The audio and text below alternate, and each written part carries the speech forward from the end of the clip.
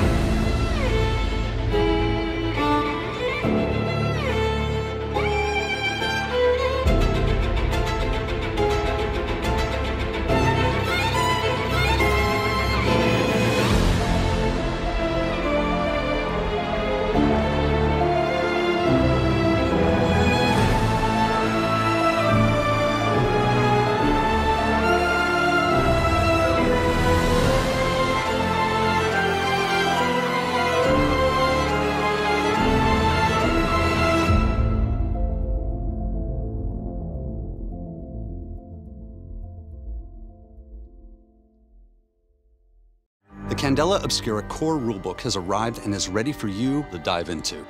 Visit darringtonpress.com slash Candela to learn more. To begin at the beginning. The sound of footfall on stone. Shoes stepping rhythmically, ceaselessly, in a wavering sea of vibrant, throbbing color. Fuchsia, pink and red. Underfoot, ahead and above, infinite and fluid. A sense of deceit and guilt. A quickened pace as the footsteps pick up speed and guilt commingles with fear. Surely they'll know. Maybe it isn't too late. You've always been better than this. Abruptly, the sound of running comes to an end. Only breath now. Low. Ragged. Laboring in this blood hued nowhere. And where but a moment ago there was nothing. A face. Large and imposing stares in horror. Lips curled back in fear around a gaping, disdainful mouth. Eyes bulging in disbelief. Their gaze cast downward to an undulating bloom of darkening blue and veins of deepest black. Its shape spreads and retracts slowly over and over like lungs expanding and retreating in rhythm with every breath. A growing nebula, azure tendrils spreading like veins, growing fainter the wider they expand. Ever so slowly taking on new form, gossamer and thin like an infinite network of veins, still shifting and pulsing with every breath. And what began as one small, concentrated bloom of void has grown larger than life, giving rise to the shifting outline of a towering angel. Set against an endless infinity of throbbing coral rose. Wings splay wide and undulate. A tangled network of starry darkness wafts from the figure's head as it nods slowly. The angel's wings flare wider still, thin and transparent, and the looming giant bends at the waist. Its body begins to lose its shape. The veins of darkness running suddenly apart like rivulets of water on glass, pouring down from above like deep, deep rain. The rain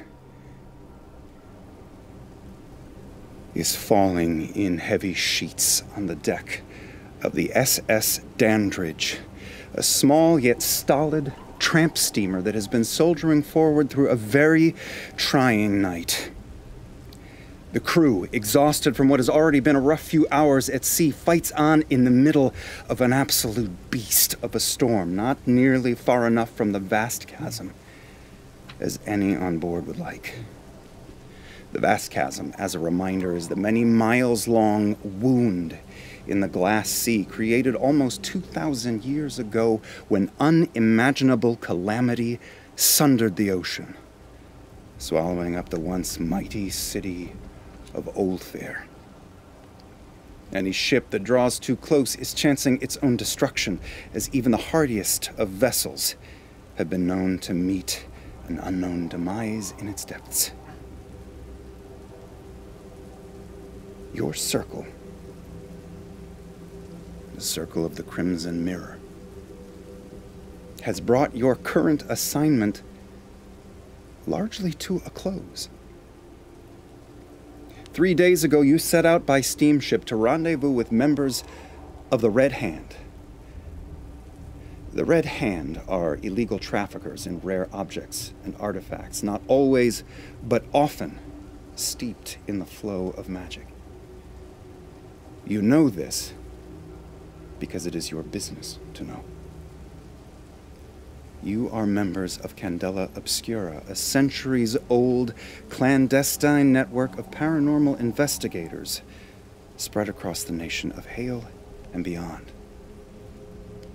After your quartet caught wind of this information, and after informing your handler, Lightkeeper Zora Manning, contact between the Red Hand and Candela Obscura was made. Candela decided the juice was worth the squeeze and the Red Hand's asking price was met. Your task was simple travel by ship to meet the Red Hand on their ship, deliver the payment, secure the remains of Atia Griffia, and return home. You see, several weeks ago, a man named Aroha Tamakai a longtime power player in the Red Hand, was purported to have come in possession of the partial remains of Atia Griffia, an historical figure known to scholars of the shrouded history of ancient Oldfaire. One of the most powerful alchemists of her era, serving for a time at the right hand of Emperor Calenus himself, the last great ruler of Oldfaire, before that once mighty empire was swallowed by the sea. These bones, Gryphia's bones, you learned, radiate with an unprecedented level of bleed, the corruptive force of magic in this world. Far too dangerous a thing to leave in idle hands. Deep at sea, the exchange was made, the bones procured. All that was left was to return to Newfaire. But the storm. This storm darkened the skies between you and home. What started in the morning as a brooding cloud on the horizon has blossomed into a raging squall that has you with your backs to the vast chasm, white knuckling every passing minute.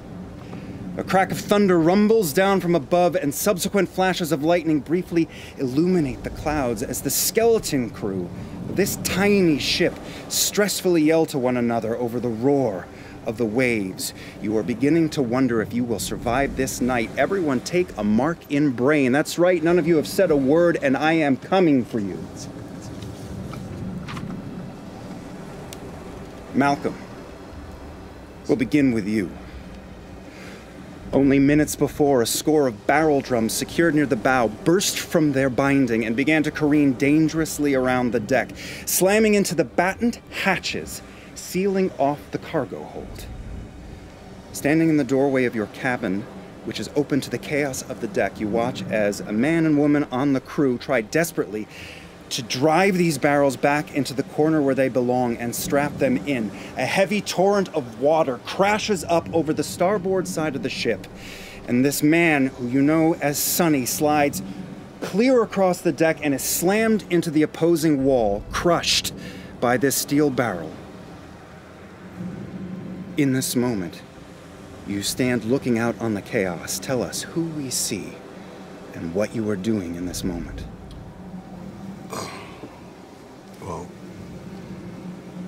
I'm a I'm a soldier that's used to land battle, not sea battle. So right now I'm studying myself, getting acclimated. I see people scrambling around. I see Sonny pinned. The dismay of everyone else on the on the starboard bow, rushing to his aid. Um, Sonny screaming in pain, agony, and uh, and I think I ought to assist him. The woman, her name is. Gabby, is, is crossing across to him, trying to get through the slosh of water that is on the deck, screaming for help. Anything. Do you run out and. I run out and I run out to, to assist Gabby Okay. immediately. There are seven or eight of these steel barrels, and his leg looks like it has been crushed against the wall of the ship. They were strapped against the far end of it. Are we going to try to pull him out, drag these barrels across the way? What's your action here? To drag the barrels would be would be pointless. We're, we're it's too much it's too much ruckus in the ocean. We're unsteady. My main objective now is to make sure Sonny's freed, make sure we get aid to his uh, his leg, and to help Gabby uh, uh, resolve Okay. this mission. Do me a favor and give us me our first roll of the night. Give me a uh, take the move action to get through the mess of water on the deck of the ship and reach this man in dire need of your assistance. Oh, got a Candela. You got a candela? Yeah. You grip the side wall and pull yourself all the way up using uh, a body toned from years of training and battle and make your way 20 feet forward to this guy and grab your hand onto the barrel and drag it out of the way. You can see that somehow a sliver of wood has lodged itself deep into this man's leg and his left arm looks badly crushed. Someone get me. Oh, I have to get off the deck. Sonny, I want you to listen to me. Listen, you're in shock right now. What I'm about to do is gonna hurt you immensely. But we have to move you in. We have to get you cover. No. We have to do it, Sonny. Gabby, I need you to hold. I need you. Is there anything you can put in in, in, his, in Sonny's mouth right now? Is there anything you can find? There are slivers and chunks of wood from the actual wall of the ship that are on the ground in the water. She reaches in, her arm disappears from view, and she pulls up several broken pieces of wood from the deck of the ship and the wall. Yeah, put that in his mouth. We're gonna about to move him right now. He's gonna need to chomp down on this. We're gonna move him in one, two, three. And she shoves the stick into his mouth. He begins to in extreme pain as you guys Almost there, begin to Sonny. move so him. good, Sonny. Bear with, stay with me, Sonny. We're gonna go. We're gonna get you covered right now. He begins Drag him. dragging you. Uh, you begin dragging him towards the deck house of the ship, which is where Candela's cabin is on board, as well as the helm, which is on the second floor of the deck house. Pause there. In that moment, Leo, you are peering out of a round porthole window inside that self-same cabin you just watched as Malcolm ran off into the hellstorm outside, and all you can think about in this second is how long ago last night's fucking cocktails on the deck seemed to you. There are charts, maps, your belongings, bottles of perfectly good gin scrambling everywhere off the table in this room. Who do I see in this moment and what is going on? Leo is is uh, older, um, although well put together. In, I'll say early 40s and lie a little bit. Um, he is currently wrapped in a very, very expensive robe that is very warm with a little bit of a scarf because we are out at sea. I do not have the constitution for this sort of travel. This is really inappropriate. Um, he is doing his best to hold himself together, but uh, is appreciating that we are away from the weather and the elements, but close enough to a possible uh, life raft that we can get out. You see and Malcolm ridiculous. I am going to hold the door and wait for uh, you to get close enough, and then I'm going to flail it open and then close it as quickly as possible. Uh, sure, it is. You are pushing now against water that is streaming into your cabin. Why don't you make a? Uh, why don't you make a? We'll call this a control roll. Delightful. Uh, I'm going to spend a drive because this is embarrassing. Uh, here we go. You're going to try to wedge the door open. If I have three, if I have three, I don't have to take the lowest, correct? Uh, if you have, if I use the drive. if you use a drive, Oh, I get one. I'm so sorry I did that wrong. Thank you. A five. it's a single roll. Yes. Okay. Uh, you push as as much as you're able, and you get it uh, open by a, a foot. Um, water is pouring in from outside. Your hand is starting to get raw from the. It is. We are in deep autumn, late autumn, pushing in towards winter, and it is freezing out here. You hold the door open, Malcolm. You get there just in time to help grabbing your hand on the door. Pull, pull, pull, pull it open. I'm pulling. you need to push. Just a little bit more. Just a little bit more. Come on, Sonny. We're gonna pull you in. The door opens, water gushes in, and Sonny collapses onto one of the beds in this room. Uh, Gabby, who is uh, the woman who is outside, comes running in as well, and she pushes past after you and goes to the exact opposite corner of the room, and she is in a state of shock. Mother above, we're not going to make it out of this. The vast chasm is a quarter mile behind. Upstairs, in the helm, Edgar, you are standing with the ship's captain and the helmswoman. You've been here for the last two minutes, not saying a word. Nobody has uttered a single word as you watched through the windows out on the chaos of the deck, watching waves crash 20, 30 feet high in the air and crashing down on the deck of this place. You can't imagine how you're going to survive the next hour. All that has gone down in this room for the last three minutes is tense breathing with three frightened people lost at sea. Who do we see and what is going on in your mind? You see a man standing off to the side, as out of the way as possible, in clothes don't that wear him more than he wears them. And he acknowledges that he is sick, but he is observing it from the outside rather than feeling ill. He just acknowledges it. And he is watching this ocean that he has no control over and trying to accept that he can't change the situation he's in while watching people more skilled than he is at this particular situation and knowing he can't do anything about it. That might have been true moments ago, but now you watch as Malcolm has run out onto the deck of the ship in this nightmare, grabbed an injured crew member, and dragged him all the way to your quarters underneath. You hear the screaming through the crash of thunder and the wind.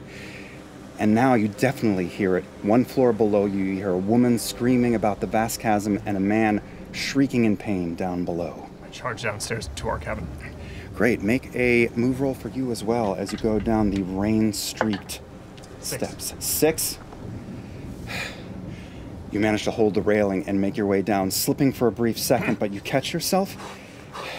And as the door is swinging shut behind this group of people, you make your way in and find a crew member on the bed in the corner, blood drenching the sheets as uh, you assess the situation coming over, there is a chunk of wood that looks to be at least two or three inches long, protruding from his upper thigh in a very dangerous spot. Uh, Leo, give me my kit. I. Oh, oh, Over in the corner over there. right. I cannot look at that right now. That is. Oh, that is a lot. I am so Move sorry. out of the way. Okay, very. Walk over to very it, quick. examine it more closely. Okay. what I'm going to tell you now is that this is a deep wound very close to the aorta of this man, the artery, excuse me, the artery just above in the wound in the thigh. So dealing with it is going to be very precarious. If you're going to do anything, I'm going to say it's a high stakes roll. Not for you, but for Sonny. All right. Open up my kids. What's What's your name? Sunjin, uh, they, they call me Sonny. Sonny. Pleasure to meet you. My name's Dr. Lycoris. I'm here to help you. now I need you to try and be very still. I'm gonna do everything I can to help you here. So just lie still. Malcolm, I need you to hold him. Hold him down. Where? Just on the bed. Keep him still as Got bo- it. best as you can. Yep. It's gonna be all right, right? You're gonna be just fine, You're Sonny. going to be You'll fine. be just fine. Fortunately, I have to do this slowly. Yeah, you're gonna have to be brave. Be brave, Sonny. Hold of the piece of wood, and I'm going to slowly remove it. Okay. Close your eyes, Sonny. This will be a control roll for you. I'm gonna burn a drive.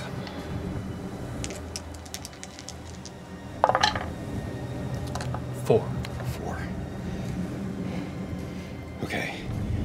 You slowly begin to pull at the jagged piece of wood in his thigh, and it splinters and starts to tear at the wound, taking part of it away with you. It is coming out, it's giving more resistance than you would care to be seeing. Okay. I take out, um, take out a scalpel and a pair of forceps to put the forceps in and open the wound slightly, and then I'm going to make a small cut at the flesh that is caught to try and remove it. To then remove You start to sever away at the man's living flesh to widen the area around your extraction. Now, you do manage to pull this piece out of him, and the artery you believe remains intact, but it is still a deep wound, and he's beginning to bleed pretty heavily. You're going to need to bind him fast, or you're going to lose him. Towel. Oh, I'm gonna run to the bathroom, grab one, and barely looking Hurry, Leo. throw don't have much time. a bunch of Take them in that direction. tie it around, and I pull as hard as I can. The man's face goes pale as a sheet, and he blacks out entirely. That's probably better. I agree. Okay. But for the moment, it seems like you've got the wound taken care of. For the moment. Meanwhile, down in the belly of the ship, we find our cargo. This artifact, these bones of Atia Griffia, rest within a relatively small, finely wrought, um, gold lined chest. roughly the size of a child's coffin. The panels of this container are etched in alchemical sigils whose origins can be traced back to the ancient world. You have become somewhat familiar with these in your time in Candela. The gold and these etchings are what now keep the dangerous contents of this box from bathing you, every man and woman on board the ship, in the dangerous bleed of magic. It's currently secured with a rope to a pallet in the center of the cargo hold to keep it safe. It's here that we find you, Grimoria, sitting vigil over Atia's remains.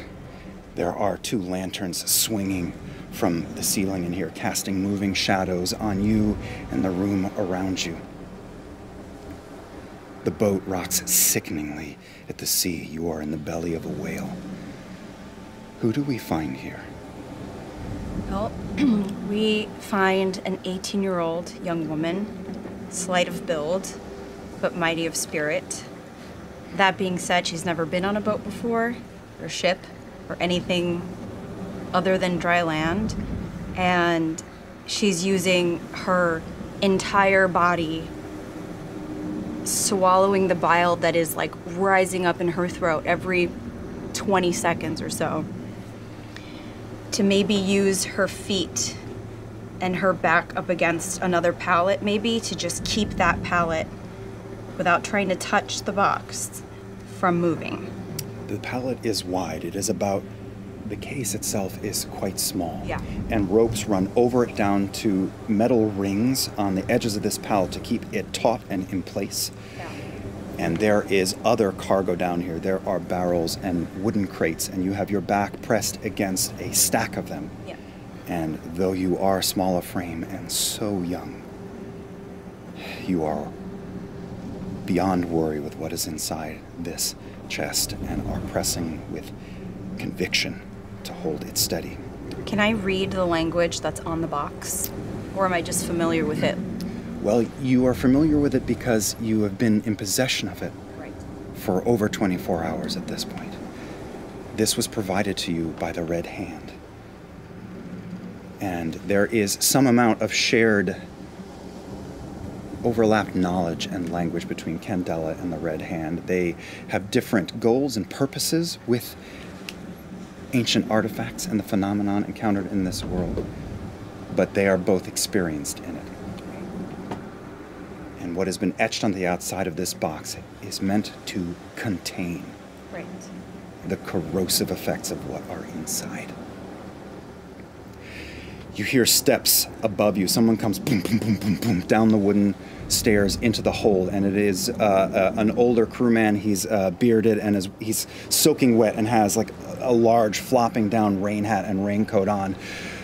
Is everything uh, steady down here? I, I don't know. I, I mean, for now. But what if it? What if it? What if it's not? You It- got it tied down? more than it already is. No, no, it's good. All right. It's in that moment that you feel the floor beneath you buck and raise, nauseatingly high. Leo, I'll say that because of the bloody mess going on in the cabin, you have moved to the window and are staring out at sea because that is better at staring at the gore behind you. You watch as the deck of the ship rises into the air, cresting over a massive wave at sea, and then comes slamming terribly down into the ocean as an oncoming wave envelops the front of the ship. I need everyone, each in your place on this ship, to make a move roll to survive. No, this would be, yeah, move because you are trying to hold yourself steady and not be knocked senseless get your result and hold it for me.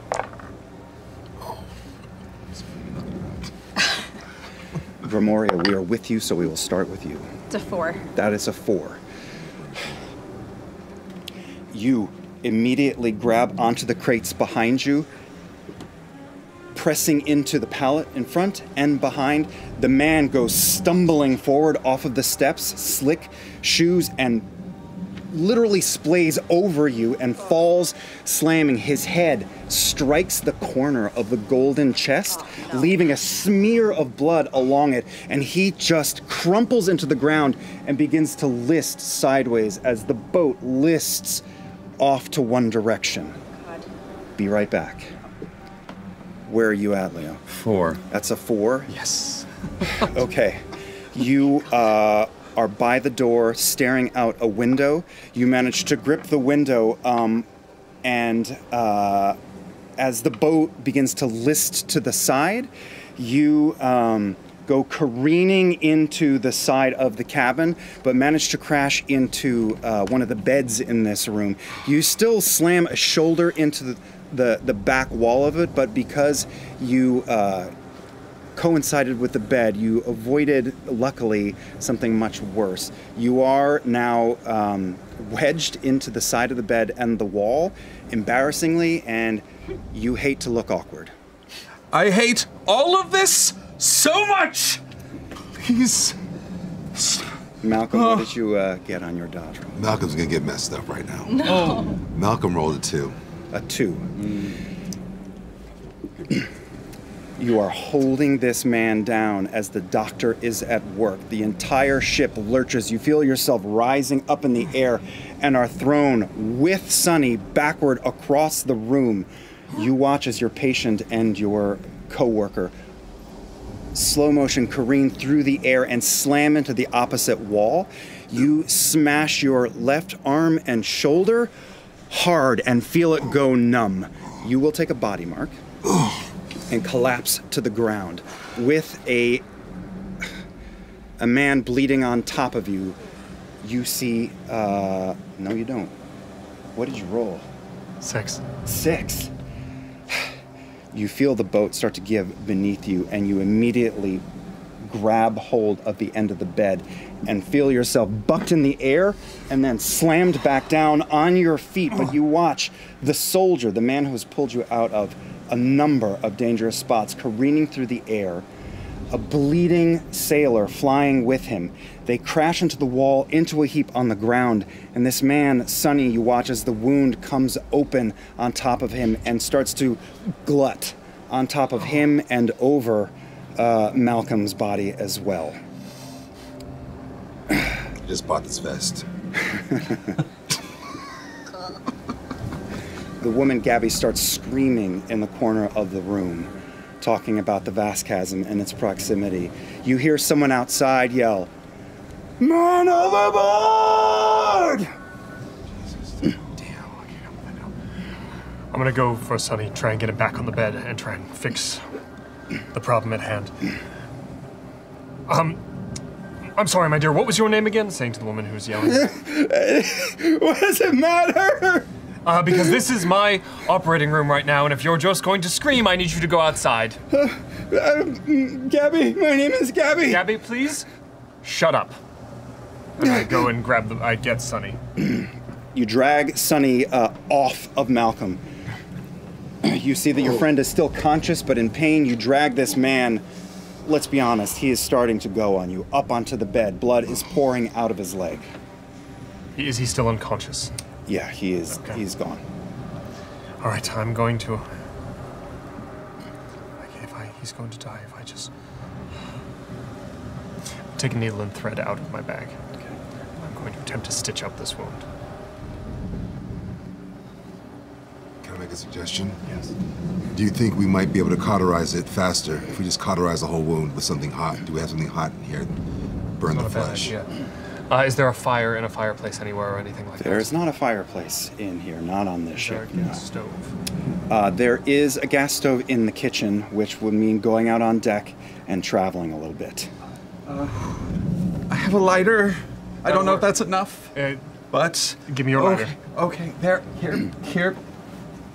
I'm gonna take the lighter and I'm gonna pull a. Um, uh, I'm just gonna. Is there something large and metal in the room? Some sort of like a maybe a, a like a, a, a something flat or, or something. There is tons of metal in here. There's a metal chairs in here, two of them, Okay. which you could drag over and heat that. Yeah. All right. I will. I will take that. I'll take the leg of a. Um, take one of the metal chairs and I'm gonna try and heat one of the ends of the leg to- Okay. to, try and. Gabby, why don't you come with me? Let's go upstairs. I think it's a little more calm up there. Okay. Hi. I'm Leo. Why don't you just come right with me? It's going to be okay. It doesn't fucking matter. Oh no, it feels terrible, but I've survived worse. Come on. You two head outside into the rain. Oh, I thought we were going up. Uh, You have to go outside to do that. Are we gonna? Oh Jesus! How far? Uh, well, it is not too far to the stairs that lead up to the helm room, or you can double back around the side and head to. There is a kitchen back there. There is a radio room. Oh, I'm not going alone. Damn. Um, I thought it was just upstairs. I understand. ship. I'm just going to take her into the side then and just have a conversation. Okay. And hi, it's going to go. What are you doing on the ship anyway? Well, I mean, I'm. Uh, uh, I'm, I'm mostly helping the kitchen. Oh, do you know the captain at all? Have you met him? Captain Diverson, yes, I do. How much do you know about him? Because uh, I did a little research. He's actually survived four, four storms before coming around this before. He has a very good record. I hate sailing, and he's apparently the safest round to go. I've, I've been with him for about a year. We've never been in a storm This like was a long time ago. You've, you know, clearly these don't happen very often. So there's not a lot of people who've had quite that many. Would you do me a favor and make Yes. a sway roll? Oh yes. Uh, yes. Uh, I'm also gonna burn a drive for this. As this is happening, by the way, while you are trying to calm this woman and you are trying to figure out how you can save this man who is on the edge, there is screaming from outside. Multiple voices now. Someone is yelling, Heath! Heath, hold on! There are two or three people now on the deck screaming. But go ahead. Six. Six. You catch her into a trance almost. She just is lost in your eyes. It's going to be absolutely fine. Let's just talk like people. How often do we get to talk like people? This is, this is the sort of opportunity we have to just let loose anything we've been holding back, anything you want to say. Just, just, it's time. Wish I wasn't uh, doing this job anymore. I think you've had enough of this. Yes. I've always wanted to work on stage.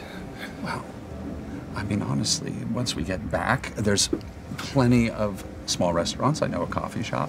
You do just a little bit of part-time work there. You have time to go to auditions, take a class. I know somebody. We can. Yeah, we That happy sounds to help you crazy.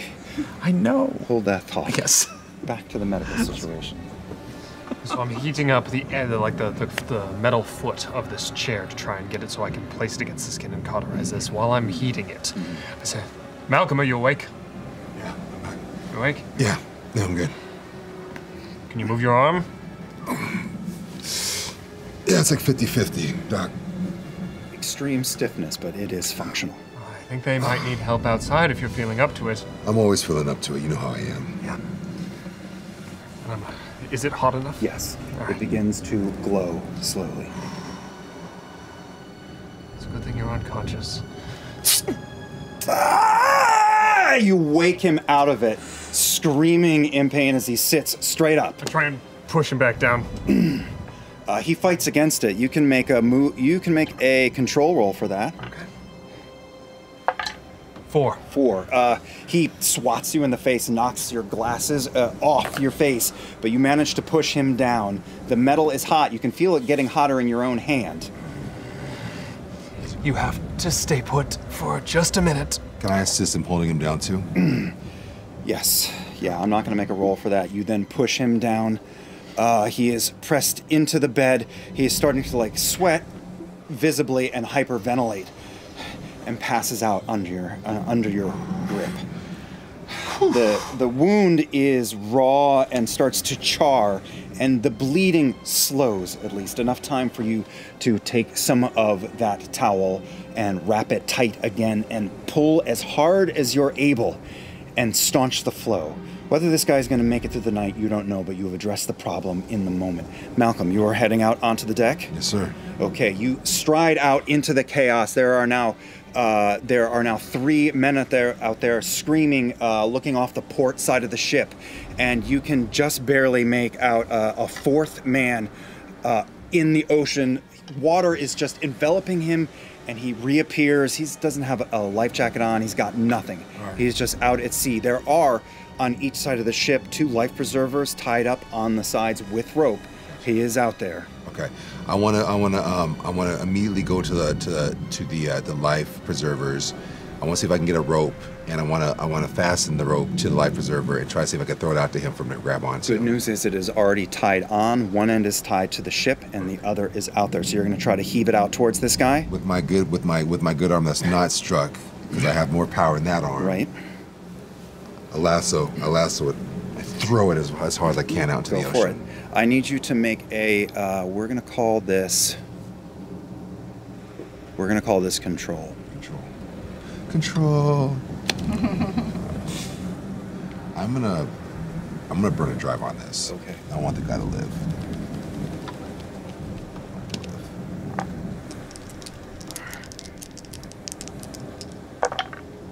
Fours. Four. Two fours you got? Two fours. Pair of fours. Okay. Pair of fours. You get a beat on him. He disappears for a second. You wait till he's there again, and you can see that he is moving slowly, getting pushed to one direction. So you actually aim and throw off to the side. The good news is it lands about five or six feet to the left of where you last saw him, and he resurfaces just a foot or two away, and his arms are just beating the water around him and he feels it before he sees it and grabs on for dear life. The bad news is that a second massive wave 40 feet high comes along the uh, starboard side of this ship and slams into everyone on board. Damn. Make another uh, move roll for me, and it is high stakes. I have one drop to burn. Yeah. I'll, I'll burn it. If I were there, I would. I would. I couldn't help.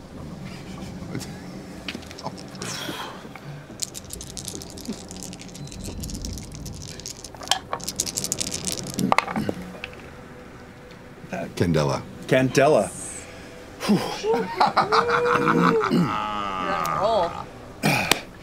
you feel it before you, you, you see it.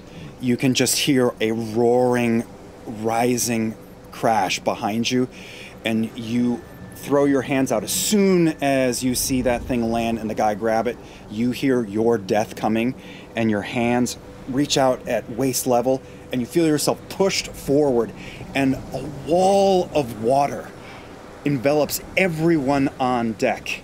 And another person in the crash of the wave, you can just see them as you are underwater for a moment fly past you and off the side of the ship. The wave moves past the entire boat, and we'll get to your dodge rolls in a moment.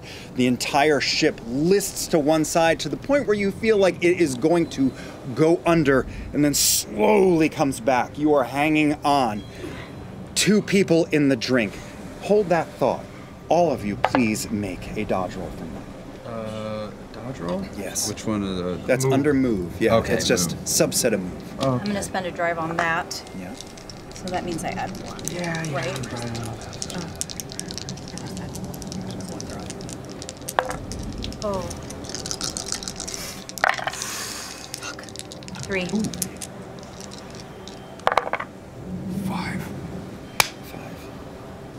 Well, you're No, you're fine. Oh, it's. hold that look for later, my friend. Oh, God damn it.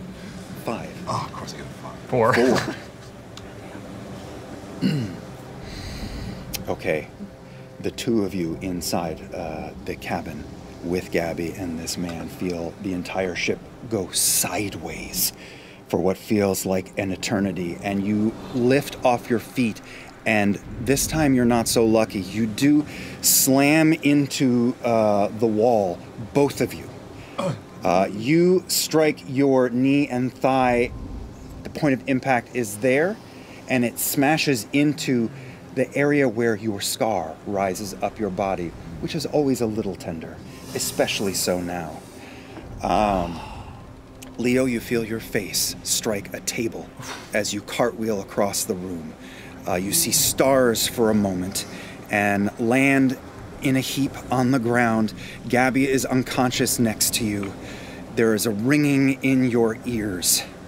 The strike was so hard. So that is one body, one body, Yeah. Yeah. and you got a three. You feel the pressure that existed between the pallet and the crates behind you that held you in place, you try to push as much as you can, but the sudden jerk of motion rips you free, and you watch and feel like the ship is almost spiraling. Except it's you. And your head strikes a post connected to the wooden rail and stairs coming down in here. Ah. Your vision explodes in white stars, and then you feel yourself crash into the floor and just are barely able to perceive the floor righting itself and rocking down in the belly of this beast. Also, at this moment, there is a mast on this steamship that holds an auxiliary sail in case of emergency. Unfortunately, as this small tidal wave strikes it and the boat comes back, the mast begins to bend, crumple, and break, plummeting down into the battened hatches. The hatches, which normally have hatchwork holes that uh, let light down in, but during a storm like this, you cover and seal. And now that cover and seal is rocked by the mast, crashing down on top of it. Down below, you vaguely become aware of water pouring in and sloshing into your face here in the cargo hold. But what's worse?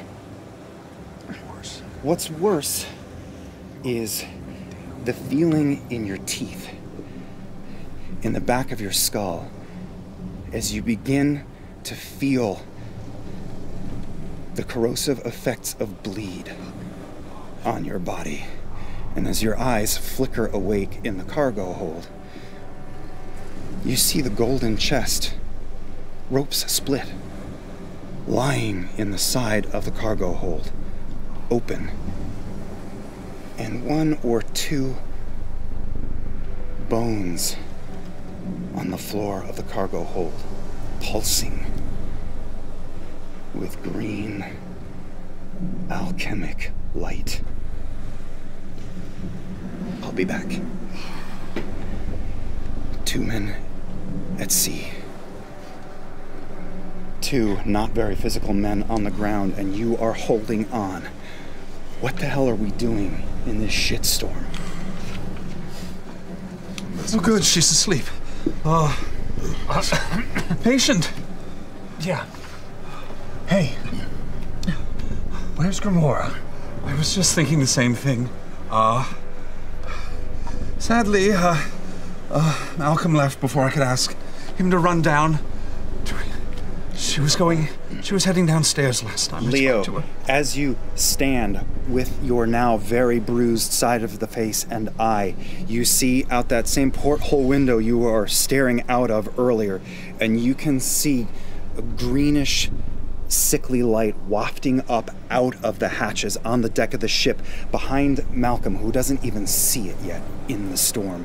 And the sheets of rain that are coming down are all illuminated in this one particular area hovering over the hold. You know what the fuck is up. I think we have to get down there. What, what's, what am I doing right now? Am I, am I holding? Am I holding on? to There something is a still? rope taut against the side of the ship. One man uh, holding onto the life preserver 60 feet away in the drink, Right. and another one attempting to swim towards him. I'm not normally supposed to roll, but I'm going to roll for this other person because I'm just curious and I don't want to decide. okay, he got a five. Uh, this other crew member begins to fight his way through the crash of endless waves in this storm and grabs hold of the rope itself, not the preserver, but he manages to get caught about two thirds of the way to his friend. And you begin to hoist. Why don't you make a. Uh, hmm. You can make a strike or control move for this. We'll do a strike. Okay. because this is muscle, this is hard work.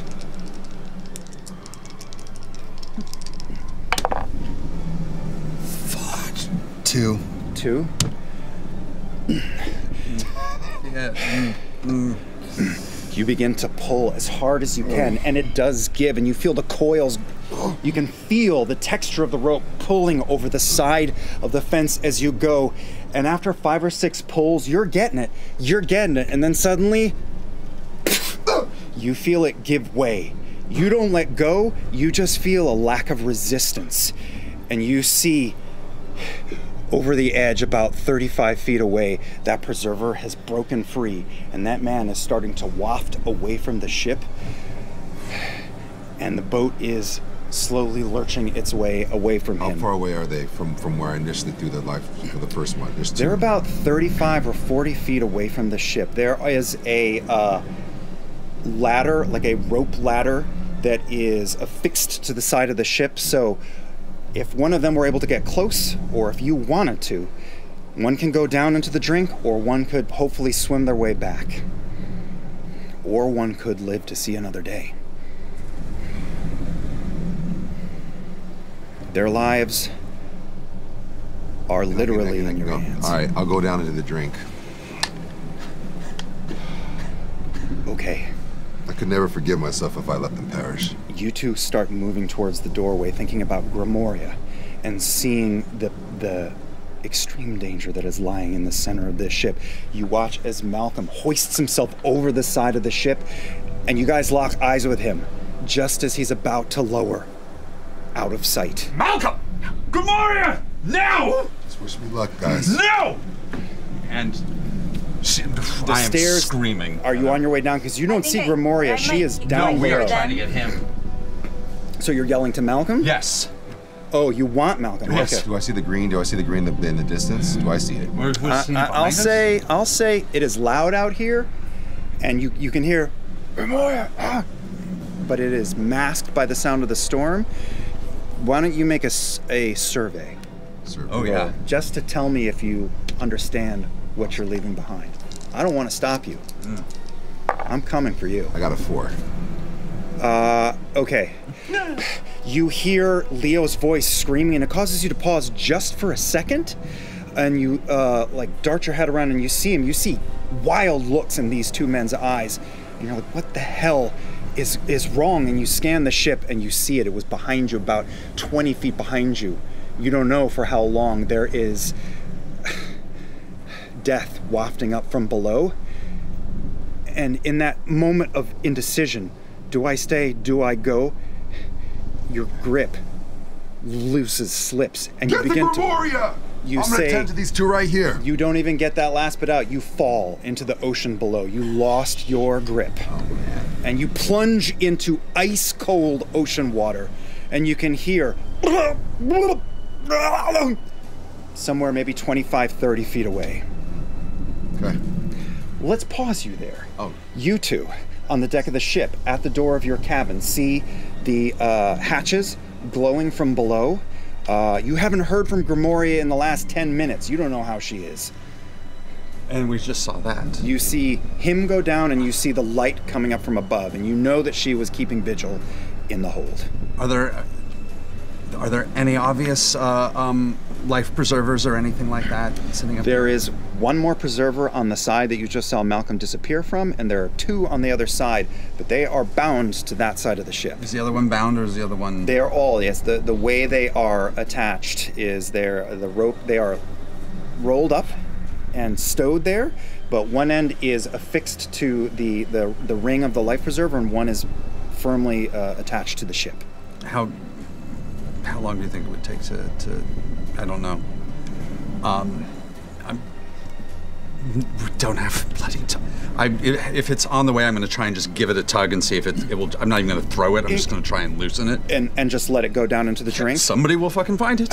Um, yeah, you don't need a roll for that. You, it, it is there for help. It is there for this moment. So you yank it free and pull off sort of a tie on it that lets it open, and then just what? Let it drop into the drink. He went down. I'm just letting it go down where he went Okay, down. Okay, you drop it into the ocean, and it is bobbing in the sea And below. then I'm heading.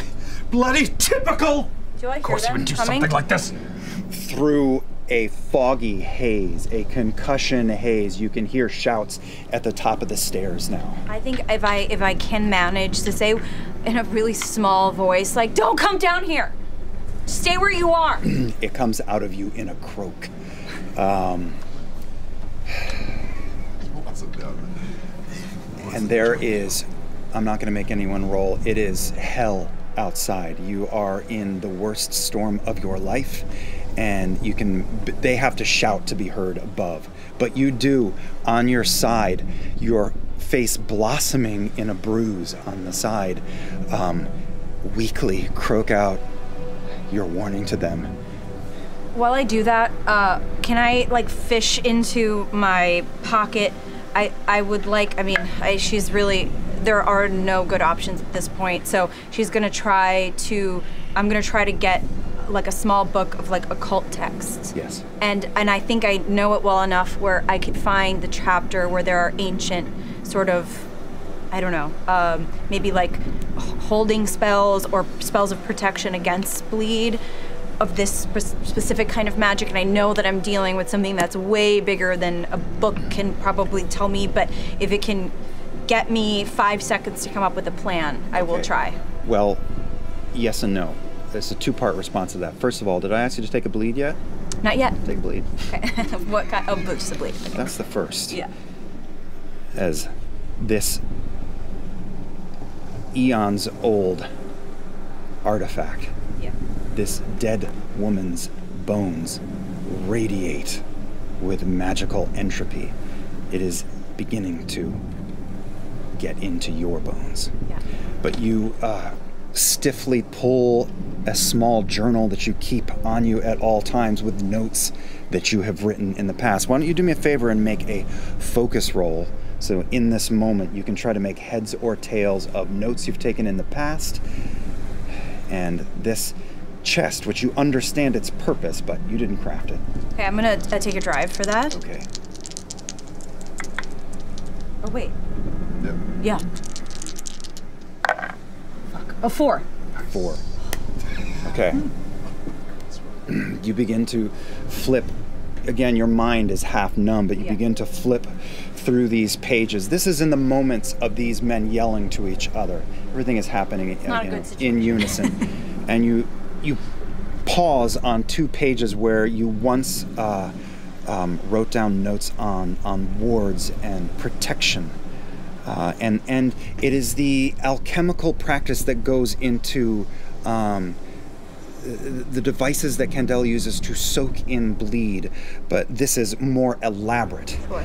And you weakly look at this chest, which is toppled over and open like a V on the ground, and the notes you've taken. This is probably 11 months old, these notes, but you can see somehow in this haze that uh, that and many of the glyphs of the old time are circular that there are sigils in a specific order that you've encountered at least five times in the past which is what led to making these notes and there is a, a disc on the front of this chest that is circular and has sigils that are not exactly the same but similar.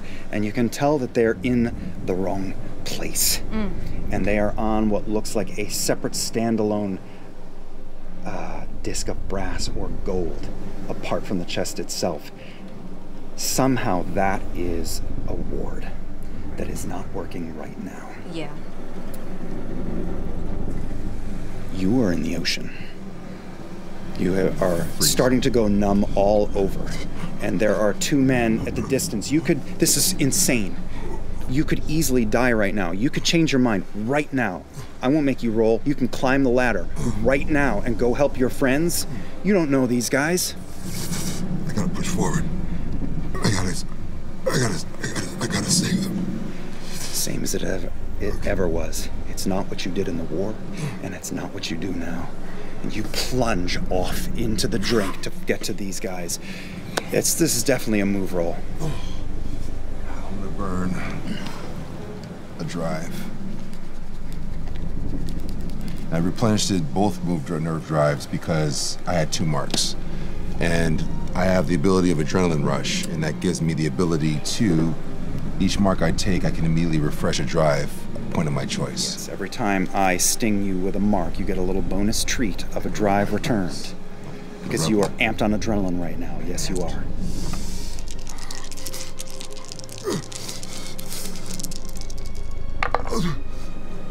Candela. Candela. Is it a single six? Dude. Just a reminder. Oh, I believe you. Yeah, I just two. want you guys to tell me if you get two sixes because it's a single, is it's a single. that's great. You uh, are alive. The ocean shocks you more awake than you've ever been, and you dig yourself through this moving serpent of an ocean. And you get to the first man who is still hanging on to the rope. You just couldn't feel him before, but the other man is another 10 feet past. You pull your, you, well, you don't pull yourself. You find the edge of the rope and take it, and I'm, we're gonna use that six to have you swim further and get to this guy, and wrap the rope around your own arm and his.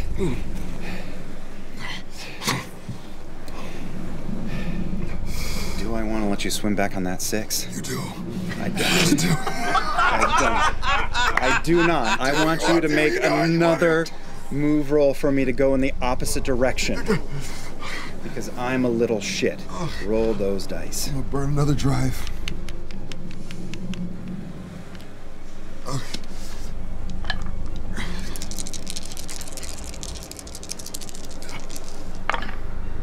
Five. Five. Okay. Johnny Five is alive. One handed, much more slowly, because you can't swim, but you manage to use this python here to slowly pull yourself and this man closer and closer to the next man. And then you guys are a little knot on the end of a charm bracelet in hell. And you start to pull yourself up. And I'm going to say the stress of this, the strain of this, it doesn't feel like you should survive. Hopefully you will. But you're going to take a brain. You make it to the bottom of the ladder that is disappearing and reappearing by the ocean water, swelling and lowering every couple of seconds. And you begin to, I will not make you roll to climb this ladder. You see these two men up ahead of you, and you begin to climb your own way up, and you splatter on the deck of this ship into six inches of water there as well. The three of you alive and whole. Hold that thought, Malcolm. Doc, Leo, where are we? What are we doing? It's heading Running downstairs. down into the hold. yes. Okay, you get down below, and here is what you find. The pallet is ripped open. There are crates and boxes askew down below, and you see first, it's hard to miss, this golden chest, this small golden chest, cracked open off on the side, on the port side of the cargo hold down below. You see 18 year old Grimoria on the ground, journal in hand, staring, and uh, water has been leaking down through the uh, broken hatches above. And she and this book are starting to get uh, soaking wet, and there is an inch or two of water in her, catching every time the ship lists to one side, the water moves with it. And these two, what look like leg or arm bones are just drifting and bringing their green arcane sickness with them as they move. There is also Edgar, uh, a crew member down here, lying on their back unconscious, and one side of their face and chest and arm is eaten away. And there is just a steady stream of red and black and green particulates wafting off this person's body. It's as if 25% of their face, bleeding down into their neck and chest, is gone. And there is just this sickly, it almost looks like steam down here. It is not entirely unfamiliar to you. Different, but reminiscent over a great many years you can see, I'm sorry, parts of the orbital area of the inner eye. You can see teeth and the side of his tongue because there is nothing there. Go, go for her. And I'm Darling, gonna- we're getting out of here. No, no, no, no, no, no, no. No, she's fighting. I'm gonna fight you because I, I, I feel like she, if no one, if if anyone can can stop this, it's it's her. It's her. The haze, the pain, Yeah. it is is gone. It is less numbness now, less of a fog, and more intense pain in the side of your face, which brings with it clarity. And you fight off Leo, turning towards this golden chest on the ground and 20 feet away from you, these bones. You are trying your best to help your friend. I am. What do you need to get us out of here right now? And I think I think uh, like in the clarity. So I can't believe I'm doing this the first episode. Um, I, I would like to use the prestige to um, channel someone that I encountered uh, back in, in my time, which is a very slim amount of time, um, uh, an ancient priest or priestess, someone that I've encountered through an object. For clarity for the audience, Yes.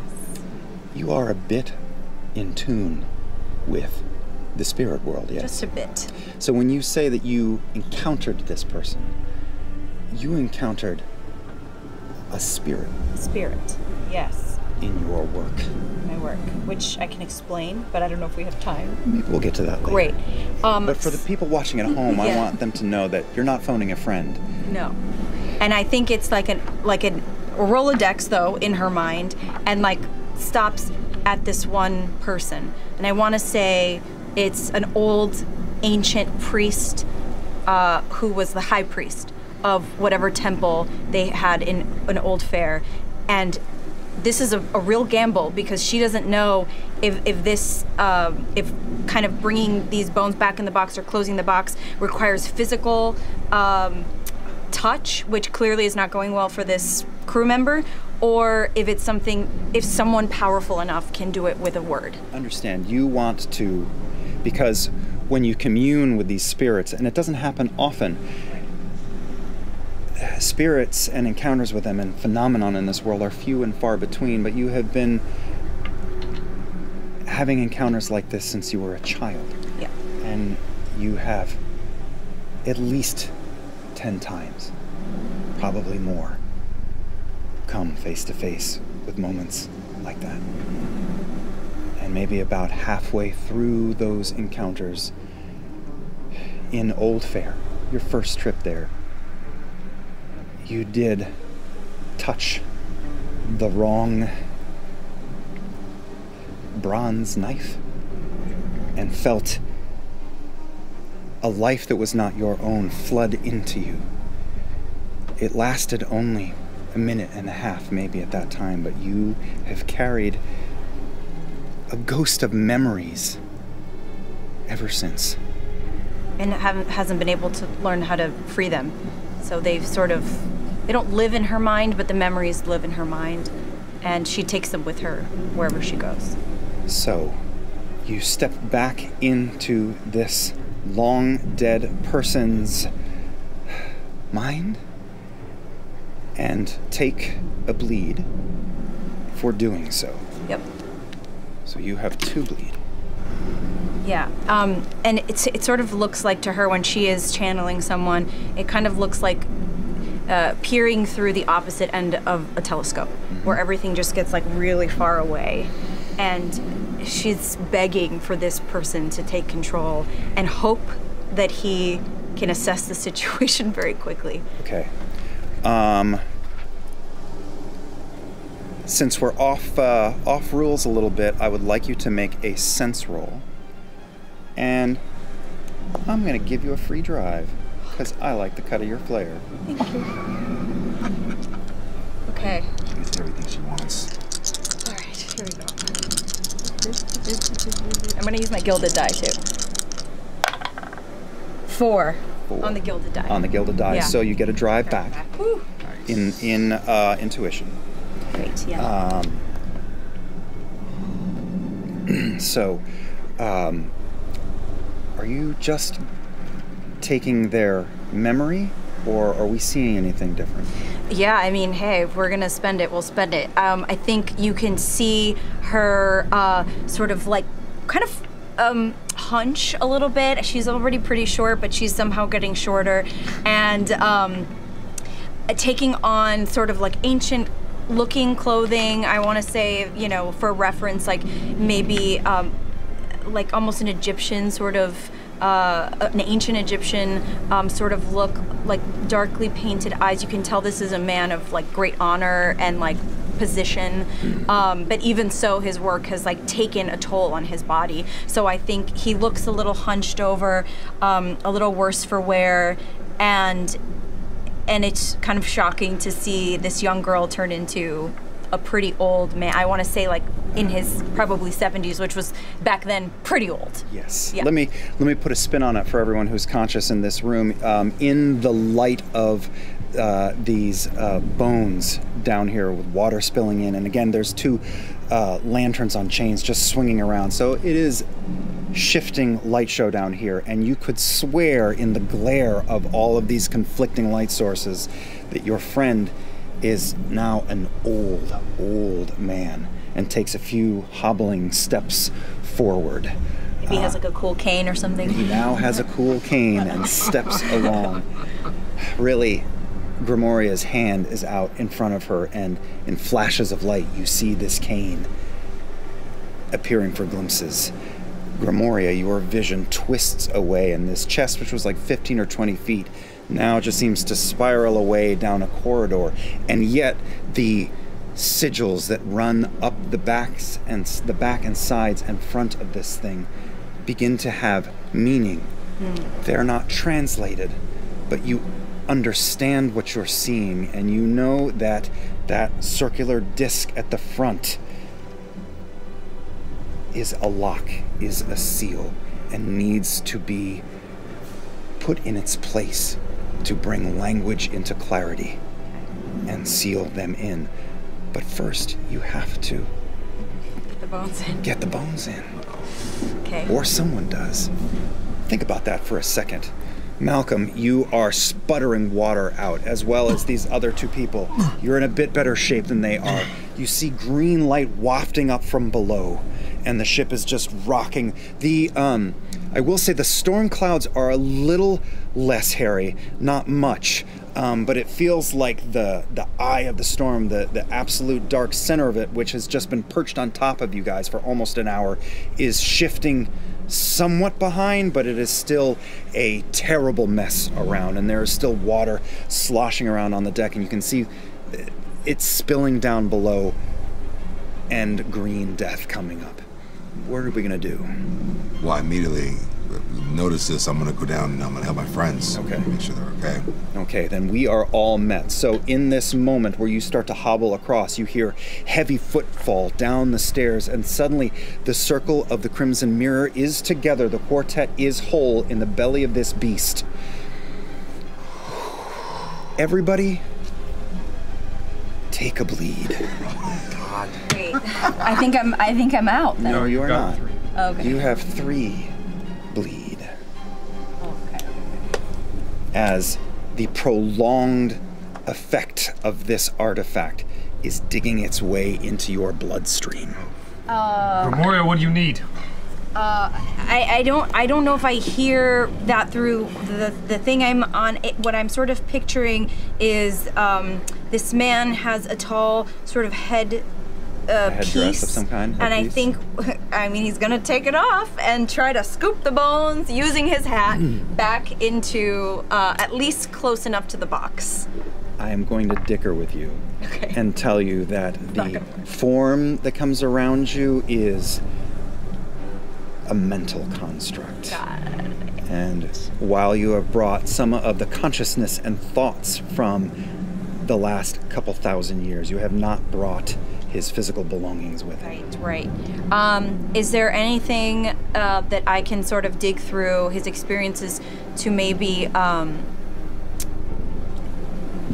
make uh, have a spell that maybe can temporarily render the effect of the bones useless? Oh, you have many talents, Grimoria. Spells is not one of them. But does he have spells?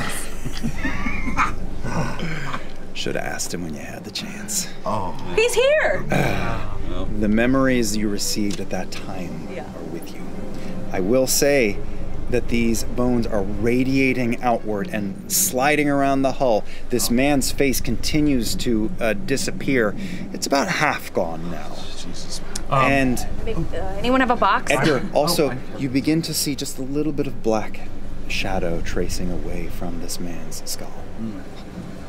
Um, uh, Edgar goes into his kit. He puts on gloves. Take a brain, by the way. Puts on gloves. Takes a deep breath. Wait, hold on. I can help. I think the closest one's right. I'm gonna try and like track it and send you in the right direction to the closest one. Okay. So I'm, I'm, going to use survey if that's all right. To, uh, Survey? search track spot. In the world, what are we trying to do? We I'm are trying we to know very him- well where these or I'm bones gonna, are. I'm gonna. Okay, they are. They are visible. They're Never mind. So- oh, they're glowing radiating. radioactive green. guessing what has to be done There you from the attempted shoveling. Yes. Uh, Edgar is going to just shoveling. run acro- try and run over and as fast as he can for his, and to hold these bones as little time as possible is going to grab them and throw them in the box. Throw them in the box. Yeah. Okay. Oh no. Okay. Um, Why? I want to go. I, wa- where's the box? Where's the uh, box right from now? your point of view, and you're halfway down some stairs. Nothing's in the box now, baby. It's out of the it's box. out of the box. You're halfway down the stairs. They are in a little bit of a semicircle or triangle facing away from you, and the box is a good. It's about 10 feet away from Grimoria, who has just taken a couple of little uh, hobbling steps towards it. And you see as she sort of like bends even further down and her hands scoop through the air a little bit and pauses there. He begins to move forward. Now I do have an ability that may not be applicable here, but I want to see if you'll let me get away with it. I have dissection. When you use a focus roll to inspect or dissect a piece of organic matter, I'm not affected by bleed, and I gild an additional die. Yes, that's right. And you said you're wearing gloves? I'm wearing gloves. Okay. So you are able to approach, and the uh, exposure just to the air down here for too long is going to be lethal for all of you. But you walk through uh, this uh, burning sensation that you can feel again in your teeth, and Feeling and the entire left side of my body flare up. All up those marks, up the one side of your body, and the, the, the, the bones are sort of pulsating, and it's the pain in your body goes in waves along with it. You're standing above them. The box is knocked over on its side. Two of these bones are on the ground, awash in the corner. You're using that skill? Using that skill, having handled bleed infused flesh and organic matter before, try and pick them up as gently as possible and move them into the box as quickly as possible. Okay. Can I can I ask a question? Yes. I have a I can- I have a bleed containment vial. Can our containment vials dampen the effects that the bones are giving off right now? I mean, I know it's powerful, but can we like can we offset it just a little bit, weaken it just a little bit, so that it gives us more If you time? wanted to say retroactively, and I'm fine with that, because mm-hmm. we're new in our story and with our characters and, and functions that we have. If you want to say that you, rather than taking that bleed, shielded yourself, I would allow that to transpire. Okay, all right, I'll do that. Okay. So you are, can we can erase that bleed, Okay, all right. and it was soaked. Where was it soaked? Yeah, it was soaked. So this is my this is my hand. Might be time to tell us.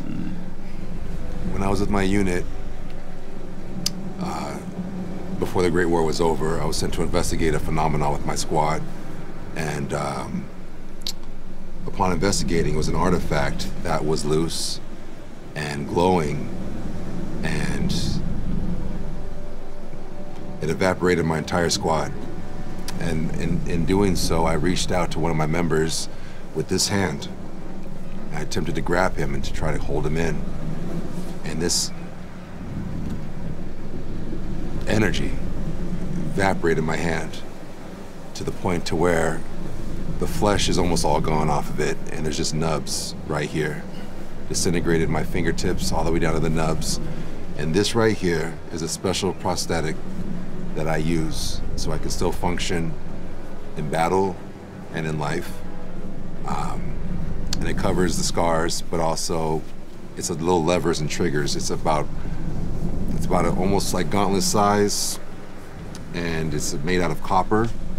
Rivets can be seen on each digit, and I'm able to have 75% to 85% function depending on the, the day and the weather. Um, and within it, I have uh, my bleed detector as well as my bleed uh, uh, containment vial. Right. So built into a compartment in that hand. Compartment that's right in the center of my of my, uh, of my prosthetic hand. And as soon as you come down those stairs, you feel the corrosive effects of this artifact and grip your hand and absorb as much as you can in there. This is an ongoing threat, Right. so it has uh, tided you over for now. Right. the limit. So, uh, Doctor, I'm going to meet you in the middle. Yeah. because these bones once belonged to a flesh and blood person that was a very long time ago, and I can't swear by the chemical composition of their inside anymore. So I'll tie it to a roll. Uh, give me a. Let's make it a focus roll as you attempt to not be horrifically scarred by touching these. Five gilded. Five gilded. okay. So you kneel down before them, your face awash in their light, and you are gloved, so you take some confidence in that, and you are very familiar with the structure of the human anatomy. You attempt to grip each bone in the most slender portion of uh, of each limb and lift as carefully as you can, just the same way you've removed uh, sort of hazardous materials from bodies before in the world's most dangerous game of operation. Uh, you can feel the burn in your fingertips as you start to lift one bone in. Uh, the chest is still upside down at the moment. Flip it! Can, uh, and then I think Grimoria slash old man hears this, uh, takes the cane, and just feebly, but you know, powerfully, I guess, kind of try, tries to either uh, hook it and flip it, or just hook it and then Can I run? bring it down. Wash. Hmm? Can I run to assist her with that? I was, I was, well, I was pretty close. Everyone point, can run to assist. Yeah, I Multiple was- people can assist. Yeah, and so obviously the cane doesn't work, but she can use her foot. She's uh, using right. her foot. You again. You you become awash in two places Yeah, at yeah. once in moments like this, and Yeah. so for a split second you remember and then get your hands on it. Now your fingers touch the inside, and it is. You can feel the burn gonna reaching do the through. foot. Oh, your foot? Yeah. That's fine too. It is. She is wearing a shoe. It is heavy. It is made of gold. You start to lift. You are slight of frame. You guys are assisting. Yeah, I'm running over to assist. Okay. Does that mean we're adding Lift uh, my foot. drive, or you're or you're just coming in for flavor? No, I'm out of drive. I don't have nerve drive, but I'm there for flavor. Okay, Unless, great. like, yeah. So you guys come over and and everyone starts to try to get uh, get a, a, a foot under. And it, Leo, you place your hand on this old man Grimoria's shoulder uh, for support. I think you would make a uh, make a control roll for me because it's super heavy. oh, and I got to drive Uh, you Yeah, have we- from we- someone. we- we so get- so that drive, yeah. means I you take. spend a drive. Oh, and I can spend my own drive. Yes, so yes. would make it a two die roll. Two die roll. Okay, great. Because I have none. Yes. Okay, great. Oh, come on, baby. Four. Four. Man, four is like my fucking number two. Okay. Uh, do you have a? You don't have a, a, a resistance there. do you? I You can do. use the resistance to. Use the resistance to reroll. One or I, yeah, how much can how much can I re-roll if I use a resistance? If you use a resistance, you can only use the base of the stat, so Which you is can't zero. add in any drives. It's You can't. one- it's just one yeah, die that's then. a kind of a long shot, but you could do it. Worth it? Well, if it was the base of the stat, then you'd be rolling You got die a and four, taking a which is a mixed success. What do you think? I think you should keep that four. I'll keep the four. You keep the four. Yeah. Okay, you lift and you, f- if for a split second you think you're not going to be able to do it because this, I don't know if it is solid gold, but this thing has gold built all around it. Yeah. That is something that you guys are aware of in Candela that gold in the old world was often used as a, a barrier. Uh, it took it took a knowledge of alchemy, and then gold was often a component. So this thing is heavy, and you lift with all your might. You think you're not going to do it, but then you feel Leo's hand on your shoulder squeezing, uh, and then Malcolm is at your other shoulder, and you just feel comforted a little bit, and you lift, and it manages to clatter backwards. Um, but the combination of everything that has happened the storm, the the bones themselves, the injuries that you and obviously your friends have taken, are, it's too much. You take a brain.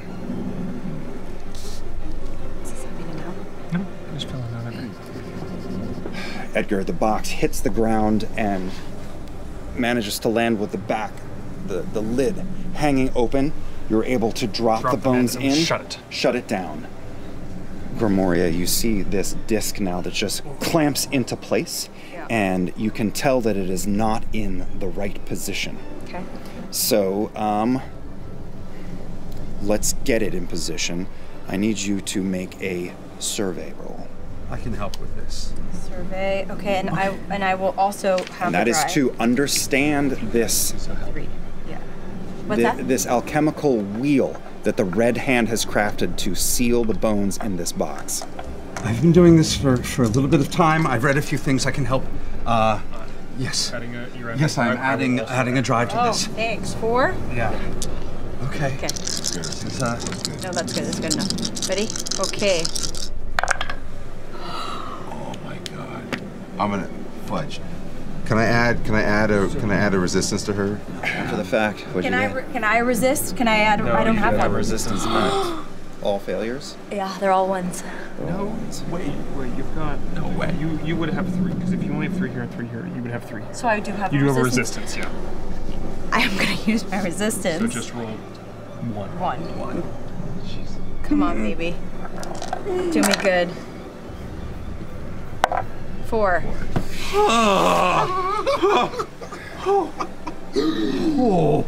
She's gonna be dead. The first episode. oh my god, thank you. So, here's what happens you lay hands on the physical chest and this wheel, and as soon as you do, it burns at the touch like fire and ice in one. And you begin to turn the wheel and watch as three or four sigils, which mean more than they should to you now, as you see through the double vision of a long dead old man and your own. And they slide and stop, and you know that that is not right. And you continue. And you watch as two of the sigils at different points on the clock change, literally in front of your eyes. And because you have the knowledge of the ancients with you, you then reverse direction. You just know that it is right and turn back, and it clicks in place where it was. And all of the sigils and all of the line work all over the chest. It is faint, but there is a thin little shimmer over every single line at once. And all of you in here hear little. And then Grimoria collapses on top of the chest, taking too much bleed. The bones are contained, and Grimoria, whether it is exhaustion, physical pain, or the damaging effects of magic in this world, you men don't know. She falls, still and unconscious, on top of this golden chest. The rain actually has abated at this point. You it's not gone, but you have been too distracted to focus on anything but imminent danger and your friend, who you are afraid is dying in front of you. With time, crew members come and duck their heads down here, telling you that the storm has indeed moved past and behind the Dandridge towards the vast chasm behind you. it slowly, slowly starts to sink in that you are not going to die tonight. Oh, yeah, we need to bring um, both Grimoria and this man up, up upstairs. I need to take a look at them both. All right, let me help you. Okay, so in the rain, and now it is just rain. Malcolm lifts Grimoria's tiny body and brings her up to the cabin, which is a terrible mess. Just like every person and every inch of this ship. And Leo and Edgar, you uh, carry this man together who's ravaged. He is dead. There's not enough of him left to call dead. And lay him in the room on the floor by Grimoria in bed. The captain, you have not seen since before things really kicked off, Edgar, sticks his head in. Is she gonna be alright? Hopefully. Um. Unfortunately, he won't be. Shit. We're gonna have a lot of work for you in the morning. Wonderful. And I'm knowing he is dead. I'm going to attend to Grimoria and make sure she gets through.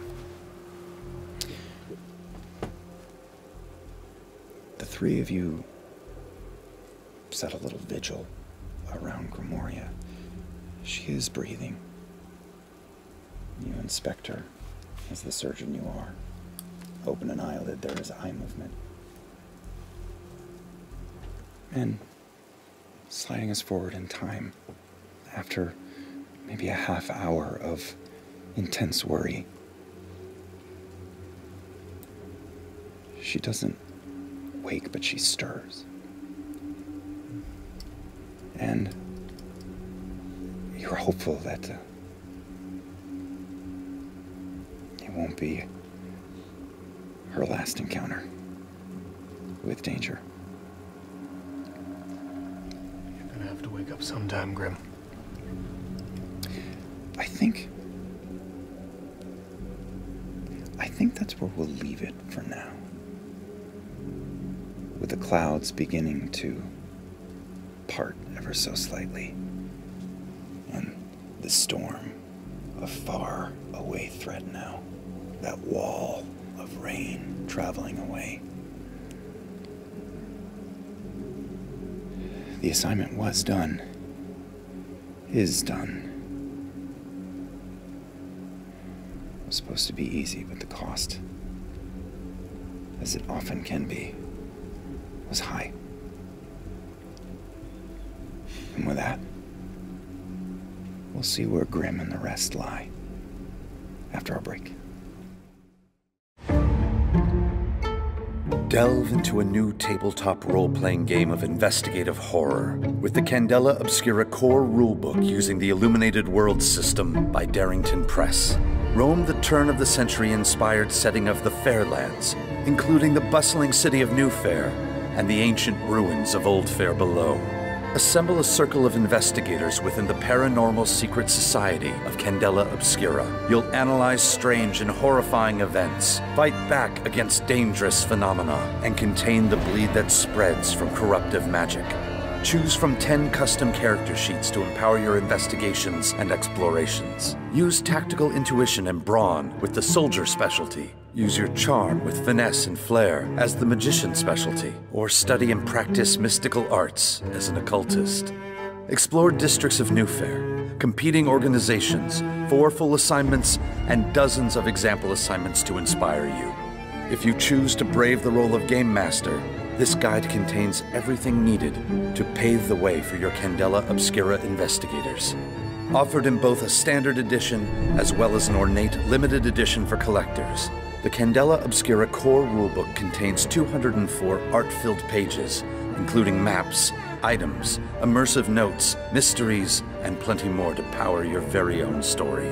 Keep this tome close, for the knowledge obtained may be the key to protecting you, your allies, and the Fairelands.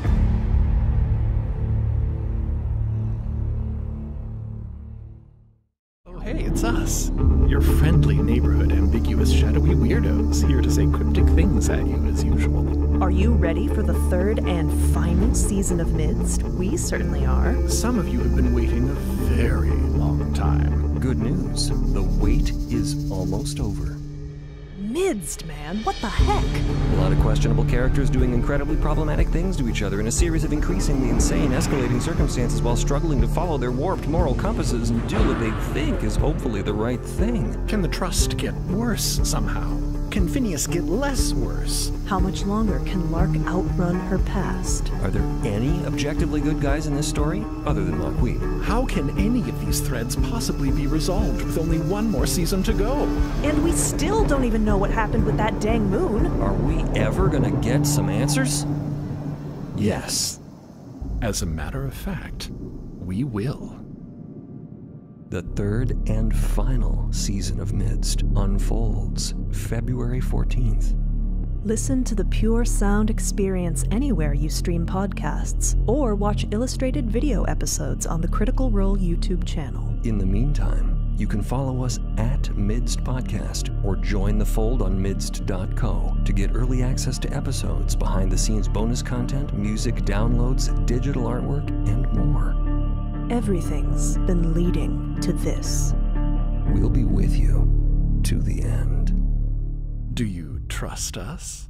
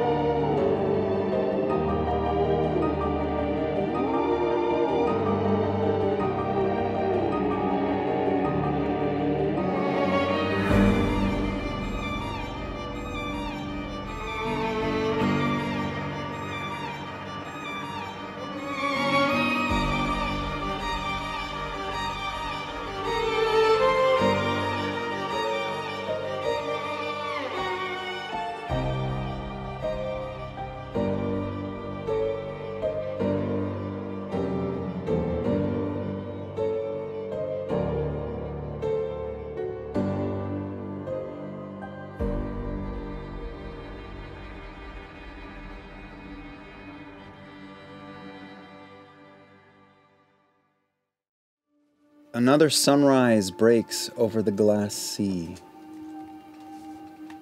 The wrathful elements have retreated from the heavens, and the sky is now littered with slowly passing clouds. The sun sharing its rays through the breaks it finds in their cover. It's a beautiful sight to look on, though the air is still bitter cold.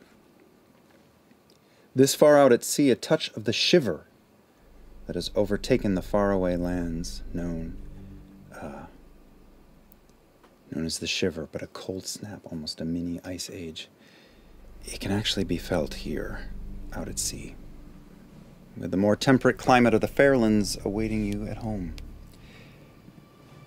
I would like to take a moment here as we resume to do a little bit of upkeep for your circle, which is a little bit off the cuff.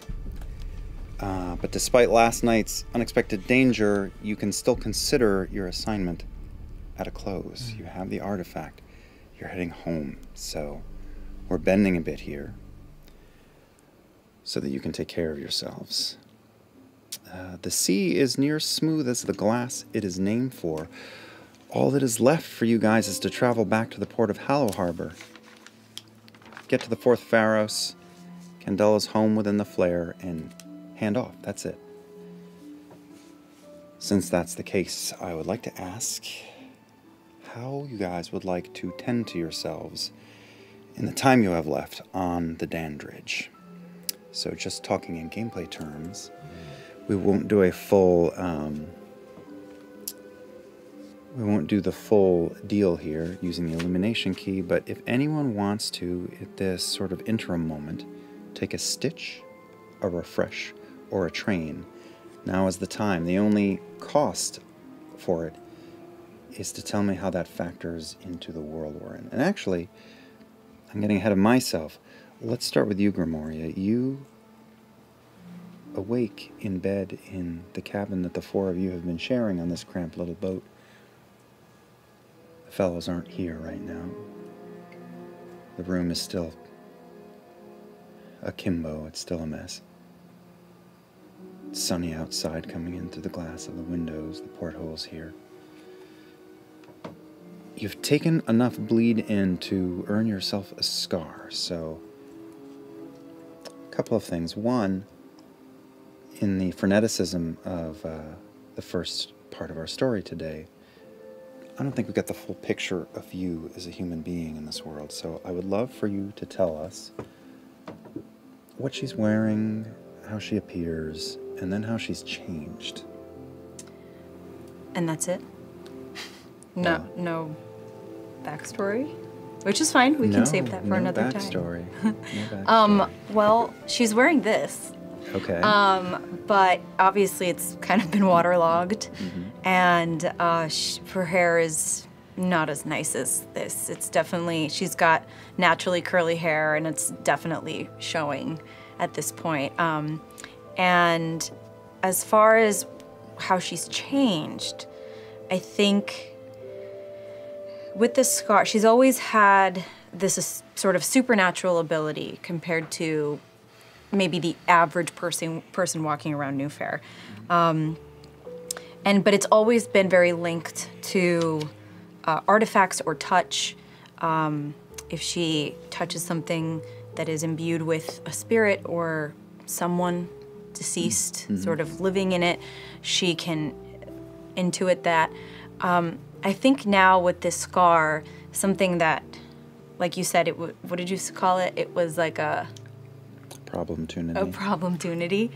I think that this isn't something she can control by any means, but it's almost like now a different part of her brain has been awakened, and it's auditory. And I think that she's hearing sounds and voices, uh, maybe from spirits she doesn't really know, but in times of stress, it only adds to um, the discomfort of her gift, which can also be a curse. So I think, I don't know how it's going to manifest long term, but I think when she wakes up, she doesn't realize there are no people in the room because she just hears many voices. You have had a sensitivity, a certain kind of sensitivity, since you lost your parents at the end of the war. Um, and when your gift or curse, however you want to look at it, first manifested itself, you had had a sensitivity to the other side. And now, as you prop yourself up on a, on a pillow in the cabin of this ship, you are just experiencing the first moments of a new sensitivity. And it is hard to get accustomed to. You wonder if it will always be this challenging to listen and hear, or if it's temporary. But it's undeniable.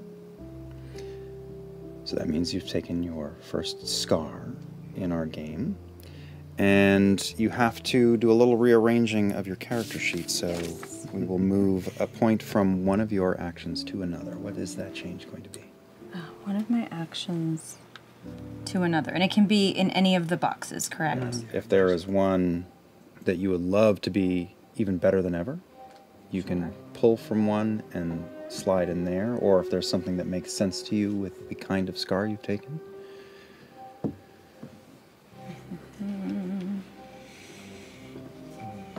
I think that I'm going to move. But if I move, if I move one that is like bolded, one of the circles, does what I move it to also become a bold? No. No. So if you have a gilded uh, ability, you would remove a point in it, but that would stay gilded. It would just be harder to succeed Ah, ah, without gilded ability. Gotcha. Okay, so I won't move a gilded. But I think that I'm going to use. I'm going to um, take from move, and I'm going to uh, put it to hide. Okay.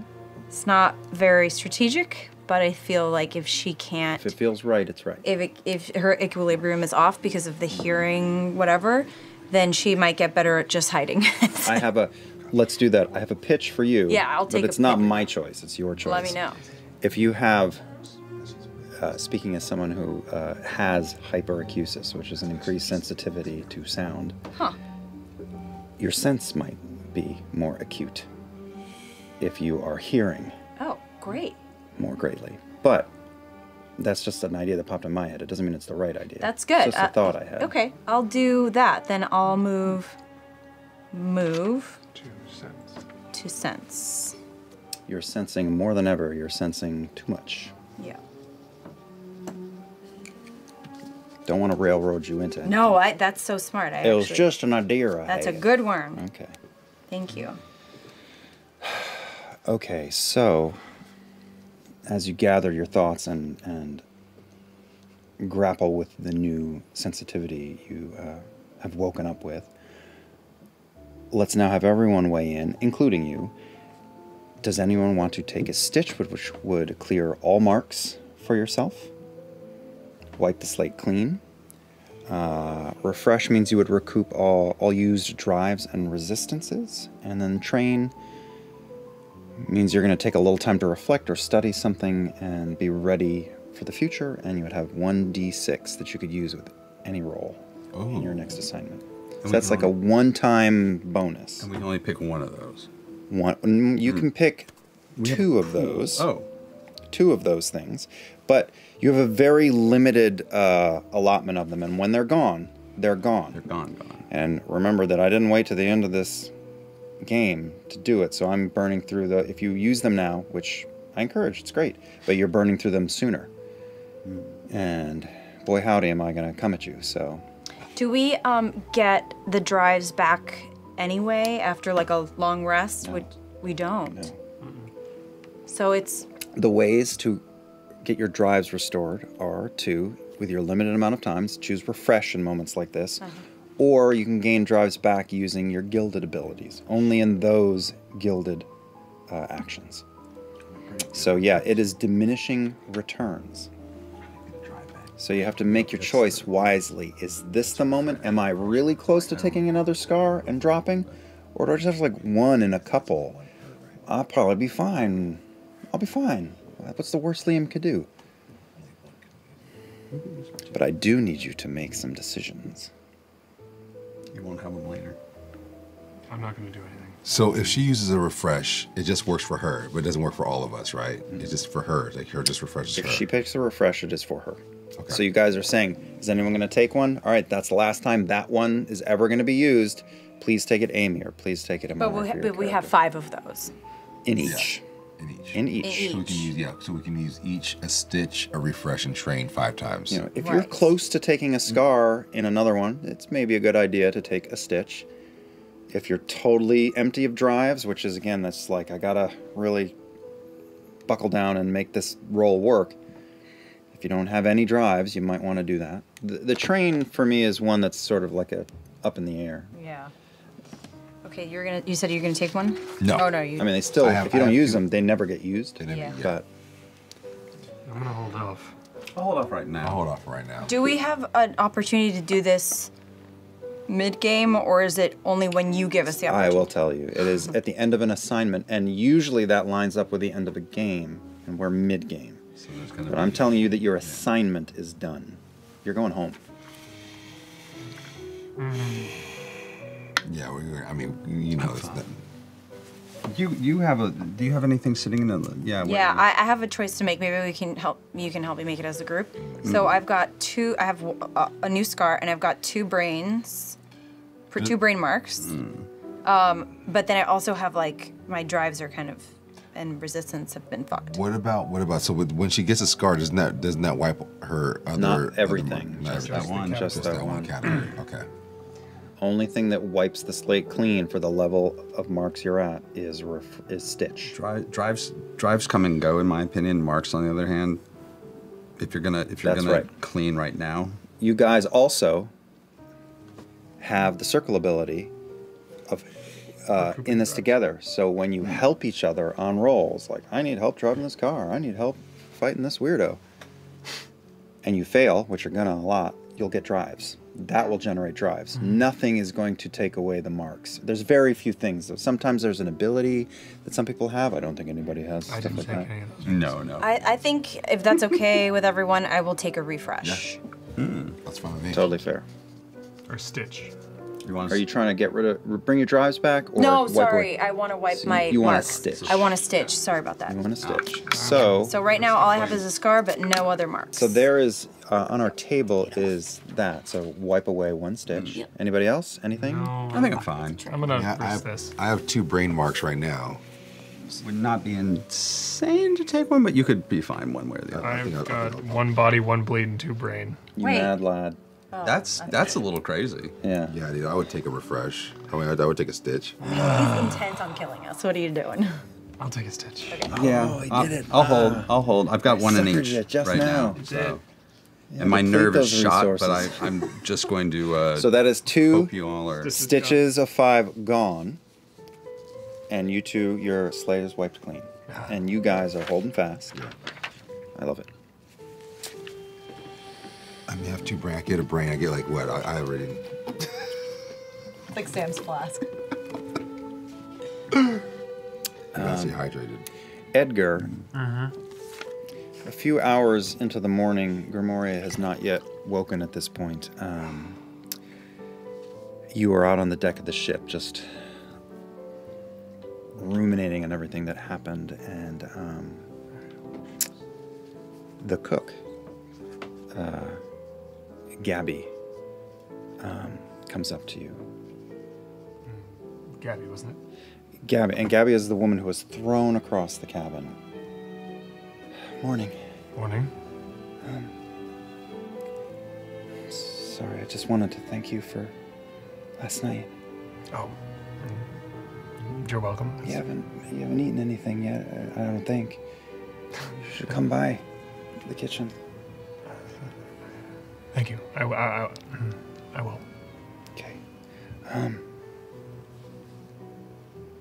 Sorry, it's just the boats everyone's a bit shaken. I- I- uh, Losing Heath last night. Yeah, understandably. Heath is the gentleman who lost 30% of his body mass. Right. Yes, that was um very, very sad. Do you think you could come um, look in on, on Sunny? Yes, absolutely. Yeah, where if you would show me where they are. Sure, I'll take you to crew quarters. Thank you. She uh, leads you back towards the rear of the ship, where you've, you've been, but not spent a lot of time back there. Um, the four of you have been forced to share a pretty cramped cabin near the front of this small, again, steamship. But in the back is crew quarters, and um, there are people milling about, walking in and out. But in the the rear of this room, once you walk inside the deck house, uh, you see Sonny, and he is again the gentleman whose leg got wrecked, and he is sort of on his side, kind of shallow breathing, um, and sees you and weakly pushes himself up. No, d- don't don't you don't need to get up. I guess you tried to save my life, but So far, it seems to have worked. I don't think the fates wanted to make it easy. No, they did not. How does it look? Do I smell anything? Um, Uh, un- I, I understand you're you're wondering if you smell anything. Um. Oh, make a focus roll.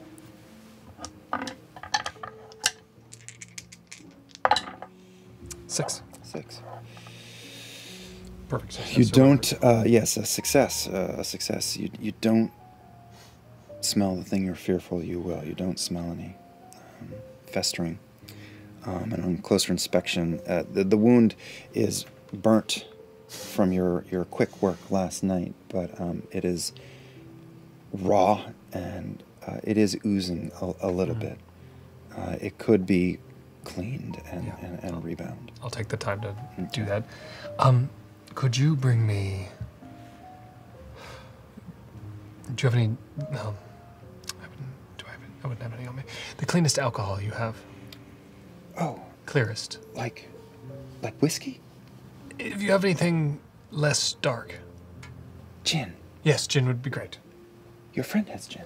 That's right. He does. doesn't he? She scuttles off um, and is gone for a moment and uh, leaves you with uh, Sonny. And there are a couple other crew members, a man and a woman, in the room, kind of hanging by the door, and they're quietly watching. I'm gonna have to clean this out. It's probably going to hurt. Okay. But less than it did the other night. I was gonna say, I don't think anything's gonna compare to last night. No. Um, but it's Worst not- fucking night of my life. It's understandably so.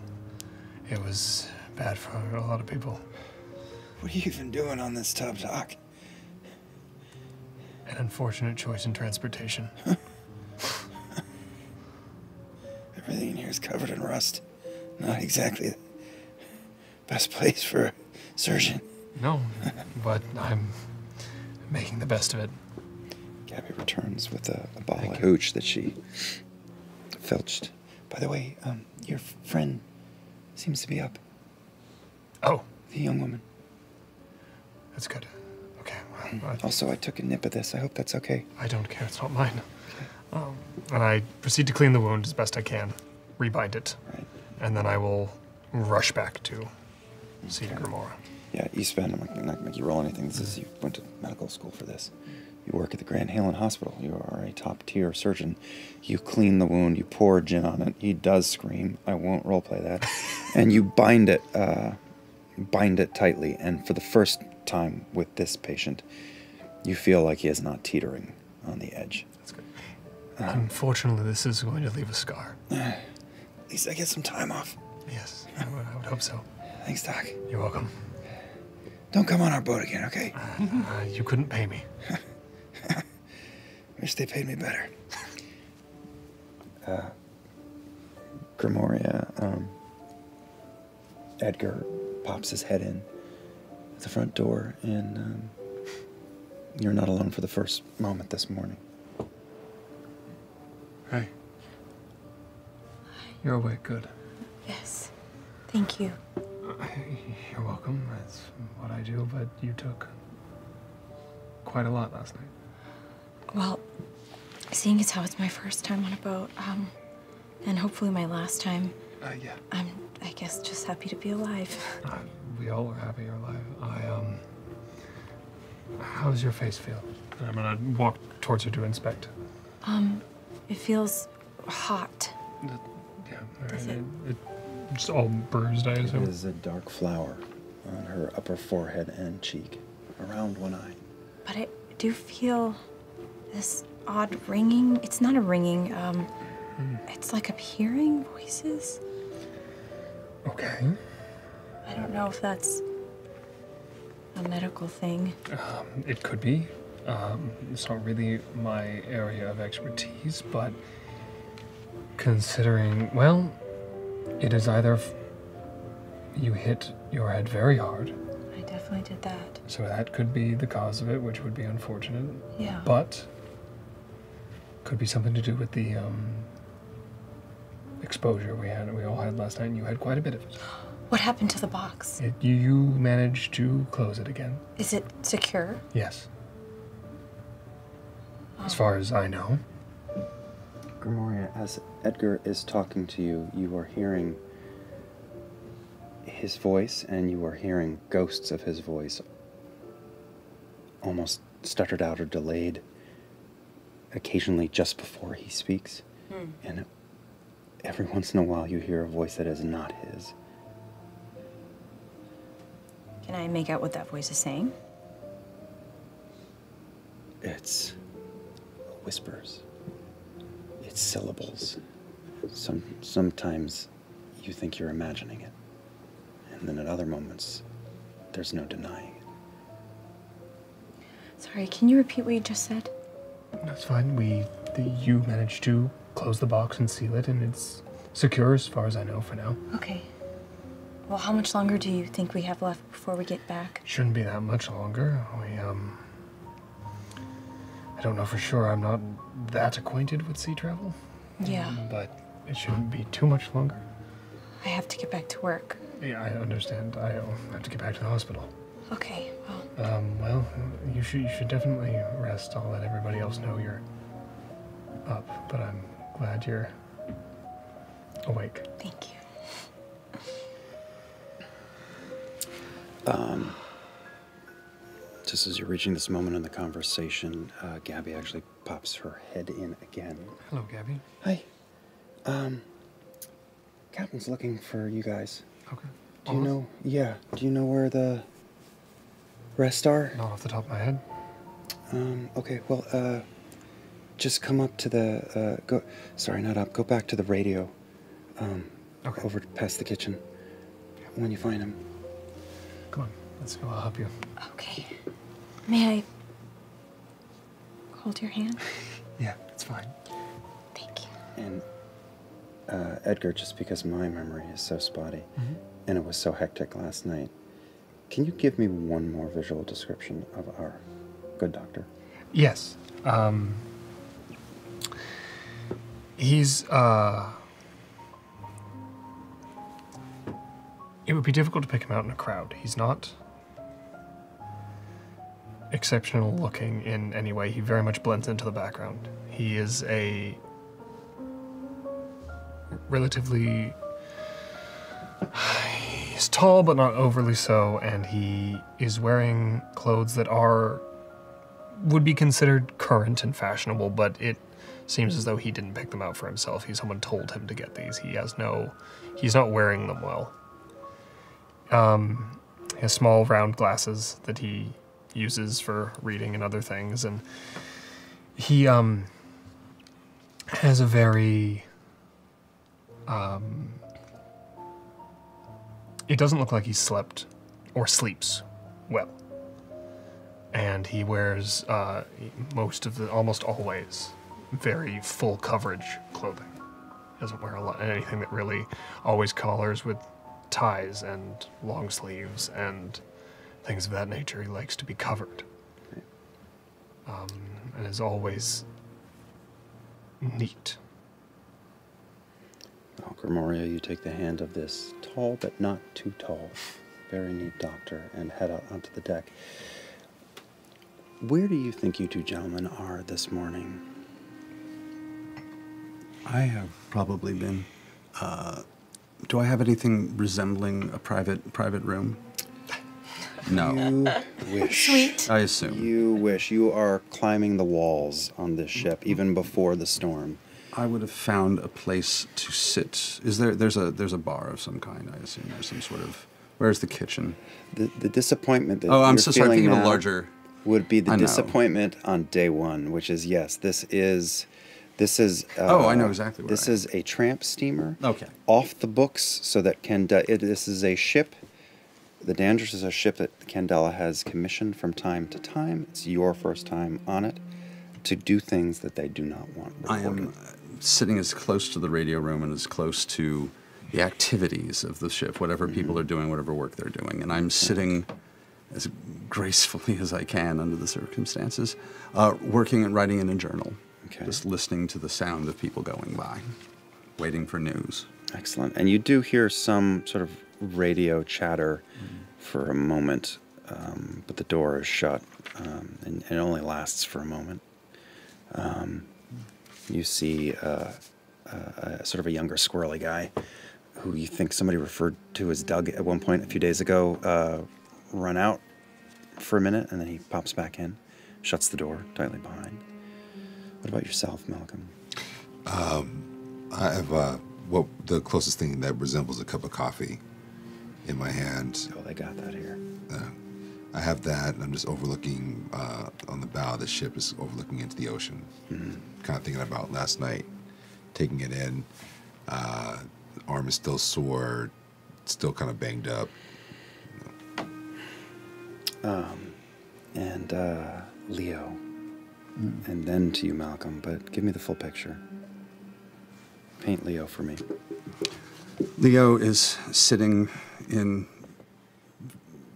whatever his second pair of clothes were. It's still very nice. I will say the robe is the same robe from last night. It is drenched, is slightly burnt at the edges, but still the most comfortable thing possible in this weather. It is a very nice, small, uh, leather-bound journal. Um, it's got wonderful texture on the front. It's almost, it's got a paisley like burned into it, like uh, with a little gold leaf, and just just a man attempting to be comfortable sitting on the ground, uh, listening to people wander by, and trying to put uh, as much of what happened down on paper as possible. And the sound of that busy work is a comfort to you, I know. Very much.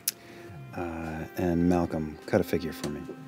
Uh, well, even though I have a vest on right now, I am down to my undershirt uh, last night, um, which is folded up in the corner as neat as it can be because uh, years of military service has uh, strengthened uh, traditional, you know, orderly, orderly uh, morning routines, which would either be making my bed, um, grooming myself, or you know, or, or, or putting myself together for the day. So I'm kind of I'm right now in a in a an undershirt. I have my slacks on still. Um, I'm uh, should I go over like how old I am now? Sure. I'm uh, 32 years old, uh, so I'm not recovering as fast as I used to when I was in my early 20s, but it's fine. Um, I uh, I'm used to this kind of action where I put where life lives are put on the line since I did military service. So I am basically trying to reorganize myself to try to not let that. Is the ways that you compartmentalize things when you see tragic events happen or things that might scare you, and I and I'm kind of have a way of compartmentalizing that or moving on from it or digesting it and going on to the next thing. So that's what I'm doing right now. Um, I have. I'm not. I'm still dirty from the night before. Uh, my skin has like you know when when salt dries on it, and you have those little patches of salt on your skin. It still hasn't like you know washed off because I you know saved these two these two gentlemen. Um, so I, I'm I'm kind of in need of a, of a bath, but my face is washed because you know that's what I was able to do at the time. And um, and uh, and I'm just uh, and I'm still like kind of like disheveled a little bit, but I'm still very stoic, very calm, and prepared for what may come next. Compartmentalization, something you learned very, very fast during the war for survival. Yes, sir. So you two coming out of the cabin do a quick loop, and uh, near the uh, rear of the ship, you spot Leo squatting on the floor, writing in his journal, and not too far off, paying Leo no mind as Malcolm, contemplating the sea. What are you writing?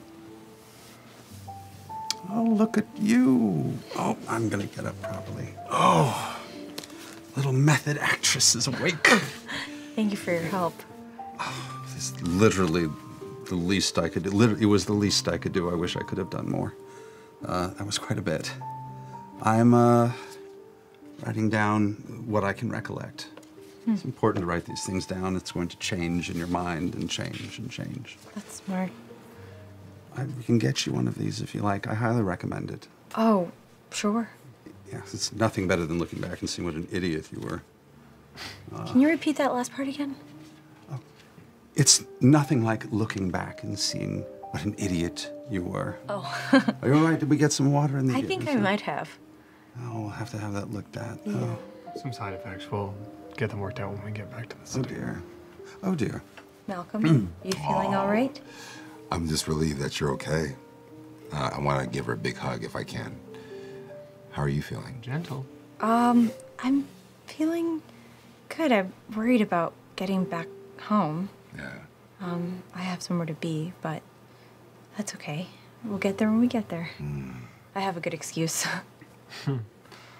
Up the side of the ship, the door next to you pops open, and that little sort of squirrely young man, Doug, looks around. Oh, you're right there. Jeez. Come on. You got a call on the radio. Oh. And he pops back in.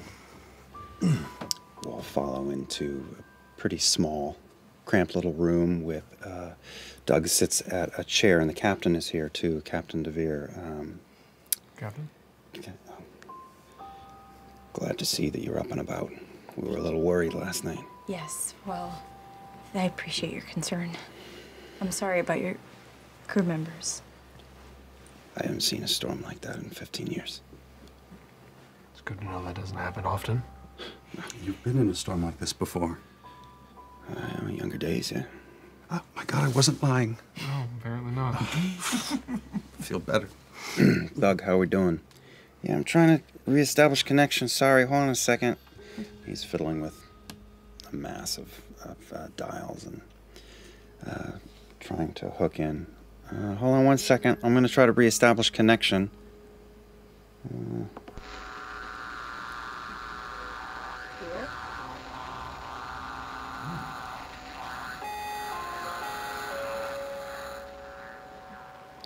yeah, ma'am, are you there? Hello? Yeah, hello, do you read me? Edgar Grimoria? Are you there? We're Yeah. here. Yes. Everybody's here, ma'am. Oh, thank goodness. Despite the spotty connection, you cannot mistake the deliberate voice of your lightkeeper, Zora Manning. All of you are naturally intimately familiar with Zora, meeting with her regularly at Leo's flat on Tivery Lane in the Red Lamp, your chapter house. Uh, Zora, for all of us, is a tall, gaunt woman in her 60s with an owlish shock of short dark hair with streams of white running through it. Usually very serious, but not without a bit of sentimental fondness for your circle. It's comforting to hear her voice, even through the tubes of a radio. I, I understand you were in a bit of a predicament last night. I'm sure that's an understatement. Uh, how are you all holding up? We've seen better days, but we're alive. I'm so glad nobody's the worse for wear. Um, Grimoria, I understand uh, it was looking a bit dodgy for you last night. Uh, yes, um, I would say I got my sea legs. Or maybe not. I don't know the term. Sound all right now, though. Yes. Well, I look forward to a proper play-by-play in Leo's uh, sitting room when you're back. I'll rest a hell of a lot easier once all my chicks are back in the nest. I have an excellent vintage, Mr. Amicus, one that I think can compete with your collection. I'm hoping we can put it to the test. Oh yes, that would be lovely. There's everything I could use right now. Just... I'm so relieved. We couldn't reach you last night. I'm just so relieved. We're safe now. And we can't wait to see you when we get back to shore. Right. Well, um, listen, there, there is one thing uh, I needed to talk to you all about. I, I'm sure the last thing you want right now is me sending you on another errand, but I am hoping to ask you all for a favor. Or, well, maybe it won't seem like a chore at all, I don't know. It's been a while since you've seen him, I believe. Who? Who? No. Wait. No. I'm a little concerned about Declan Murphy. Um, What happened? I thought he was reassigned. Declan Declan Murphy. Not that you have anything but the utmost trust and reliance on your fellow circle members. But hearing that name out here, after the night you had, you find yourself really wishing Declan were here. You all came to Candela in your own roundabout ways, some directly scouted by Declan. A couple of you met him upon arrival. But all four of you mentored under him to a degree when there used to be five members of the Circle of the Crimson Mirror. Zora is your lightkeeper. Zora gives you your marching orders, but it was Declan who guided you when you first began your strange and hidden second life. He used to be a history teacher. History was his vocation. When he joined Candela a few decades back, history became his purpose. A born leader, charming, affable, knew everyone, could talk to anyone. And in the early days, when you were a little less sure of this new life you'd embarked on, he was the glue that held you together. Eventually, he was reassigned to another circle to do for them what he'd done for you, as Zora tells it. So, hearing him brought up in this particular moment makes his absence feel very pronounced. You see, he left town a few weeks ago and has dropped all communication, which isn't like him, you know. You know, Declan. I'm sure it's nothing. I know exactly where he is. He's told me. Or left a note, anyway. Through the usual methods. He's... Well, he's been in the weeds for several months, you see, and recently dropped me a note and letting me know he's gone home for a couple of days. His, his childhood home. To the Isle of Serenity. You're about a day's journey from there now. I... I'm maybe being a nervous Nelly, I suppose, but I just want to know he's all right. I'm sure he is, but as all of you know, after the night you had, the work can get to you. I- i- It's about a day from where you are. It is on the way home to Hallow Harbour. Would you mind terribly much looking in on him? Of course. You, you didn't even have to ask. Quite glad you did ask. And no, I think it would be it's the perfect time to see him. Rather remarkable. Anything for Declan. Objections, Doctor? No, as long as the ship's willing to take us there. Yes, sir. Doc, uh, I talked briefly with Miss Manning, and uh, certainly doesn't add any fuel costs, and we'll be there in a day. It's on the way. Great. I may need to use your radio to um, notify my employers. Ah. Well, you took the week, didn't you, darling? Has it been? It, it's been about four days that you've been at sea, so this was. It's a good thing to bring up. you do live a double life. You all live double lives. And you work for the Fogs, dealers, curators of the fabulous and strange. Um, but you have had to slip away, and it took asking for a bit of vacation time for this longer trip. but Great. You secured it. Great. But you only have a couple days, so you do have to get home relatively soon.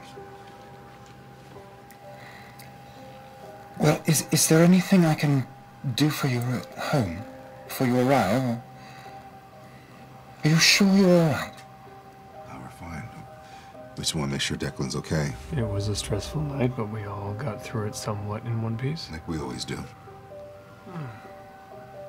Sounds like it was a little hairier than normal, Malcolm, but I'm glad to hear. I'm glad to hear. All right, well. I'm sorry, Captain, I don't want to take up any more of your time. Um, if you need me, I'm here. I can be reached. Uh, and once you see him, drop me a line. Let me know.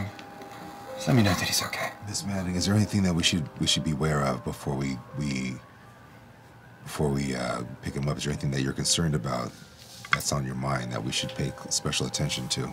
No, I'm sure I'm just jumping at shadows, but he's been on a prolonged mission with his current circle, and sometimes I worry that it's getting to him. But that's why I retired from the field. It gets to you, I understand. I don't suppose you have access to those files, and I don't suppose you can give us access to those files. It is the sort of thing that I'm aware is difficult. Oh dear. I'm afraid it's on a need-to-know basis. Mm. Apologies. Yes, yes, yes. Anyway, it's where he grew up. I hear it's charming, Serenity, so it may very well be a lovely stop. Be quite the name if it wasn't charming. All right, well, I'm just blathering. I have a cocker spaniel to feed, and um, I look forward to your return. The vintage, Mr. Amicus, the vintage. I, I do hope you like it. Maybe save me some of that vintage. Always. Always. Oh, it's a crate, darling. I'll see you in a few days. All right. Hear from you sooner. Yes, Miss Manning. One glass, please. Yes. You'll find the tiniest bit of privacy before we have this conversation. Okay. Um, Captain, Yeah. the man that passed last night. Um, Yes, that was uh, Heath. Heath. May I take a look at him? Of course. Uh, he is. We've put him in cargo. Thank you. He leads you out on deck. And uh, you, in less than a minute, you are. It Doesn't have to be now. It can just be after we had this talk. But Okay. I want to eventually take a look at him. All right. All right. You know where to find me. Thank you. Are you finding uh, maybe off to your cabin to have uh, a chat? Yeah, or at least outside of it where we can see in any direction. Okay. So, do we feel safe leaving the artifact here unattended when we disembark? Well, if everything goes well, we shouldn't be there that long. It may just be a stop off to say hello and then get back on board and head home. But if it, I will dip in to say I understand that reservation, but um, Manning's or Manning, this was her arrangement. She seems to put her faith in in this crew and has used them multiple times. Okay. Well, if the, we do as much as I assume they're trustworthy, if we see anything that leads us to doubt, there is always we can always take it off. It'll take some effort, but we could remove it from the ship if possible. I find it interesting that we go through an experience like this, and the first thing that happens is we're sent to see Declan, which is exactly what I would do if I wanted to smooth everything over with a group like ours. Mm. It makes me suspicious. Not terribly, but a bit suspicious. Well, I mean, it's not like. I don't know. I mean, it was just a storm. They happen. we got into a particularly bad one. Well, there are storms and there are storms. And sometimes when you're carrying something that has a gravity of its own, things get pulled towards you. And also, just because a place is called Serenity means nothing. All it means is either it is Serenity or it's exactly the opposite, and they were hoping people wouldn't notice. What are you alluding to? Mm, Seems a little jumping to conclusions. caution. I don't trust anything right now. And We all had a very bad night. Very bad. And that's going to make us jumpy, but that doesn't mean that the storm was part of a larger conspiracy. No, just. And if anything we can trust, it's Miss Manning, and it's definitely Declan. Now, if someone maybe are might be manipulating Declan, or he might be wrapped up in something, I think it's our duty to investigate and to assess the situation and to uh, act accordingly. I mean, it is also possible that he just is out of contact for a perfectly legitimate reason. I mean, he could be undercover. We don't know what the mission is. to take a break. Well, if it breaks the tie, I would like to feel dry land under my feet. Yes. Fair. I wouldn't want a nice bath. Well, we are clearly going anyway. He has family, and we take care of family, even if we haven't seen them in quite a while. It is not. I'm not saying I don't want to see him. It is a little bit of a coincidence that we happen to be so close on the way home. I understand that, but it is. It will be nice to see him regardless of the situation. Mm, this is true. But we should all try and relax, and as your physician, you should rest. Because last night was a lot.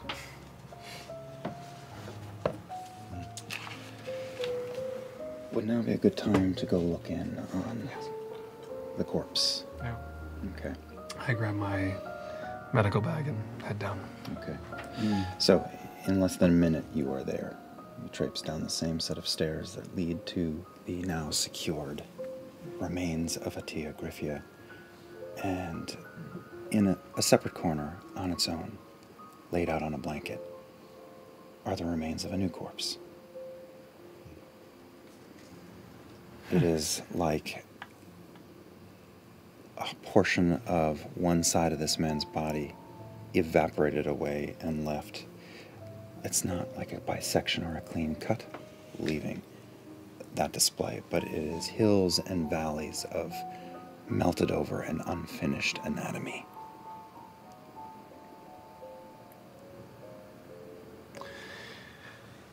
I'm making notes as I examine the body and journal. Um, are the edges rough or are they smooth? Like if I get inspect very closely the edges of the skin, or they disappear, uh, the evaporated flesh. Are they charred? Are they rough? Are they smooth? Are they? It- is not charred, there is no burn here. Um, it is relatively smooth with, and if you run a single finger down it, it has a bit of a texture or a modeling. Mottling, not modeling. Um, but definitely to the eye looks smooth. It doesn't look scorched, burned. I'm drawing d- diagrams and making notes and just trying to record everything that happened, getting, examining the specific way he died.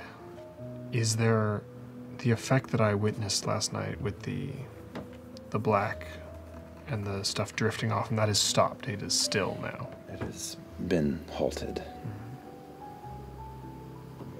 I'm gonna take.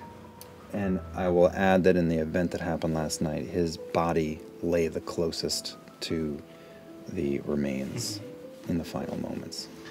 Uh, I'll take a little bit, a little uh, vial out of my medical kit and scrape or cut off some flesh to keep and put it in the vial and put it away just to have a sample. Got it. All right. Keep track of that. It's unfortunate. Sorry this happened to you. Um, While uh, he's doing that, I think Grimor- Grimoria takes his advice and um, tries to rest, but I'm curious as a player. I took on Let Them In, which. Can I read it? Yes. It yeah. says whenever you take one or more bleed marks, which I have four, you also gain additional information about the phenomenon that harmed you. Ask the GM uh, one question about the source of the bleed. Okay. Um, You can ask me a few. yeah, okay, great. So I think while she's in this like kind of restful, fitful state, um, Reflecting. reflecting, I wonder, I don't remember where they all came from, but um, can you tell me anything about what makes this particular ar- artifact so powerful? I guess that's my first question. Well, you have all familiarized yourselves with who this woman was in history, which was. Uh, she was listed in, in general history as a, a high seat in the government of the time, of the ruling class. But in texts that are harder to find and have come into Candela's collection over the centuries, and what you've learned, you understand, you believe, you know, that Atia Griffia was a highly powerful alchemist in her time and served at the right hand of Emperor Calanus.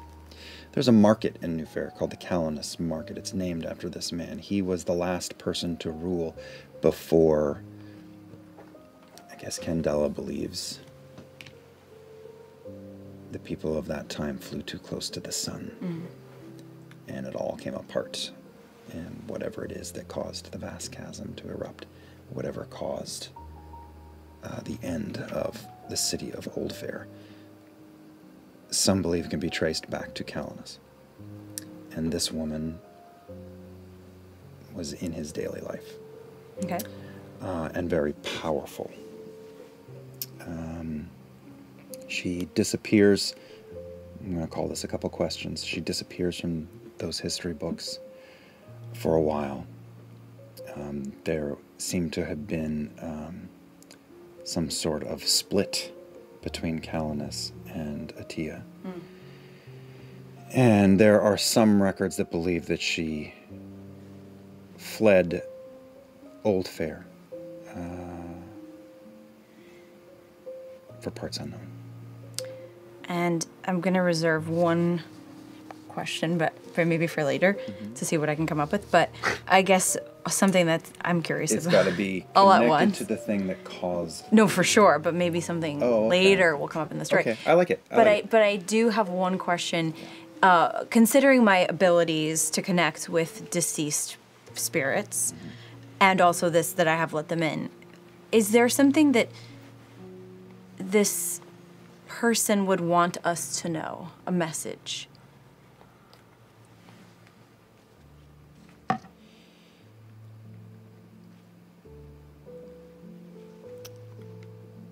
There is no answer to that question. And the rules text for this feature is ask the GM one question about the source of the bleed. Or am I thinking of a past one? Well, I got four bleed. Take a bleed mark, but if there is no answer to be given, to return the bleed. I might be remembering a past version of this. Oh, I don't know. I, that's not on mine, but cool if it is. Hmm. I'll tell you what, I'll factor that into how hard I go on you with bleed in the future. And there is no answer. Damn. I had to ask. Mm-hmm. Um, out on the deck, uh, Malcolm kind of returned to your spot, staring out at the sea, thinking about the conversation you just had, and uh, a woman named Joan comes up to you. Um, hey. How do you do? Um, I'm good. Uh, I, I just wanted to thank you for last night. Um, you saved my friend, Burke. Oh, you're very welcome. How's he doing? Okay. He's a little embarrassed, shaken up, but he's okay. You tell me he's brave? Young Alan. It's, uh, it's a pretty brave soul you got there as a friend. I think so. It's a little more than a friend, but That's your said your husband, right? I said friend, Oh, more than a friend. more than a friend. Well, I'm really glad that I saved him then. Me too. Did you serve? Yes. Uh, yeah. Yes, you could say I did. Yes, yes, I did serve. I was in the, uh, I was in the war. But uh, it was um, uh, kind of traumatic, to say the least. It's kind of the whole bag, isn't it? Mm-hmm. Definitely. Yeah, I thought so. I, I, I did too. You did. Yeah. Where did you serve? Well, I was uh, I was in West Eckland, uh, Oh, close to the city. so you saw a lot of action then. In the early days, yeah, but I took a bullet and they pulled me out, and uh, I was out about a half a year before the worst of it. Wow. Still saw my share of shit. Of course you did. It was all for the good cause, right? So we tell ourselves. Yeah, there's some truth in it, but it's complicated, right? It always is.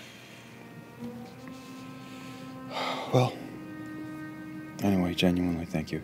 Oh. Well, thank you for uh, thank you for thanking me. Appreciate it. I'm gonna let him know how glad I am he's alive. Have a good night. Tell him there's some extra strong coffee down there for him if he wants to take a sip. if, he, if he feels so inclined. I read you. Um, If, oh, if it's all right, Yeah. I, I would love to be sitting writing just far enough away to hear some of this conversation. And once uh, they walk away. Malcolm, do you have a moment? Uh oh. Yes. I can already feel what's coming. Congratulations on saving that uh, lovely stranger and saving the heart of that other lovely stranger. But Oh, no buts. I, uh. I'm not enough of a fool to argue with a gambler on a winning streak. I just. I want you to know. I don't pretend I would understand what it was to be raised by your parents and your family. Clearly, it was difficult. But family. mm, family is a very precious commodity.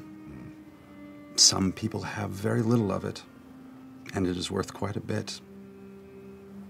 Some people have so little that it's worth that box of bones at the bottom of the ship.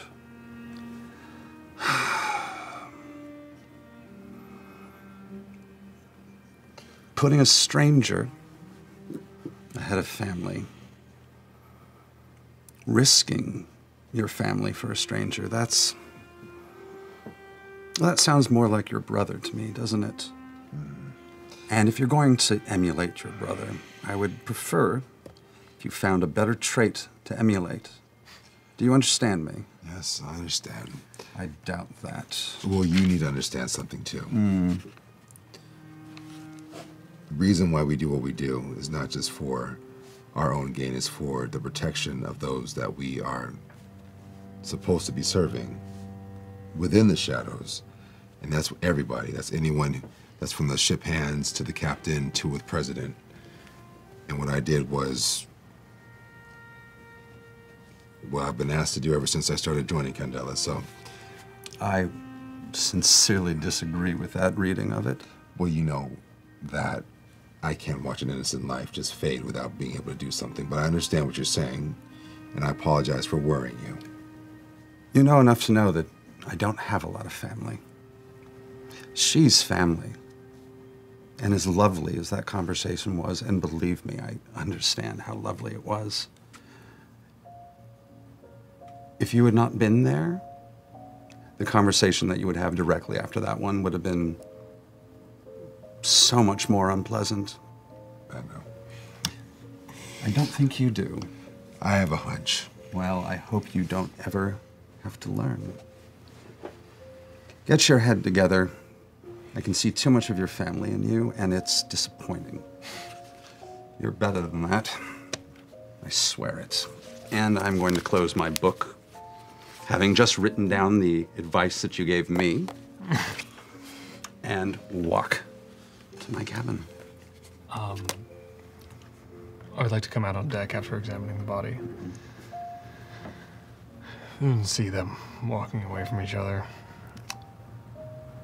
Malcolm. sorry. Malcolm. Oh, yes. you want a little go at me too this morning? I know, I don't care. I want to take a look at your hand. No, no, I don't care. Um, can I see your hand, please? Of course. It hasn't been exposed to that much water before.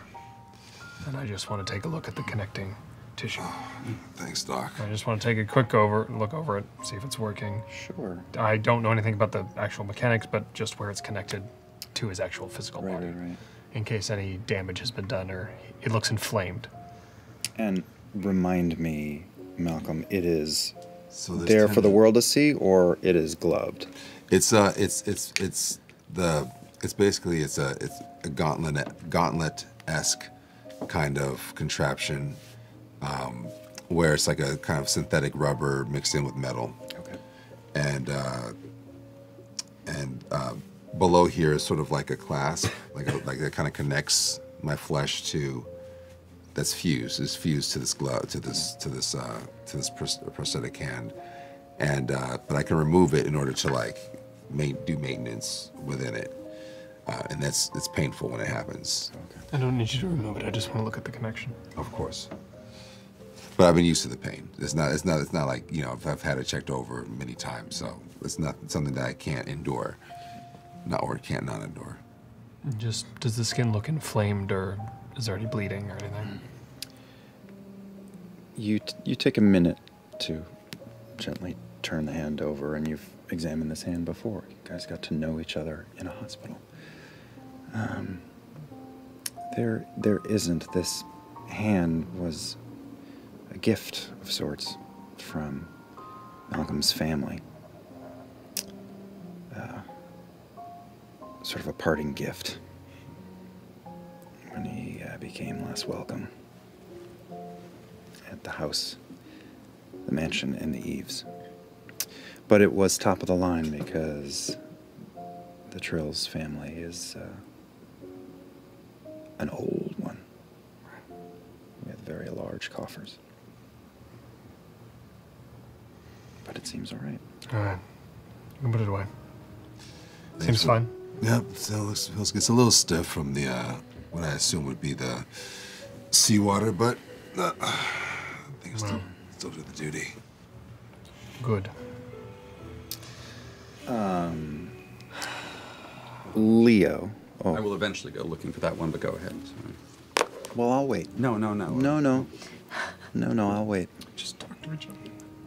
Uh, where where would you be? Would you be at the room? I think I'd be in, in a room, I guess maybe what we the room we share, and trying to like trying to sleep but kind of not being able to and maybe writing down uh, in in my little I mean it's a it's an occult text, but just writing making a note. text. It's mine, but making a note about what you said about the um about Atia and and her sort of history, making some notes under it. Oh, I'm so sorry. I didn't know that you were actually working. Oh, uh, no. I just, I just keep having these thoughts, you know, about yesterday and how are you doing? Oh, the usual, I suppose. We're worried about you. Thank you. Are you writing about uh, whatever the person was that? Well, I didn't get much information, but It's not about that. about her, but I did. She was very powerful, and um, who she worked for, Ken Calanus, Canula, uh, Canalus, uh, was a very powerful. Well, we know there's a street named after him. Um, that's really all I know, but it's nice to sort of put details in where there are none. Anything you saw uh, what sort of person they were. Honestly, I was just a. Mm. When you talk, it comforts me. That's all. I was just hoping to hear a little bit about what what it was like. Oh, well, I can just, I guess, just tell you about the whole thing. You had a, there was a, there was a. I saw you doing a thing with your hand. Oh, yeah.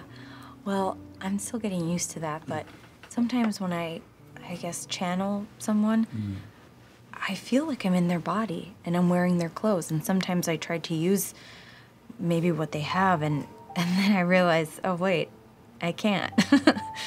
um, it takes some getting used to. Mm. But you really came in and were a hero. Thank you. No, I was middle management at best. It's not a lot I can do in these sorts of situations other than worry. But That's enough for me. Yeah, just uh, mm, I don't know who else I would talk to on this boat right now without getting angry. So Huh. I just needed to clear my head a bit. You know how I get. Well, do you want me to read from my book again? Just to be- keep you company? You do need to sleep, but a, a moment would be lovely. I can't sleep. She just starts from page one. Starts starts reading. I'm going to occasionally fix grammar. Yeah, right. I know that, yeah, so this is for a little bit. Do you think that would take you guys to bed? Close this out. The moon is out, and it is the exact opposite of the night before. It is clear and hauntingly beautiful on the ocean. And you have a night of rest ahead of you and part of the day left before you'll reach your errand. Um, the next morning, uneventful. Everyone gets up and putters around the ship and begins to get ready for their next stop. But uh, the one thing that I will throw in, uh, Leo, while you're out on the deck on your own, it's pretty early, staring out looking for any sign of an island that you'll be arriving at. Uh, about three or four hours out, though. And um, the other man who ended up in the drink that night, the other night, um, sort of sidles up next to you on the ship. Oh, hello. Hey, Hmm. man. Completely different than the other night, huh? Feels almost like an apology.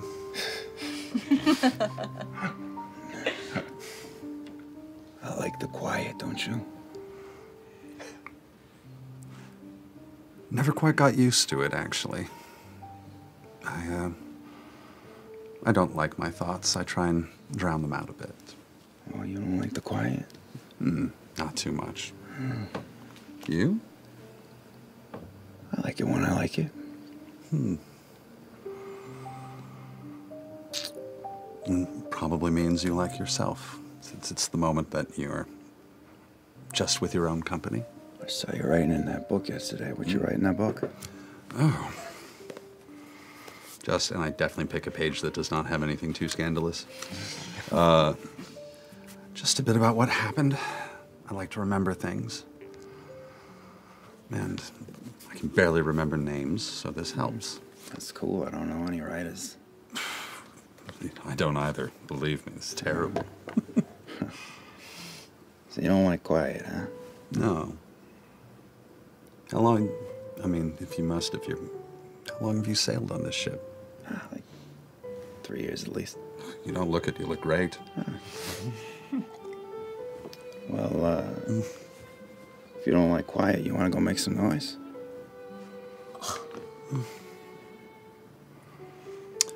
Yes, desperately. Here we got three or four hours before we land. Come with me. That's a shame. I had easily six hours of ideas. Six Leads you off And to the rear of the ship. It's booty on the ship. I don't get booty on the ship. Thank, No. thank God Grimoria can't barely hear. have to work on your flexibility. God damn. Booty on a ship. Not fair. Sorry. I love it. I was hoping. Eventually. Eventually. Rated S for smut. One can hope. Off in the distance, um, you finally see an island. rise on the horizon, and it takes an hour or so to get closer. But eventually, you start to make out detail. Um, let me see. And what you see is beautiful. Uh, you see a. It's a fairly small island, but the coastline uh, to this place is rough but breathtaking. It's uh, bleakly beautiful. Stretches of stone beaches, uh, occasional single homes of stone caved in on themselves, uh, sometimes on a high rocky outcropping along the way. Fields of grass bending in the wind. You can, at this distance, you think you see little flecks of white and wonder if you're seeing sheep this far out. Eventually, the Dandridge draws close enough to Serenity uh, for you to spot a small seaside village of sorts. And before long, you dock, and the four of you are standing on a humble wooden dock in a place you might hesitate to call a village, really. A, a dirt and gravel road runs along the coast here, bordered by a low stone wall. There's a, a string of small, meager cottages and what appears to be a pub directly up the path. From where you now stand, you assume, because it has a little painted sign out front that says Edge of the Isle. Hmm. Um, you see a few people walking about town. They are humbly dressed. This is um, remote as it gets. And some of you have heard of Serenity before in passing. It is remote. Sometimes people talk about it mockingly. Declan never did.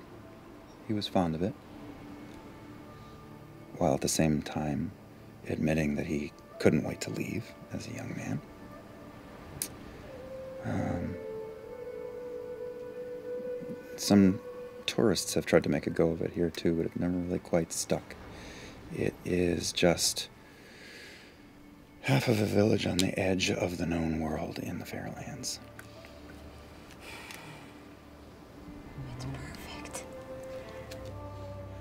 Did, um. I don't remember. Did Zora give us the address? No. Are there addresses here? Is another question. Uh, well, looking at the small handful of homes that are here, you don't, you actually don't see any street signs or house numbers. They are all very humble little cottages. There are thatched roofs on all of these places. I bet it we, if we ask at the pub. That's, I was going to say, this town this small, they probably know. And I'm sure Leo would deal for a nice, good, proper drink anyway, so it's killing two birds with one stone. Are we not having a drink at the pub? That seems very rude not to. Well, let's go. And I don't drink alone, so everyone's drinking too. You only get one a day, though. We've had that conversation. So you're, you step up this muddy little path away from the docks. Um, I turn around to the ship. Uh, we'll go and check it out, figure out what's going on, and we'll come back as soon as possible to let you know the situation. Keep you updated when we can. Sure, we're leaving, leaving today, right? As far as I know, yes. Do you want anything from town? Whatever they got in that place. Mm-hmm. I thought you'd say that. I'll also say, if anyone strange comes up, let's not let, any, let anybody on board. And uh, perhaps at night, let's dock far enough away that nobody, uh, make it a little more difficult to sneak on and Would you like me to uh, pull out and go ways away? not too far. Stay within signaling distance just in case. Just in case. Well, I've had too much happen. we won't go so far that we can't have eyes on this spot. So this is the spot. Right. I believe this will be the spot. If you gentlemen can take the different ships to the basement, to make sure our, our uh, shipment is secured, that'd be greatly appreciated. I would like to think that the trouble we had the other night was a one-time thing. Uh, I run a pretty tight ship. Normally, we don't have any issues. If I'm you sure ever wanted to hire us again, I wouldn't expect the same. Again, 15 years since I've seen anything like that. Just being cautious. Okay, so he, uh, you watch from the dock, you delay for a moment, and the ship slowly pulls away. You don't watch it for too long, but you see it withdrawing from the island of Serenity. And turn and look up at the edge of the isle as you stand on the edge of the isle. Heading on in? Yeah. Yep. Okay. Oh dear. Well, it is a room barely bigger than the table we're sitting at. There is a little peat stove, uh, which smells wonderful, and there are wooden tables and stools on a dirt floor.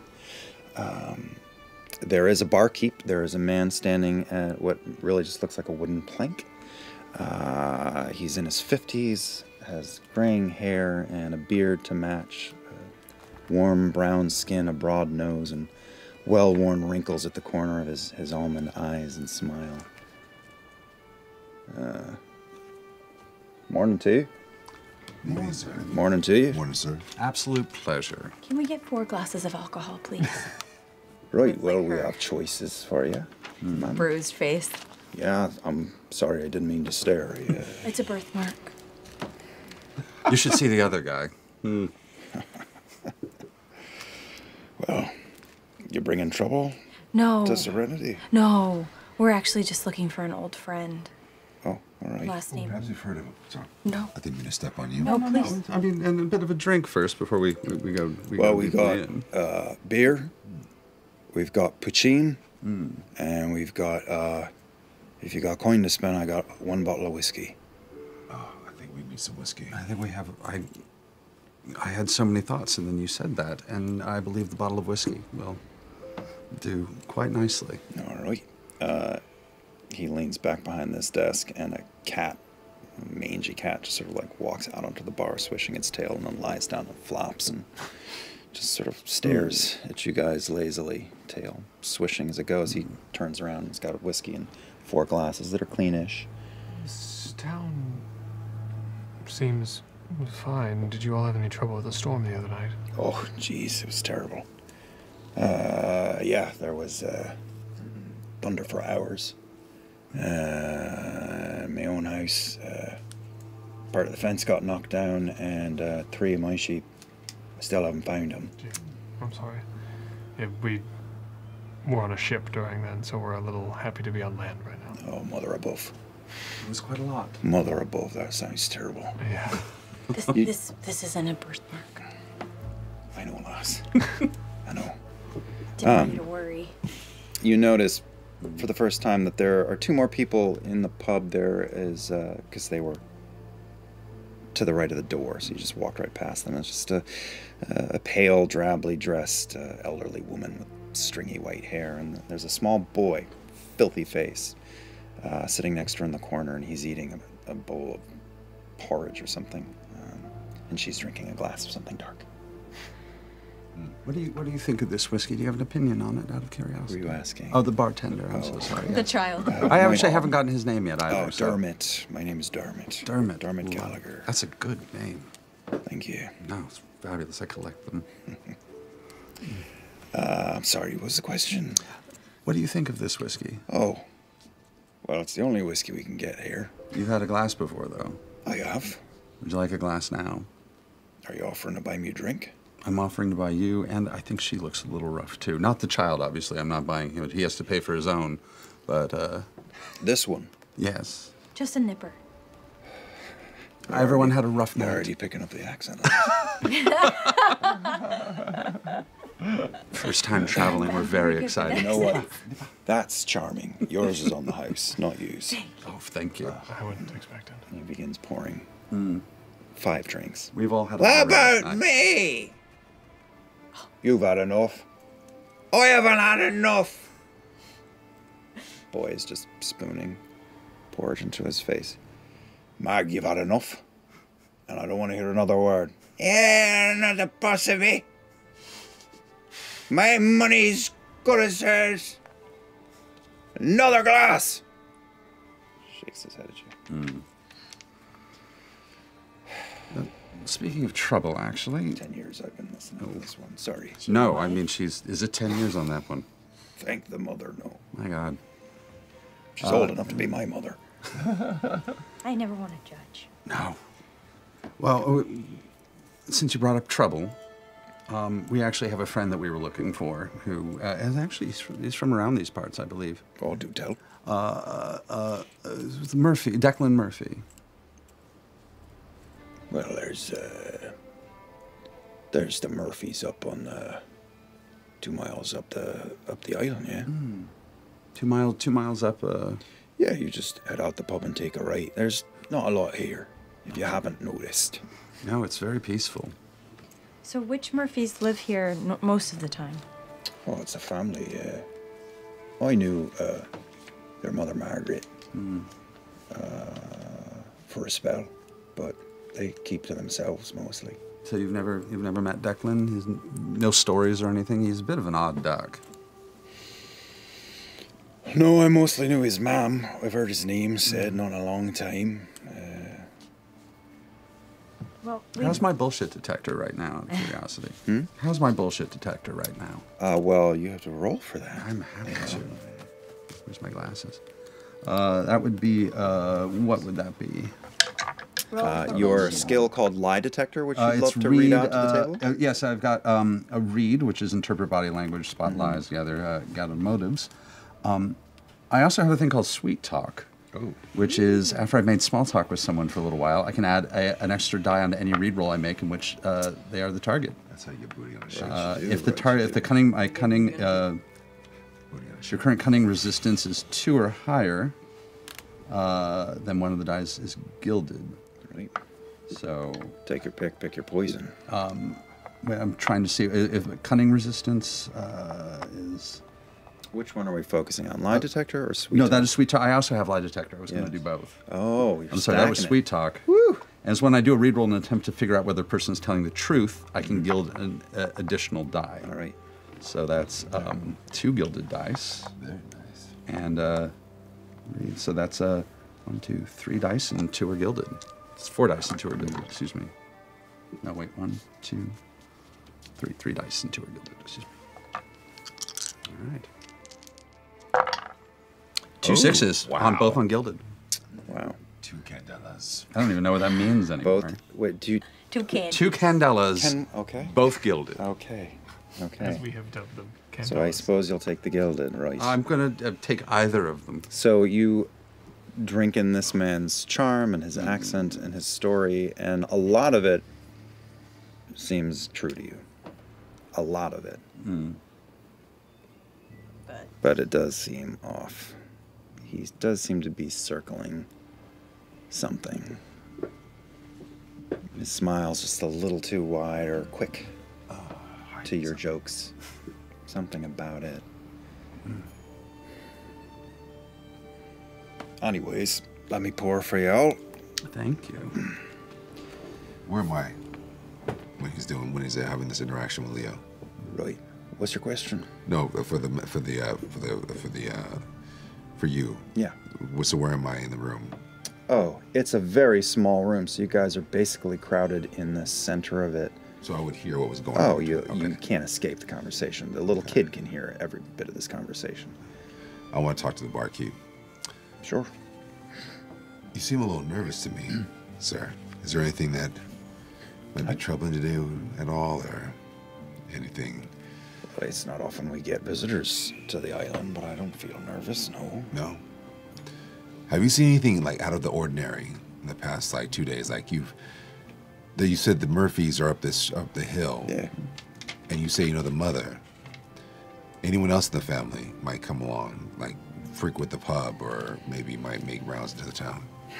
No, I haven't seen any of the Murphys. Uh, I seen one of the daughters maybe a month ago. Nice. Huh. Thank you. We're looking in on an old friend, and we've never visited them at their home before, so we were just asking some questions. Well, the Murphys are there. They've been on this island for decades. Uh, they come down in town a few times a year, but a lot of people here keep to themselves. That's the beauty of serenity.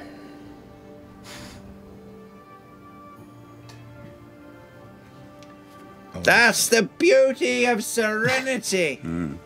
I want to have a chat with that lady. Oh God. Where is she? How how drunk is she? she like is she is she like vomiting in the? Is she, not Is there any vomiting. actual water in her? Is what I want to know. Is it just pure? Adulterated It's all liquor? dust. It's all. I want to walk over to her. Madam, how do you do? I'd be doing better if I had another glass of whiskey. Oh, I bet you would. I bet you would. I could smell that. Have you noticed anything strange? What's your name? My name is uh, Malcolm. What's your name? Beatrice. Oh, that's a beautiful name. You're a handsome one. You're you're. Well, thank you, my lady. You're quite charming yourself. Do you mind if I ask you a few questions, Beatrice? Aye? Would you be up for that? Uh, I'm gonna, I'm gonna whisper with Leo. Get her. Just a small little, a small little something, just enough to keep her awake. My Oh- hearing's oh, no. not that bad, lad. Get her something stronger then. I am not getting involved in this one. Excuse me. And I'm going to back up, and I'm just going to side eye the kid really quickly. And then I'm going to uh, walk outside. I'm going to give the kid a little bit of. I'm so sorry. I can't believe this is. And I'm going to go sit outside to see if. See if I. Uh, yeah. I'll, I'll come what you out with you and pull out like a little. What's that game you used to play with, with kids? It's like a pick up Jacks. jacks. Jacks. I'll pull. I don't know why I would have one, but I do. I'll pull, pull and maybe whatever fan of, like, whatever bench we're on. But like, I would love to sit in front of the window the kids at, so he can see us play. Oh, even just the same. Yeah, we're just. I'm just sitting, sitting, taking. But may, maybe hoping that he'll come out. and- Yeah, no, I'm trying to. Yeah, because Yeah. since the mom's talking. Right. Oh, okay. I watched them both walk out. and I mm. guess I'm in charge of him. Beatrice, have you noticed anything strange uh, in the past couple of days? Anything that might have been out of the ordinary? Well, People- you lot showed up. before before before the live show. Was there anything maybe similar or Ten equally as strange before we showed up that you might have noticed? Are you talking about the storm? Yes, the storm. Was there something that happened before the storm? Anyone that you might have noticed before the storm occurred? Someone out of place. That bastard Pete Mulligan was in my yard. Pete Mulligan, is that is that your your neighbor? Aye. He's a dirty wee fecker. So I take you two haven't dated then. Say again? Nothing. So Pete Mulligan. Anything else besides Pete Mulligan? Any any uh anything that you might have seen or have you have you heard of the Murphys? Are you familiar with the Murphys? I don't truck with them. No. Why not? Eldest daughter is a bitch. Hmm. What's the eldest daughter's name, by any chance? You Maybe, that? maybe Grania. Grania. That's the eldest daughter, huh? Yes. The only other thing strange is I have a urine infection. Hmm. That sounds tasty. Oh, Well, Beatrice, I think this has been a lovely conversation. Before I make my leave, anything else you want to recollect? Hemorrhoids or something else you want to confess? You're a handsome one. Oh, thank you so much. You have yourself a lovely day, Miss Beatrice. Take care of yourself, okay? You can get her some water, please. I'm not here. Oh yeah, I'm just the bartender. Yeah, sorry. I have another whiskey. Let's go outside. I'm gonna go outside. Did the did the kid leave or no? Is the kid still there? A kid has uh, s- scrabbles out just before Malcolm leaves, and he silently comes and sits down and just watches you for a bit. What? What is wrong with you? That was the most conspicuous thing I've ever seen anybody do. You win some, you lose some. How were you ever going to win that? You never know. Who knows where you can get your information from? Sometimes, when you're a little bit high on the drink, you get a little more No. information than you think. No, I'm not- might Rhyme. Never mind. I'm not talking about her. I'm talking about you. boy is looks like he's never seen so wonderful a toy as jacks. Do you want to learn how to play? Well, she teaches him how, because Amy doesn't know. bounce the ball and see how many jacks you can get. okay, one then you bounce the ball Okay, and see how many of these you can get. Why don't you try?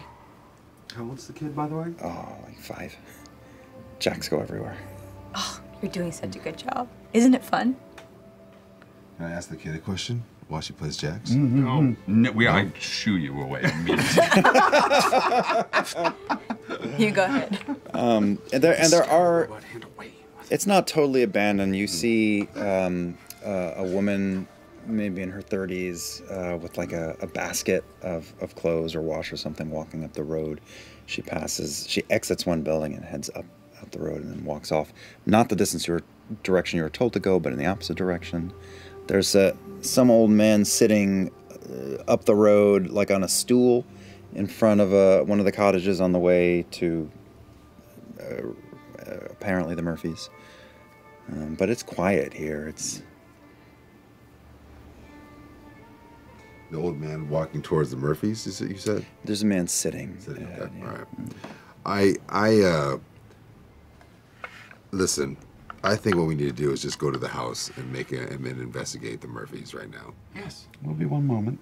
Are we are we gonna sit here with the are we Oh, I'm. We we have shooed you both away. We're. I assume. Yes. This is just. Uh, uh, I'm sorry, are doing you my- objecting to them sitting with a child while you just talk to that woman for 45 minutes? well you know Oh, that's true. This could have been happening beforehand. Actually. that's true. Sure, Yeah. Um, why don't you guys get a head start? Yeah, We'll meet you there. Catch up. Walk slowly. Okay, so you two are moving up the road Sure, in the general direction, and you two are hanging back. No, they're they're hanging back where We're playing jacks. Who, who's playing jacks? The two of us. Jack's They're Jack. playing- Yeah. Yeah, Okay, you Jack's two- Jack Two of us. and the and the, the child. You two gentlemen.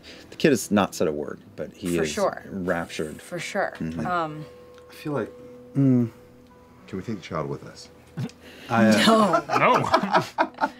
Can we put him in? This is a don't- very small island. Why don't Uh, I start with um, have, you, have you ever seen this game before? You know, it came all the way from Newfaire. Have you heard of that city, Newfaire? Yeah. Have you ever met anybody from Newfaire?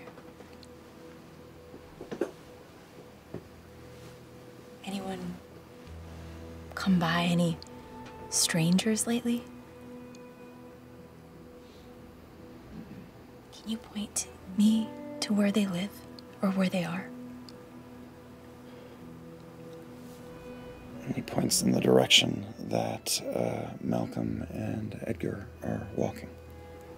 Do you want to ask him? He him? was a man, I suppose. Was he alone or did he have friends? Just him. Was he scary? Did he seem nice? Was he scary?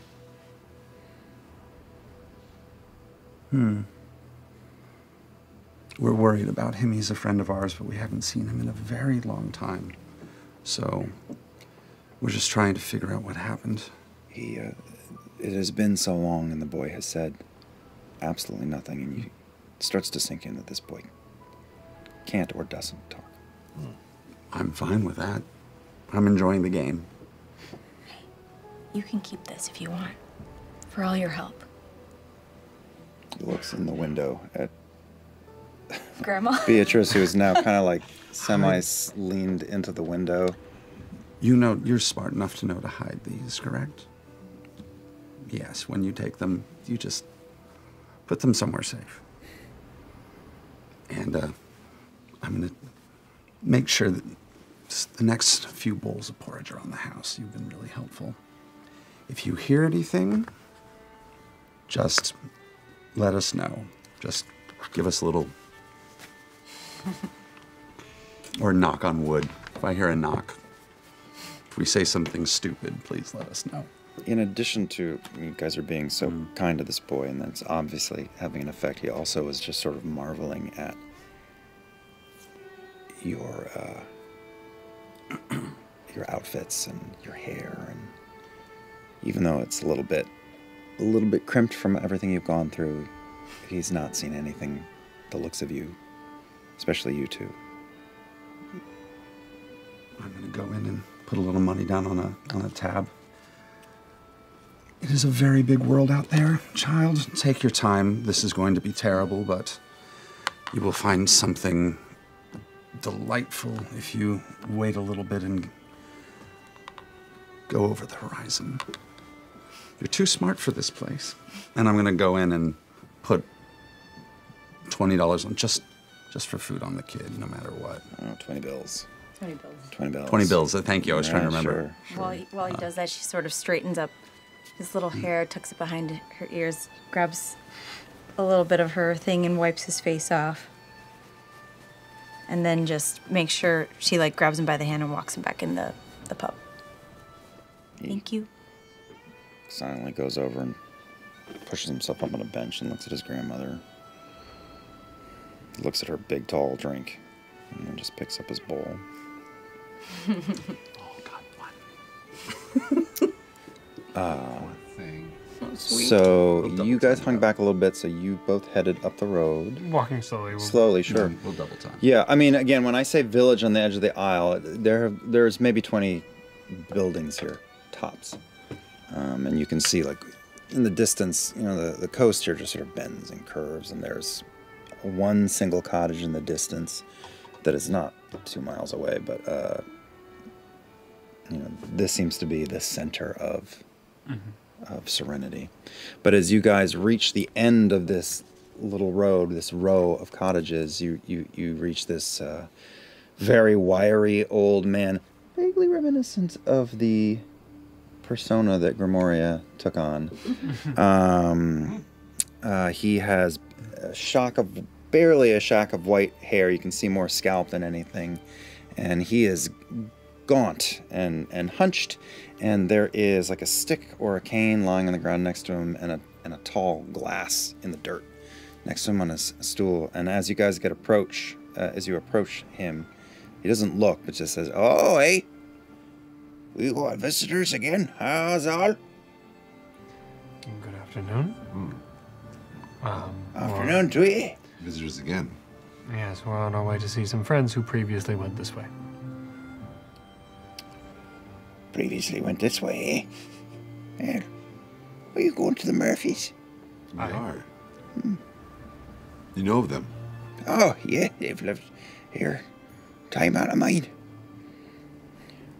Oldest girl there is a bit of a surly one, but uh, they're all right. They're good folk. Their son's in town. Yeah, that's our friend. Oh, aye. Aye. Have you seen them? Have you seen them recently? I ain't seen nothing for years. My apologies. Ah, that's all right. I'm just fucking with you. no, but I can't see. But I, uh, I did talk to him a handful of days ago, and he was heading home. Hasn't been in a while. Comes, you know, once or twice a year. So, we're friendly, like. Is he the only one who's there now? Does he have his family there as well? Or? I, I, uh, I believe, you know, it's him and his mum, and uh, he's got three sisters. His oldest, uh, four children. Oh, his oldest. What was his oldest sister's again name again? Oh, that's Grania. Grania, That's right. Right. See, there's Grania. She's a tough one. There's uh, Nora and wee Pegine.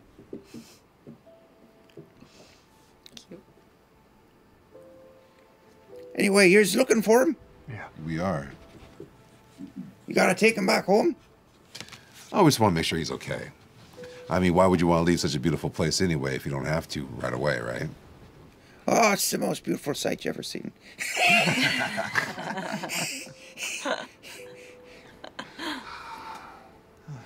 All right, well, enjoy our island. Thank, you so much for your information, sir. Right, right. There will be two of our company that arrived with us following us up the road. They're just a couple steps behind. I can hear them. There's a little one there, and a regular size one, I That think. would, that would be them. Hello to you. Hello. Hello. I was finally right. guys. I'm always right. He picks up the glass. He sort of feels gently for it and finds his glass and takes a big swig of it, places it back down. Ah, fucking rain the other day. It was a lot. Where was you for it? On the ship. What ship? The That ship- one over there. The ship that dropped us off. Ah, right, that's how you got Yeah. Usually quicker than that. Mm-mm. Gentleman and lady, apologies, apologies. Oh no, I'm already I'm already delighted. Well, my name's Ned. I live here. If you need to find Ned, Ned's here. Thanks, Ned. Thanks, Ned. Very helpful. I'm gonna give him 10 bills for his trouble. What is this? That's just something for your trouble. Oh, Maybe treat you to a meal for tonight. what's the number on this bill? That's the number 10, Ned. Oh, feck me. Buy yourself a few meals with that, huh? And figure out uh, which which uh, pubs are honest, so you'll know very quickly when they tell you if they tell you it's anything other than a ten. There's only the one pub. Well, then you're in trouble. I don't think he's very honest. Oh, oh, he's all right. Dermot's all right. Does everyone have anything against the Murphys? Is there any like interesting? It's a small town. Please, I miss gossip. Sure. Oh, no, I gossip we have here. Everybody knows each other's business. If I can tell you what, everybody knows what this one's got a grudge on him for that, and she wants to strangle that one with her bare hands. You know, you were trapped in a small space here, so Oh yeah, no, I know. My family was the exact same way. I haven't seen them in years. I miss this sort of thing. Mm. He, I don't know. I got to read. I got the vibe that he was not necessarily. well, I don't know any bad blood between Dermot Gallagher and any of the Murphys. No, They're they're friendly with each other then. Eh. Even the older one. No, then you want to avoid the older one there. Oh, that's what everyone keeps telling me. Well, Oh, that's good. I love Truth not is liking truth. people. I bet she's just misunderstood. Mm. Well, there's only one way to find out. sounds like someone who hasn't met the eldest Murphy girl. You're right, I haven't. Thank you for your help, Ned. Mm. oh, sure, lass. How are you today? Oh, we've seen better. Well, I've seen better. Oh, sorry. Hey, it took me a second. and it's my own joke. well, well, well, well. I hope you have a, a fine day. And Ned is here. I'm Ned. Thanks, Ned. Thanks, Ned. Absolute pleasure. Goodbye, Ned. You guys begin to stroll away from the edge of the isle and this small cove of cottages um, and make your way along this really hauntingly beautiful coastline. Um, and you pass by, you begin to walk for a while, and um, it is just such a stark change from your night on the ship. Um, you do see other people, though, still. Um, there's a field in the distance on like a gently sloping hill, and there's like a couple, man and woman. Maybe they have married vibes. I don't know. That's just a guess. But they're traveling in a with a whole flock of sheep around them, and when they spot you, they just kind of hold and stare. I'm going to wave.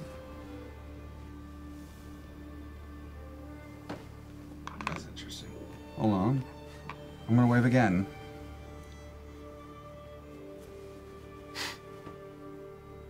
This is at a distance. Okay. They never stop staring at you. They're probably like 2,000 feet away. Like they're, they're up a hill. Is it public or private property, does it seem like? Are there There's fences? hard to read property lines here. It Okay, just looks so- like a.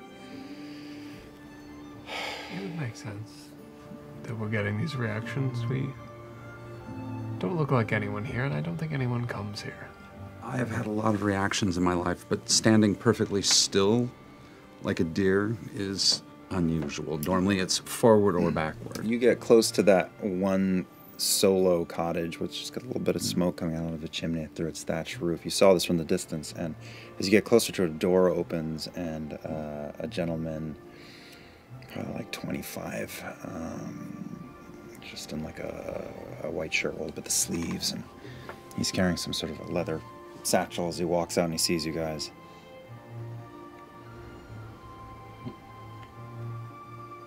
It's a birthmark.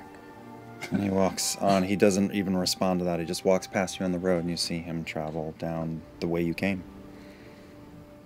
Um, and I think we just look weird to them. I think we're just odd. I'm not certain. Again, I'm used to an awful lot of uh, reactions. These are strange. Yeah, you- You're just used to the city. you were a little bumped, Leo, and Fair. I- I'll say as you pass this cottage and you kind of look back over your shoulder and you see the man. He hasn't. He's still walking, but you see that couple again up on the hill, and they're Are we are we close to the Murphy cottage? Don't see. You've only been walking for a couple minutes. They said like two miles. so Oh, it's like shit, Okay, so it's a twenty or thirty That's minutes. Yeah. Right. All right, so I guess we're gonna go definitely. I mean, grab me- the clue. Give me two and a half good reasons why I shouldn't go talk to that couple right now. We should, I'll give you no good reason. I think we should go talk to the couple. I am in. I am in. Uh, I am in agreement with you. Doctor, you're the smart one. I just think we should leave these people alone. I think I kind of agree. I think we should go to the. Keep going. We just go see if. Look, we're just here to see if Declan's here and all right. Yeah, but ever When- since we got to this island, we That's on the two of you. We just have to check in, say hello, and then we go home. everybody I've talked to has been very generous and reasonable. Well, why don't we do this? Why don't we scratch our itch? And why don't you guys go to the cottage and then we'll meet up at the cottage? Or we'll catch up with you. You just go talk to them. It's fine. We're gonna go try it. Okay. Yes. Just a little bit. I want to see what their reaction is if we start walking toward them. Let me do the talking. Just for the beginning until things get strange, which I think they're inevitably are going to. Well, they're they are staring at you, and you go off road, which means you are pretty quickly sort of like wading through very tall grass. Any, any way I can avoid as much of it as humanly possible. Uh, there's stone too, so when you can, you are sort of like Billy Goat hopping from. Any reaction? Yes. Uh, they are watching from up high, and when you get like 30 feet off the road coming their direction, you turn around and they just walk in the opposite direction Ooh. through their sheep. They're not running, they're just walking away. Hmm. Which direction are they going? Up a hill? Is there any structure over there or anything like that? No, not from this view. Well, that seems like uh, an invitation that has been taken away. Am I hearing any interesting sounds, voices? Hmm. you are still hearing um, a bit of distortion, or or maybe it's just that everyone's voice feels a little more um, crisp or intense in, Okay. in your eardrums, but also. You know, there's wind uh, Yeah. blowing on this island, and uh, you know, Pretty quiet. every once in a while they'll use. But nothing I can make out. No. I'm fine to turn back. I just wanted to see what it would take to spook them. And I think that they have. Hmm, I think that there's a very. I think they're afraid of where we're going. I don't know. Maybe I'm just paranoid now. All right. I'll turn back around. I'll. I'll. I'll If you're satisfied, I'm satisfied. I'll trust your instincts. And you wade back down through the grass and join your colleagues and continue along this dirt road for a while. And it is just quiet and windy, and you want to enjoy it, but it is hard to deny the, the oddity of some of the people who live here. And you walk for like five minutes or ten minutes, and there is, uh, you, you start to approach this stunted tree at one bend in the road and in a spot where there's no other defining feature and you walk past and you couldn't see her but right there on the other side of the tree is a tiny elderly woman in black with like a headscarf on she is a little shorter than you are and she has a face like a dried apple. Oh God. Uh, and she has got sort of an apron on, shawl, headscarf, and Oh, hello. like she she's 15 feet away from you, and you were you didn't see her, and she's just ah! staring at you. Hello. Hi. Sorry, you startled us. I'm so sorry, man. What's your name, if you don't mind? Oh, my name's Roisin. Roisin. You give me the sense of someone who knows something that we should know. Like we were making. I don't want to talk out of turn, but we're from out of town. I don't know if you can tell. and everyone seems to be getting very nervous. We don't get a lot of outsiders here on the island. People come home, though. People leave. People come back. I don't know about that. Hmm. We have a friend who might have come back. Maybe you might know of him. His name's Declan. You ever know of a Declan? Murphy's? you know of the Murphys. They live up the road about a mile. No, yeah, yeah. Yes. What do you know about the Murphys other than that the eldest daughter's a bit much? The eldest daughter is a bit of a bitch. Hmm. Are you sure she's not just misunderstood? I don't know if she is or if she isn't. What about- are you doing here on Serenity? Well, we're We're- just looking for a friend. We're friends with one of the de- one of the Murphys, and we're coming to visit him. We don't get a lot of visitors on Serenity. Gathered. He told us so much about this beautiful town, we just had to see it for ourselves. It's so beautiful. Why, why do you think you don't get many visitors if it's so beautiful? Oh, they tried for years, but they don't like it in the end. Hmm. Because there's nowhere to go. Do you like it? I don't know if I do or if I don't. That's fair. You like the Murphys? I don't have much business with the Murphys. I am trying to read this this woman. I know it's a lot to push. I just feel like she's Eating an apple. she's nervous about something and I'm trying to hit it. I'm I don't think I'm ready to roll quite yet, but What's wrong? Can we help? We're happy to help. Anything to uh this place is just lovely and we do eventually have to leave, but I would like to give a good impression. I don't know what to tell you on that. Uh, Do you need help? Is there trouble? You'd be amazed what we can do. it's a hard life on Serenity. Mm. A lot of our young ones leave. That can happen. Just like my own brother. What was Nigh on 70 years ago. Mm. Went to live in Newfaire. It's a shame that they don't come back after a while. You think that Murphy boy, he come back? We think he did. We think he did too. We're actually looking for him. He's a friend of ours. You should try the Murphys. A That's- mile up the road. Do you have any advice for talking to the Murphys? When you talk. Avoid Grania. Yeah. Yeah, town seems to think that. Well, if you think of anything we should know, or if you have any advice about anything, I'm always excited to learn something new. If you don't mind me asking, what is it about Grania that people don't like? I'm very curious. She never has a kind word to say about anyone. And sometimes she can be a bit much.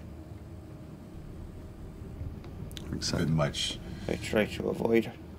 bit much like violence, conniving. What's a bit much? What would you what would, what would you say? Much. Just means she's a bit of a bitch. Mm.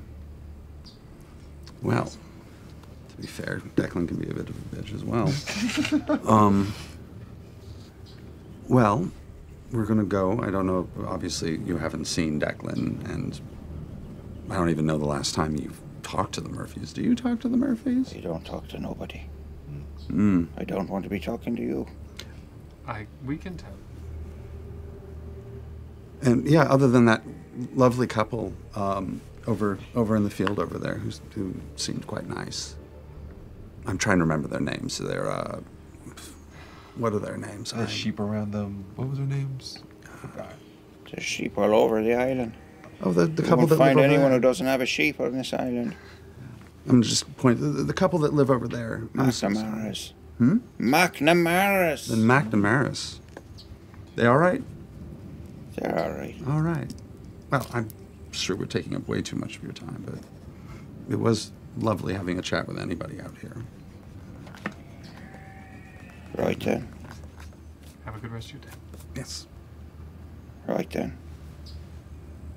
And if you need anything, just ask for the uh, strangers. I'm sure we're the only ones right now. True enough. True enough. We owe you a favor. And I put my hand on her shoulder. I'm so sorry for your loss.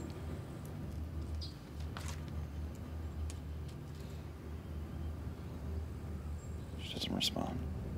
She freezes up, stiffens at your touch.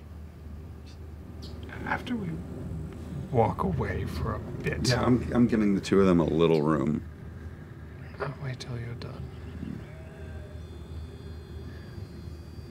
Do we continue up the road? Oh, I don't know. Something about to happen? Did I miss something? no, I just was shooting my shot and oh. seeing if she said anything, but she's shocked, so maybe she's shocked into silence.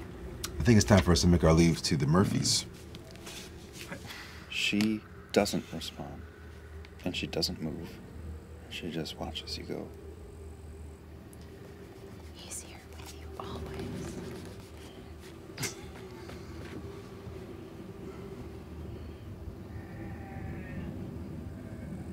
Fenton. Yes. That's not possible. It is possible. That makes her scurry down the road. You gotta shoot your shot. Mm, no. Have you all ever spoken to someone in a normal manner? Any of you? These are not normal people. I They're do not know if perfectly you normal know people. They're just people who live on an island and don't have a lot of communication skills. You were doing your thing, weren't you? Oh my god. I was trying it. What name did you get? Vincent. Oh, Vincent, that's so good. Do you know dead brother? Dead, dead Oh, I don't know. I was just guessing because she was wearing all black. Mm, good job. Good job. They're gonna think we're witches. We are. So uh, we're heading further up the coast, closing the distance. Okay, so you walk, and the landscape bends and twists but stays largely the same. Just white caps on the sea, and sheep on every hill. Eventually, you see a house away from the coast up on a new hill. Um, and it looks like there's a, a thorough fire going because there's smoke curling up, and you can see and to the rear of the house there's like a little there's a fenced-in area. There's a pen, um, and uh like an, oh, there's one single tree outside this home, and there's just like a rope swing, two ropes, just like a slat hanging, just sort of blowing in the non-stop wind out here. And it's been about, it doesn't say the Murphys, but it's been about two miles. It's a safe bet. Do we have any idea what his family thinks he does? Like, you know what I mean? Like what his day job is or his Um, cover? From conversations conversations you've had with him, you gather they probably think he is still a history teacher. Ah, cool. Okay. I'm gonna walk up and I just knock on the door. In moments, you hear boom, boom, boom, boom, boom. and The door opens, and you see a woman, late 30s, maybe shoulder length brown hair, uh, sort of a flinty expression, and she just, Grania? Oh, Grania. What did you just want? S- Excuse us. We're here to see Declan. Ah, well, he's not here right now. Do Who are where- you? We're friends of his from Newfaire. The university. I'm, I, we're students. I'm not. I'm a teacher. Did you come here for? He's a good friend of ours and we wanted to check in on him. We hadn't heard from him for a while. He's visiting a family. Oh, well, he didn't take a leave of absence or anything. And I was hoping he'd grade my paper. We were just a little concerned about our friend. Another woman pops in behind her. What are you doing over here? Nora? I don't know where the. Yes? Uh, I'm sorry. Go. Mind the pigs. I'm telling you to mind the fucking pigs. I'll mind the fucking pigs when I want to. And She stalks off into the house. Uh, I'm sorry. Uh, who who are you? We're friends of Declan's and we came to visit him and check on him. Oh, um. Well, my brother's not here. Would you like to come in? We'd love to. All right. Yeah, sure. Um, you step in and you can smell a fire burning. There's like a little fireplace in here. It's it's humble. It's not awful. It's not like dilapidated or anything. It's cozy, but it's old. Um, and uh, it's like one large room, and there's a door that leads probably towards the rear of the home in here. And there is an old woman sitting in a rocking chair by a window, like 20 feet away from you, across the room and the rocking chair is kind of rocking, and, and she's like a, a lar- like a stockier, older woman with sort of graying, reddish brown hair, and the the the rocking chair is rocking. She's just sort of staring out the window, so you're just seeing the back of her head. Um, come in, come in, Nora says. Right. Um, yeah, my uh, my brother, uh, he he's out for a walk right now. I can't imagine he'll be gone long. If, Is everything all right? Yes, everything's fine as far as we know. We just were sailing by or returning home, and we he had told us that this is where he grew up, Oh goodness! and we knew that he was here visiting. So we you're wanted- coming from the big city then? Yes. Oh, I'm clearly. oh my. I know we look a little out of place. Oh my! Uh, a third sister comes in. Um, the the woman you were just speaking to, Nora, has sort of like very short, short cut hair, on the verge of pixie cut, but um, a little mousier. Um, and then this third woman that comes in is is petite and has her, same color hair, but it's like tied tightly back into a ponytail. And she's all smiles. Oh my! Did you come from Newfaire? We did. That's amazing. Hello. And you came to see Declan, did you? Oh yes. Oh goodness. Oh, he's out taking a walk right now. Um, would you like a bit of tea or something? That would be lovely. That would be great. I'd like a bit of tea. Ah, ma. All right. Tea? yes. Right. Love the spot. Go up to Margaret. Hello, Mother Margaret. Uh. I'm Grimoria. I'm a student of your son. Uh. How are you doing? I'm hungry. Oh, we should get you something to eat. Would you get me something to eat? She looks back out the window. Are you looking for someone? Declan's out. How long has he been gone? Part of the day. Oh. But he always comes home. Of course, he always comes home. Doesn't he always come home? You're always worrying he's fine. He's gone up to the fairy homes. Fairy. Very homes. Aye. And she turns away from you, looks out the window. Uh, Nora leans down the hallway that leads out the back, going like, How are they? Do they have to be fed? I'm fucking feeding them, I said I would. Mother above. I would be in a bad mood too if I had to feed the pigs. I'm gonna go see if they need any help with anything. I see a kitchen and I desperately want to see it. There is a kitchen, although, um, so we've got, uh, Grania went out the back to the pigs, and Nora and Pegeen are playing host, although Pegeen is like working out. There's like a tea kettle over the fire, and she's stoking the fire and getting it going to make the tea. There is a kitchen. No one's in there right now, but there is a, uh, it's a drab little place, and there is a little, uh, a little ice box and, um, a simple wooden table, and there is like a painting on the wall of four little kids um, of various age, probably like between uh, eight and, and 15. Does it seem like a family portrait? Yeah, it's the kids Okay, together. It's is. one boy. I was just and three making girls, sure right? it was the boy and three girls. Are the they? kids they fed to the pigs. I, am I, there's. No, no, good It's entirely. There's weirder things have happened. Totally. Sometimes it is the photo that came with the frame. Um, It's not right. I was going to say I'd be happy to help cook if you like. I desperately miss it, and I'm quite good at it. Nora says, "Ah, that's okay. We do have some biscuits. Do you want biscuits with your tea? Biscuits would be grand. Right?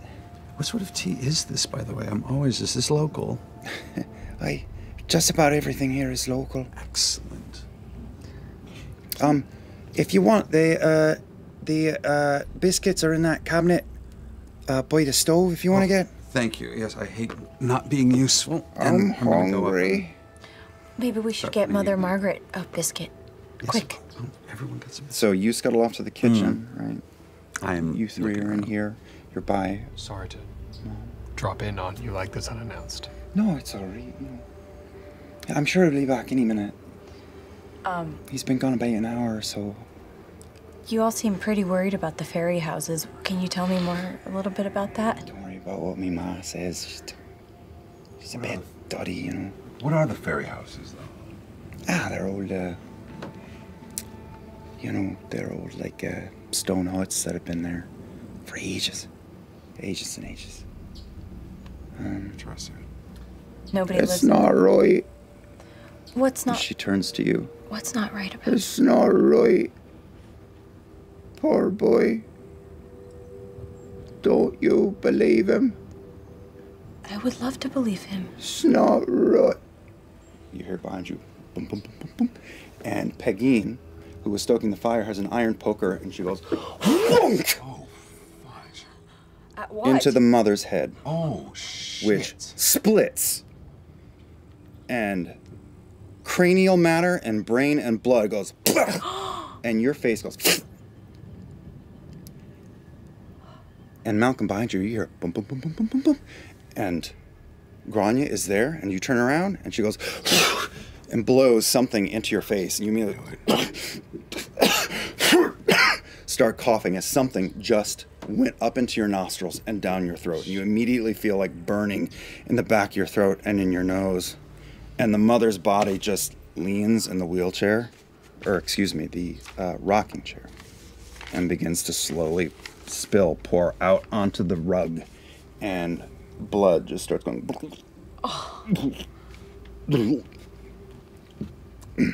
I think we should move at high speed. Um, I'm going to try and Pegeen find. yeah. turns and runs at you. Okay, before she does, can I move? Can I do something? You can attempt to move. Um, I'm going to attempt to move, and also from my uh, little magician's kit, I have what's sort of a smoke bomb that I use sometimes in my performances. And as she goes to strike either one of us, I attempt to like throw it and create some smoke to kind of frazzle her. Okay. I will say that the room, I will pause that die roll and say that the room instantly fills with smoke, and we hear the sound of uh, Nora and Pegeen are both coughing. Everyone's coughing. Now you are coughing a bit as well. Yeah. You especially are coughing. Like your whole throat and especially the inside of your nostrils and behind your eyes just feels like it's itching. There's a burn back there. Um, and it is hard to see in here for a minute. We can all see silhouettes moving in your sort of uh, magician's uh, improvised trick. Yep. And the iron poker that she was holding, you hear it go, and you hear what you think was the middle sister, Nora, go, "Ah!" The smoke starts to clear. Okay. Um, you are in the kitchen when this happens, and you, out the back window, you see Grania. Uh, you see her running away from the house, out the back, with something in her hand, and she is running out the back pen in this moment, Towards us? away No, from away the from house, us. out Okay. the back. Um, Is there a way out in the kitchen or no? No.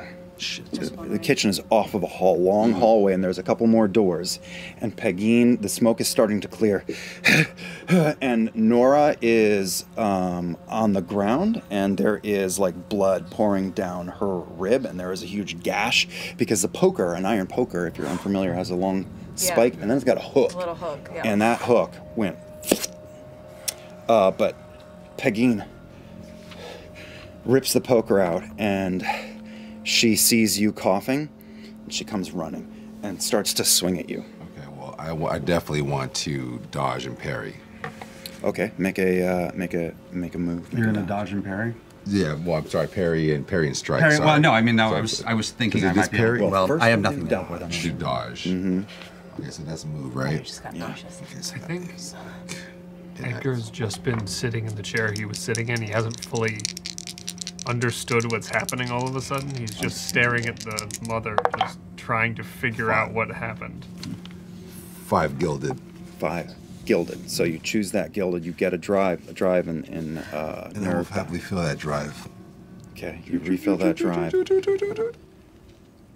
So you see her coming at you with an up-handed swing, and you throw yourself out of the way and feel your foot step on the old woman's arm, and you fall backward um, and stumble and uh, lightly wrap your head on the side of the the rocking chair, and you are now on the ground. Um, and she is pulling the poker out of um, like a dresser cabinet that she has just obliterated the tabletop of, going. I want to move to. I want to move to put her in a in a bare naked chokehold. Uh, that'll be that'll be control, I think. Finesse, yeah. No, or we could you do. Let's do strike. Strike? I think that's strike.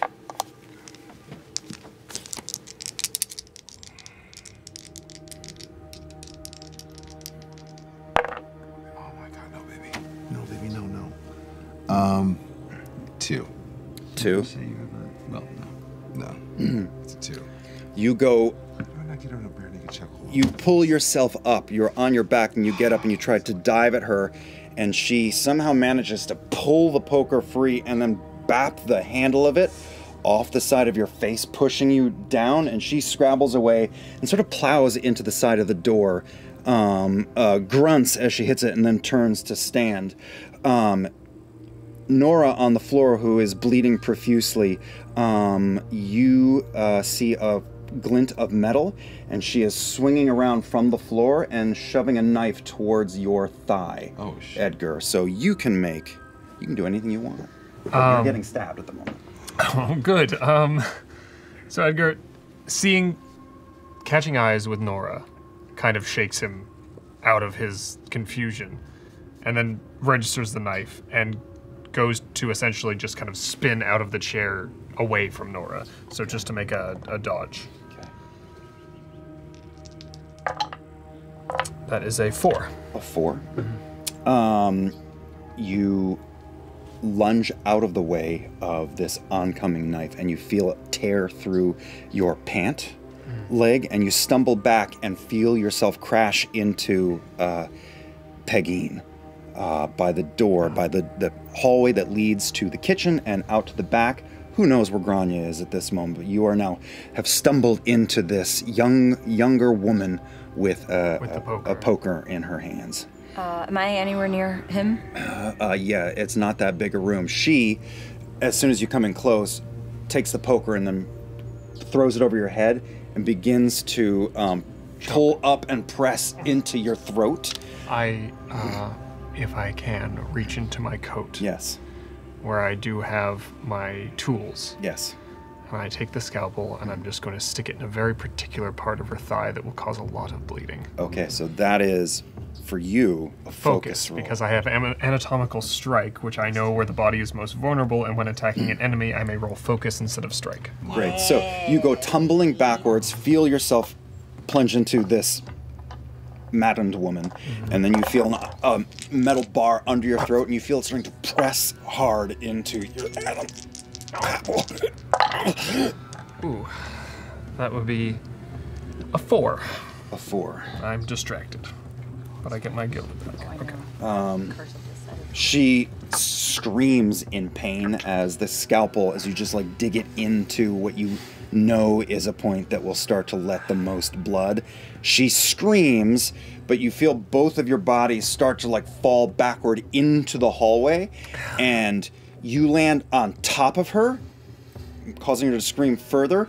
But the the poker just goes into your throat as you hit, and you take a body. At, at some point, can I follow him and try to, I guess, a lack of a better word, like straddle his chest and try to grab the poker from her? I'm assuming because she's been hit, it's kind of loose, and I can do that. She is she's on the ground with with a scalpel shoved into her now between them. Yeah. Yes, you can. You want to try to rip or pull away. I'd like to pull it away. Okay, yes. So he is gasping just the way Yeah. this man is. Uh, that would be that could be strike strike or control for you. I'm gonna equally great. Both equally horrible. I'm gonna spend a drive. Okay. All right. So if I if I s- just one. Great. Oh come on. What we get, baby? What we get? That's a oh one. no! No, no, no! That's a one. I do have resistance, I mean, but I, I have one. So yeah, this is well. important. I'm gonna use the resistance, Can't which be means worse. just re- You just do one. I'm gonna reroll a different one. Okay. I'm gonna take this one. Get rid of that die. Get rid of that. No, that it's one's in jail. re-rolling the base roll, so you now So roll you two don't and get take to the add lower. drives or help or No, just re-rolling the one that I rolled. You but roll the I'm just. two and take the lower because you're not adding the Oh, drive. I to roll the- two, take the lower. Okay, well that's. Still better. You think? Worse. Yeah. Oh, Double both fives. Both fives? Yes. Wow. Worth it. Wow, that's amazing. Um, uh, so Pegeen and Edgar go down, and you just um, step through this minefield of a home and lunge and get on top of Edgar and grab the bar Yes. and start to pull at it, and then you feel this whole knot that is the three of you buck as this smaller, larger than you, but smaller woman just um, begins to push up with her leg and teeter totter this whole knot over, and you feel yourself lunging forward. So you're going into a headstand position and then rolling into the hallway. Yep. You go clattering into the ground. It's not too bad. The poker gets ripped away and goes gang, gang, gang, gang, in the hallway at your feet in the kitchen. Um, you you take a you take a brain because this is fucked. Yep. Can I still have? Can I grab at the thing though that it, that fell? Uh, yes, you can. Okay. Uh, at the poker, you mean? At the poker, I'd like to have the poker. You tell me how many brain you are. That's one, right? That's just one because I did my You took the stitch, yeah. stitch. Thank you.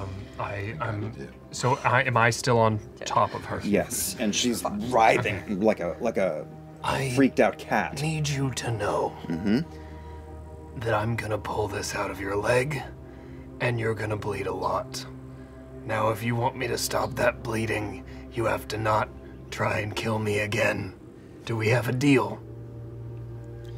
She's just sort of ferally grunting at this point. Okay. I just pull the scalpel out and I start trying to I'm get gonna, up. I'm gonna grab the grab the poker and, and Oh, I back have the up poker. again. Poker. Oh wait, um, I have the poker. you have the poker. Yeah, yeah, yeah. Okay.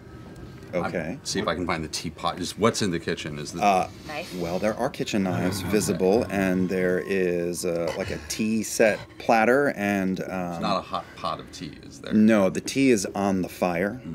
Oh shit. Okay. but there are there are kitchen knives. Uh, there are kitchen knives. There are three kitchen knives. One of them is a big fatty, like you're hoping for. Um, Malcolm, uh, the your eyes are starting to like redden a little bit. You're feeling like you're having some sort of allergic reaction, and you don't know what. Um, you're you're having trouble breathing in here, and you feel like you want fresh air right now. At any point, can I yell like, I think Grania has gone to get more villagers. We should get the fuck out of here. Um, Grania. so you pull the knife out. I pull the scalpel out and I'm trying. I'm now trying to disentangle myself. She's from trying to disentangle from you. She starts to crawl away, and you do see like a little smear of blood on the floor as she moves. Uh, Nora is on her feet now, though. Oh, okay. And she has got a knife in in her hand, and she awkwardly flips it around so it's in this position, and she is now walking towards the two of you. Got the, I got the poker. I have my t- scalpel. She sizes you up really fast, and then she instead turns and shoves a knife towards Malcolm's chest.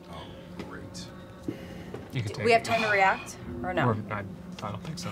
I was, yeah, I was gonna. Start Anyone can to try to do her. anything. As soon, as soon as you call it, oh, it, you make it reality. If it was if it was clear, I was going to try and start sneaking around her to see if I could get a shot behind her.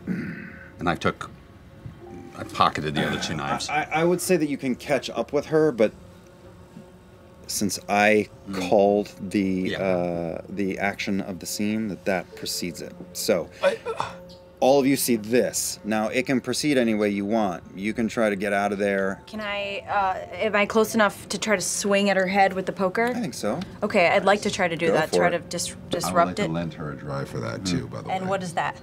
Strike, right? Yeah. How do you how do you help? Uh, I want to try to in my on my I'm gagging I'm gagging.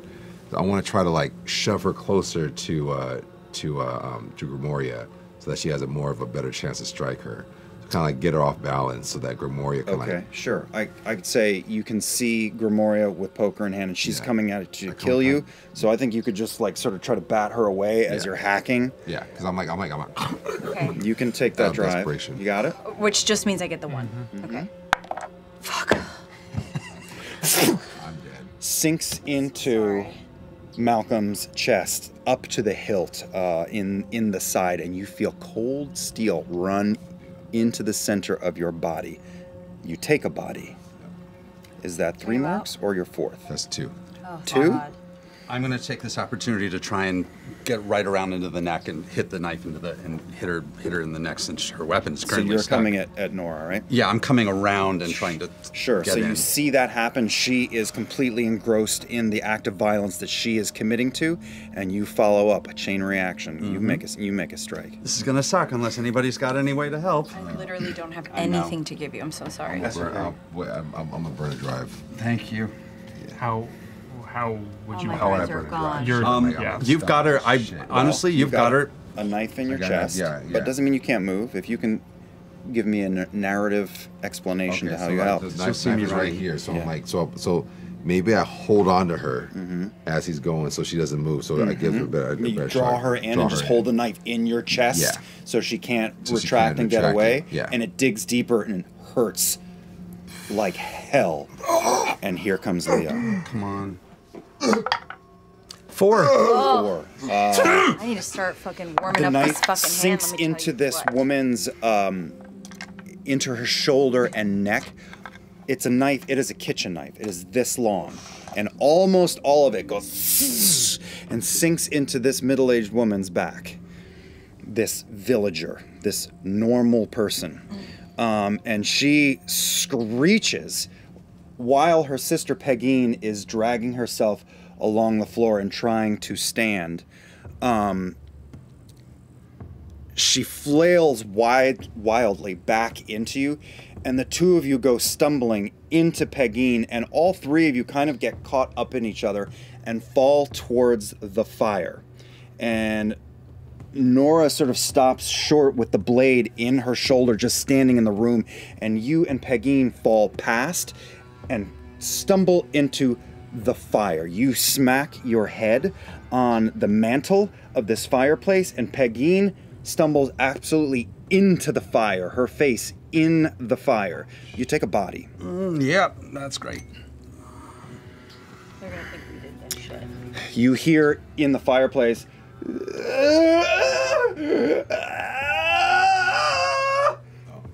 One sister is in the fire, and the other one is groaning and trying to pull a knife out. She is going to run at you, charge at you with a knife in her back, and just try to plow, tackle you. Can can I? Um, Um, okay, so what I'm going to do, as she charges me, um, this is so difficult. Um, Edgar's just going to fall to the ground, like drop. lay drop backwards, and as she charges, I'm going to stick out the scalpel and just slice the back of her tendon. Ooh. No, no, no, no. Surgical precision. Like the Achilles, just feel that. Oh, no, I feel that right. in the- oh. Six. Six. Fuck.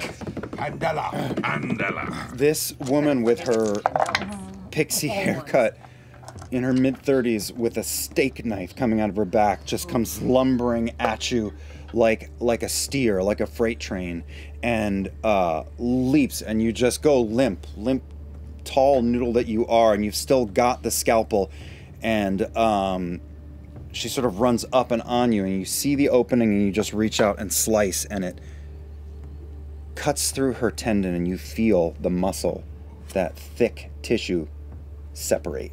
And she stumbles, crashes over you, hitting your head inconsequentially as she falls into the hallway and is now dragging away from you up the hall towards the back door.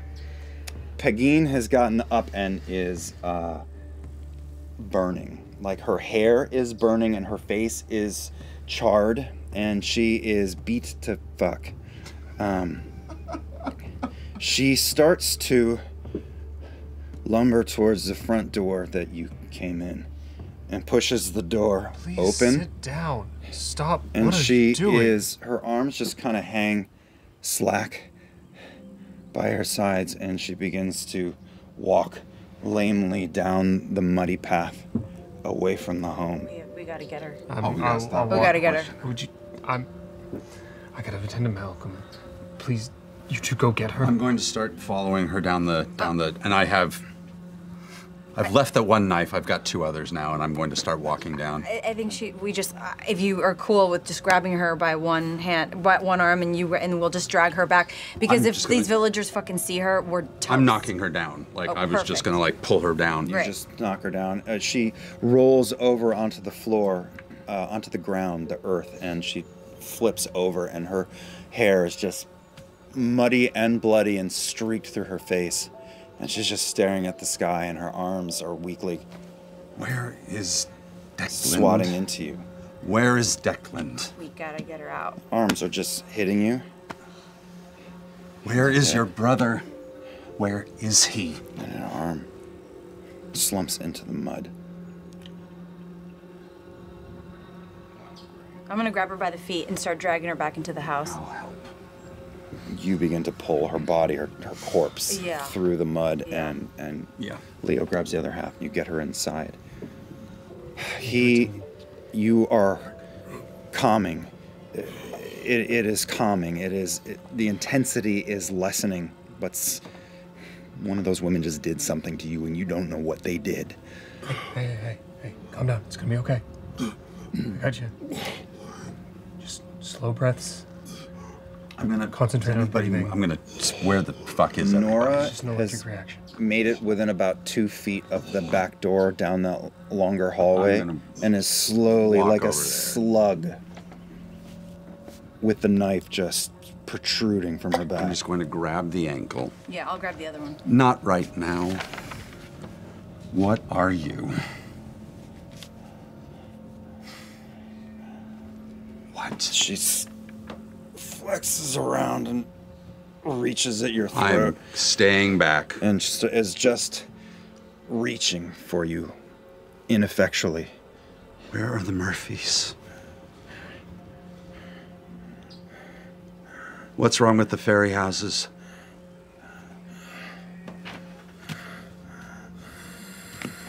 Any, I'm backing up now, and I'm gonna throw a, just grab the plate of crisps and throw it at her. Crisps. the batter off of her face.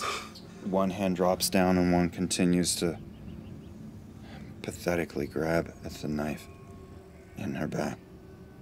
And the hand gets around the handle. And her body just sort of sinks into the wall, and you watch her face crush. And she lies still like that, holding the knife in her own body. I'm gonna grab the poker.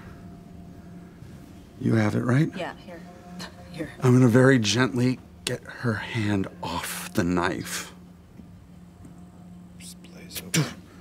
Um, lumps onto the floor. Should we? I I don't know what to do here. Um, they're gonna think we did this. So either we run and leave Declan, or we burn the house down, cover all the evidence. I, I don't know. Oh, I think they know damn well what was going to happen up here. I don't Where did the third one go? Probably to get everybody else. Which way? one of them ran, but she looked normal. She left to feed the pigs. You saw her out the kitchen. She ran. Running out the yard. Did she go towards town, or did she go towards where? She did not. You look out the oh. window Yeah. in the back now, and you can see a pen, and you do see three pigs in the back, just sort of nosing around in the mud. And there's a field that becomes more stony as it goes and raises up into a hill. You do see some in the distance. There is some like dark mm-hmm. mound or something far on Okay. wall. Here's the thing. I gotta take care of Malcolm, and then when we can move, we'll follow her. But right now, I have to make sure he's okay. No. I gotta. I'm gonna attend to Malcolm, who is stabbed and also choking. Yes. I'm going to. He's he's not choking. Sorry, Oh, I know. he's not choking anymore. Okay. Malcolm, you are breathing. It, it, But in my, in my, in my like, but I have a, I have this knife that's in my chest. though. That is a, the problem. Right. The breathing, the burn is subsiding. It's fading. But, um, but then also like I'm like, Just, just It's down. chill. what's down here? Okay. Yeah. Where, where exactly? In the side. Okay. Here. Look, we're gonna, gonna have to take it out. Just do it, dude. Just pull it. Pull it. Remora, let's go somewhere else will. while this is Move your hand. Come on. Okay, and this is. There's a possibility you're going to have a punctured lung. And we're going to find out in a minute. Do you need us to pull pressure or anything? I need you to grab me a kitchen towel. Okay. We're already that. yeah, running into the kitchen and grabbing. Yeah. And I pull out the knife. And then I slam the towel against it. Okay? How's your breathing? That's good. Can you breathe? It Am I- is. It is. You don't hear any bubbling or liquid. Okay, It's, I think you're gonna be okay. I'm tearing the cabinets apart. I'm looking for anything, especially anything, any powder. I'm looking for anything unusual going You through. can More. make a, a survey roll. Yeah. Look for a belt. I need a belt. Um, I'm gonna try to search the bodies for a belt. Yeah. I would say that Nora has a belt and she is wearing slacks. Pegeen was in a bit like a skirt. Okay. So I, I take the um, the belt, give it to you, and while while he does his thing with the belt, um, is there any opportunity for me to kind of? I know it's like they just died, but is there anything there for me to like glean, like left behind any sort of residual spirit energy that I might be able to connect to? You can sense. You can try sense. Okay. Um, I'm gonna. I want to. One gilded. Okay. So if I have yeah, three and then I use a gilded, I just replace one Yes. of them. Okay.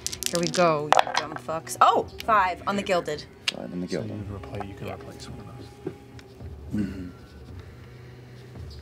those. Uh, four gilded on mine, but I'll wait for this time. Sorry. No, no, no. We're all doing the work.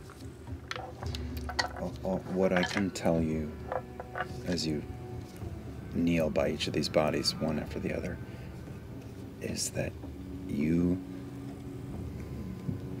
have learned to feel souls on a very subtle level. And you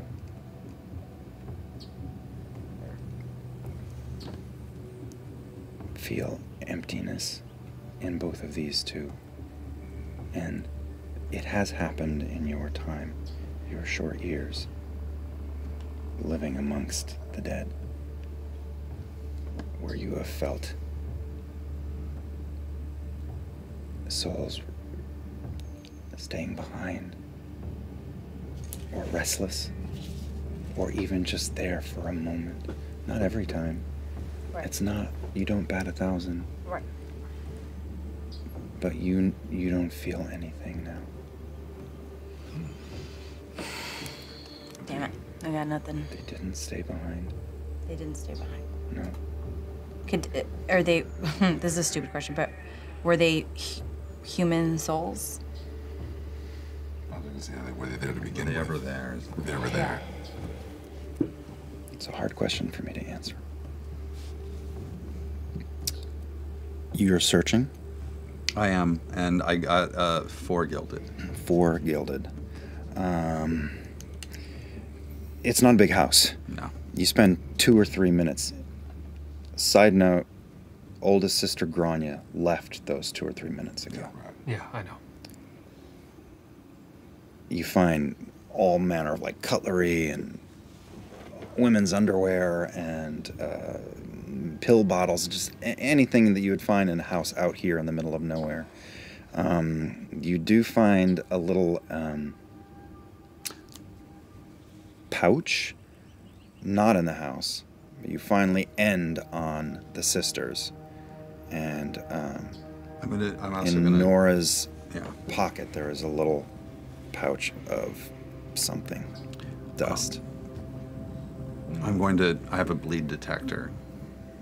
I have not had the chance to use yet, and I'm going to um, pull out this. It's a strange little contraption. It looks like a snuff box almost, but like a snuff box lighter combination. It's Yeah. it's a little odd, and it has this wheel, and you just spin it, and I spin it with my thumb, and it just has this little. It looks like a lighter. It either glows glows red, or it sometimes it glows green, just as I And red means Red red means nothing but when the green hits. Okay. There's something odd, and I'm just running it over. Yes, you bring it in proximity to this stuff, and it puzzles you because it. You look at it for a good half minute, and you're wondering if you're getting a, like a false positive. it is faint to the point where you're mostly doubting. You're thinking oh, you're imagining it, or you want to see it. You expect to see it, or maybe you are.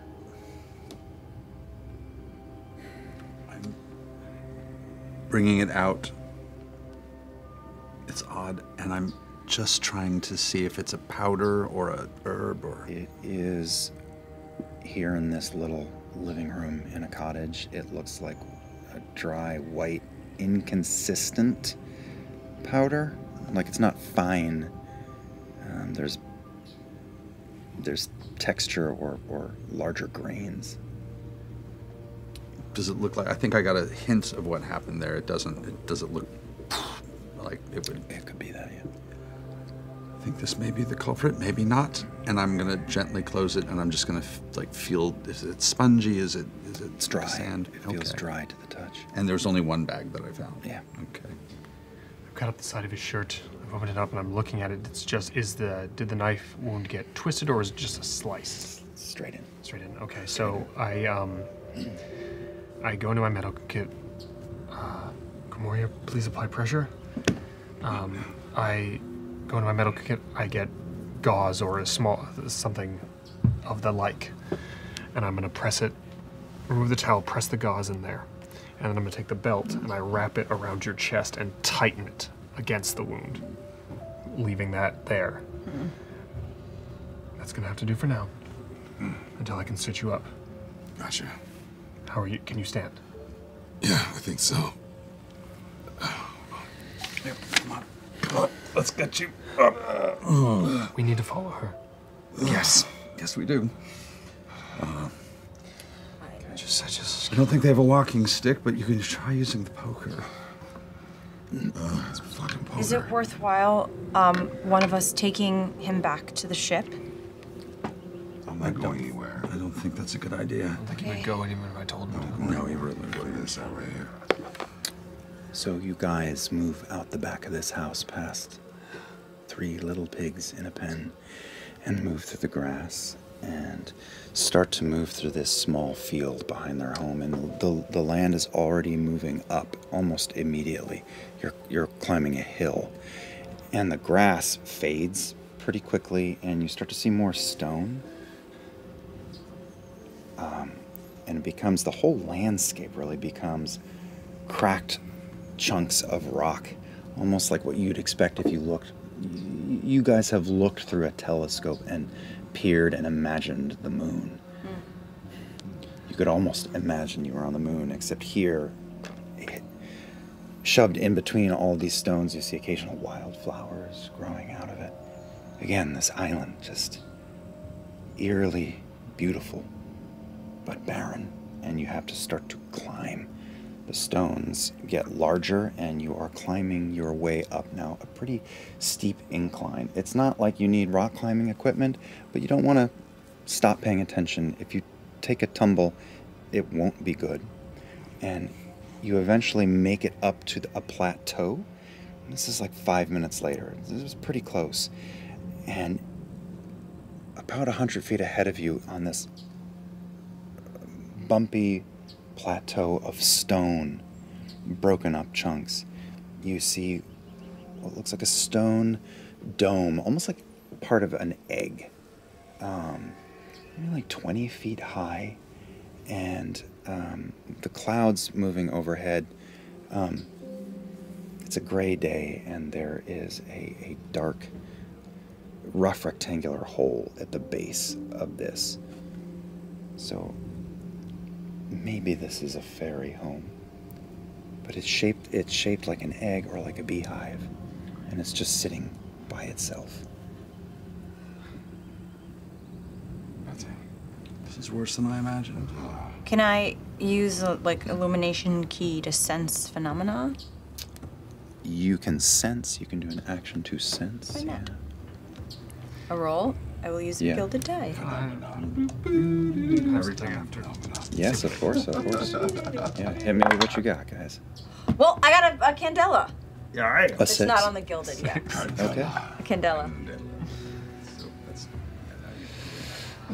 Uh, in this moment of fear and and doubt, you close your eyes and listen to those voices that have been whispering in your ear all day and part of yesterday. And in those whispers, you feel like you can hear Declan's voice mixed in.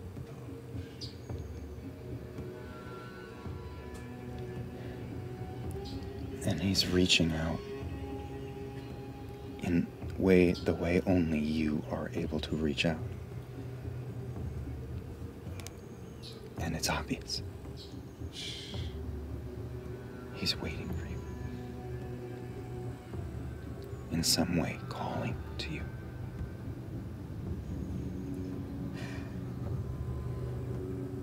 I share that with the group. I'm just running the bleed detector quietly like a fidget toy. It's not a false positive no it is starting to glow I have the bag as well. every step closer you take it brightens Put it away. I have the bag, and I'm probably just touching the knife in the pocket. Okay. Knife, poker, scalpel. Wait, who's got the poker? I have. To. Oh, I thought we gave it to him. But Oh no, you should keep it because he's injured. I need that. I He's have- got I- the poker. I grabbed I grabbed one knife in, in, in the cster, and then I had two other in my pocket. then can I took I- the whole batch of Can them, I so grab? they would Can I rattle. grab one knife from you? Yes, yes, you guys are be foolish not to. Yeah. Yeah. And we're slowly marching towards this fairy house. You close the distance. Edgar, you look like you had something on your mind. Looking at this fairy house, and um, I do have occult researcher as a skill, where I can take one brain to ask the GM an important occult detail that I would recognize from your studies that has not yet been revealed. If there is none, I clear the brain mark. Cool. Clear the brain mark. Okay. But I will give you a non phenomenon bit of knowledge, and that is that Oldfaire was a, for its time, very advanced. You all know through alchemical um,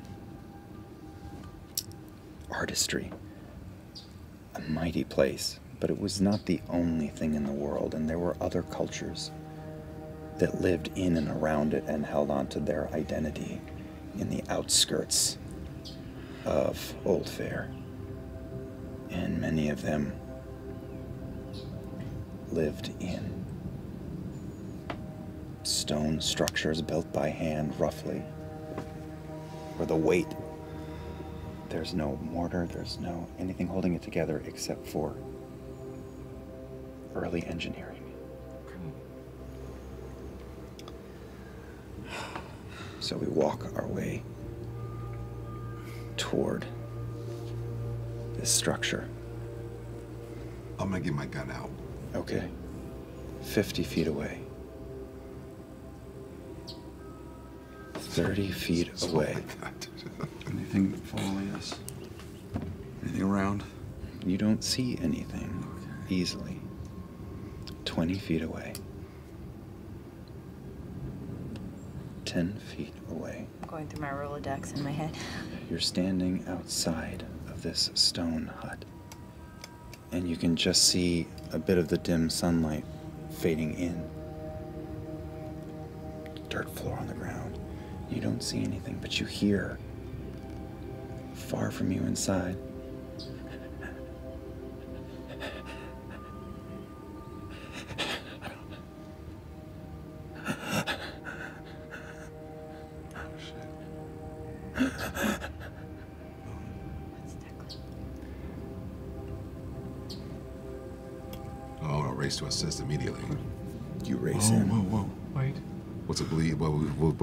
We have? What we? Oh, sorry. Before I do that, sorry. Let me stop being in, in, impulsive. Mm. I just.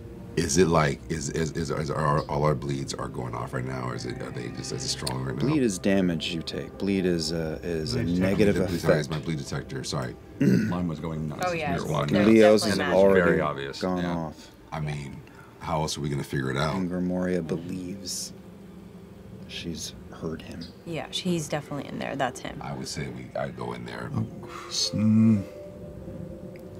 So your friends are putting a hand on your arm. Right. But anyone who wants to do anything can do anything they want. You can. Declan. Yes. What was what was her name? What was the sister's name that ran away? Grania. Grania. Grania, is that you? In there? Can you hear me?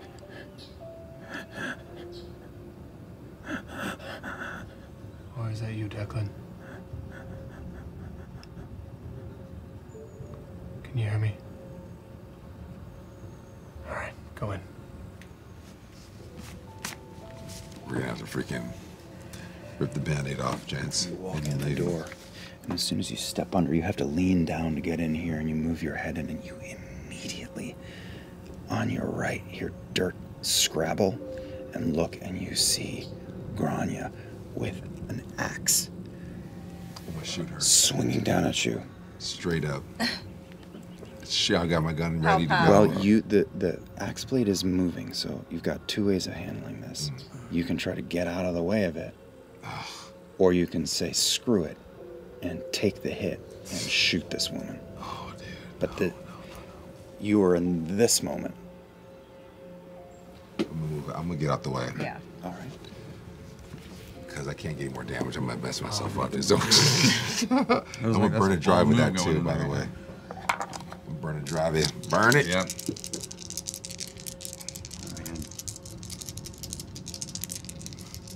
I wish I had one to give you. Give daddy some bacon. Give daddy some bacon. All right, I got four. That's a You got four. it back with the. You got a gilded? Yeah, you get it back. I, just, I, didn't, I didn't raise I didn't have anything yet. to help with. That's all good. In a split second, you hear that dirt scrabble, and you realize she was fucking waiting for you. And you just try to twist your trajectory in time and pray that it is enough. And you feel the wood come crashing down on your noggin. God damn it. Oh, this is the wood. Um, I'm going to shift it to brain because it was a solid clock. And it certainly hurt, but more than anything, you just came within a split second of getting your head cleaved in half, and you are stressed. So take that brain. Got that brain. Okay, what happens next? Can we see her? You see her legs and lower half. They're inside the doorway of this stone structure. I will start to back up, but I will take the bag of whatever it is Mhm. and just start to threaten to pour it and have the knife. Does it seem to do anything? It. Oh, she's crazy right now. She has. It has. She is locked on Malcolm. Okay, she's and not doesn't there. pay any mind. I. That's. No. It makes sense to me. Mm. However, she's just not. She is in it. I'm gonna go through and just try to push her away from Malcolm, take her down to the ground if I can. Okay, make a strike move. I don't have anything in that. Wish I could give you some. Two. Two? I have to roll two and take the lower. Oh. Do you have nothing to, to burn at all? We're all out of I only have drives. one drives drive are, in drives are terrible. Yeah, we're gonna have to rethink that. uh, I'm gonna shoot her because my drives are plentiful. Because I, I just Hold took that a thought. Oh shit! I took a mark. Edgar goes running in as you hold your head and move off to the side. You uh, charge her, and she turns, and with the axe, um, you got a two. Mm-hmm. She doesn't have a chance to swing it, but she manages to whack it up under your chin. Okay. Um, and you go falling back into the dirt. You take a body.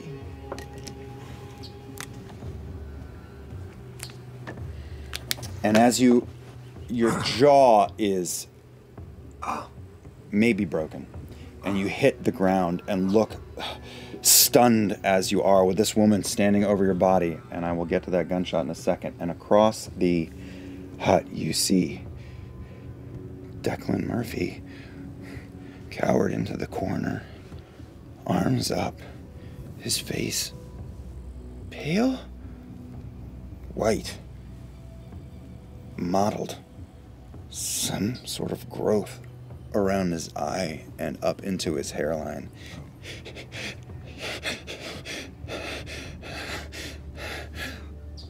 Over to you. Oh my god. Mm. So Declan's over there. He has a growth. He has a he has a growth on his on his face. Yes, and looks out of it and terrified or heartbroken or wrong. Or wrong. Okay. And so at this moment, she is his his his, his sister is she just boom. I want to shoot Maybe her. broke her jaw, has her back to you. Yeah, No, okay, no. it. My my my my my uh, one of my abilities is a sharpshooter. I know it well. All right, so that's when you want to make a ranged attack with a weapon. You may spend one nerve to steady your aim before shooting. Yes. And add two D to your next shot at this target. Yes. Here we go. So the first, so so how does that work for me? So I, so my one nerve. So be- if you got a nerve, you erase it, it's gone. Okay. You add two dice to the roll, and if anybody. Um, Was it? Does that take time? Wait, to, wait, like, what kind of nerve does it take? Does it take a drive? or- that's just him. That's just making this moment count. Okay. Does it Okay, it takes a drive.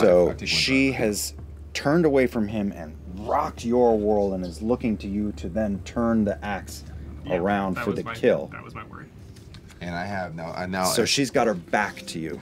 So if I have, so if I have, uh, sh- so if I have shoot, so I add two more to the shoot, right? So yes. I, I, have- I have and if one you have, so using that ability burns a nerve, right? and you get to add two dice to whatever you have for strike and, or excuse me, for control, Control. for shoot. And if you want to burn drives, if you have them, you can add more dice. I'm gonna add because I'm, I'm obviously not.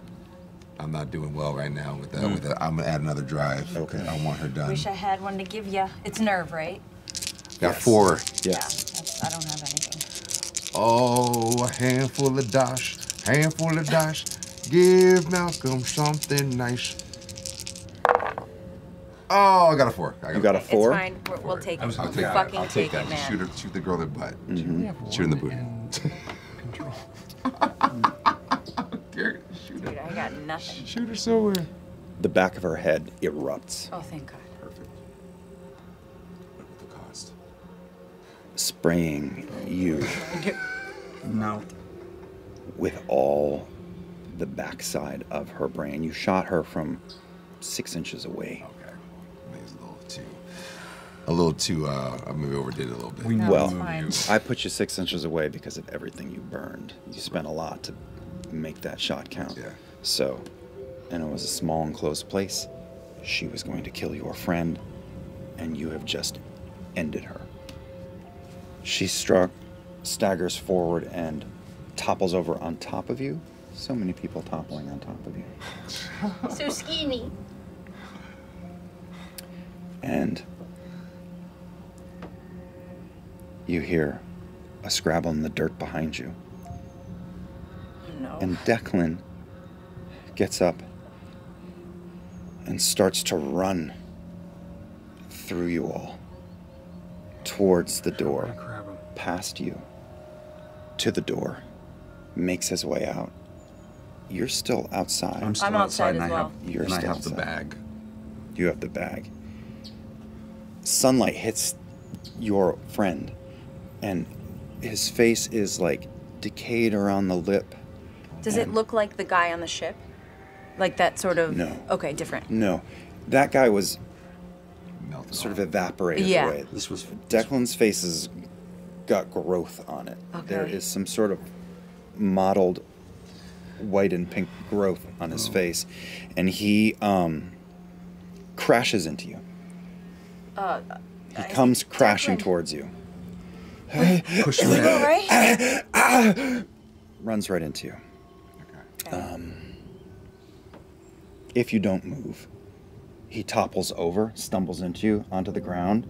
back, back, and I pull her away.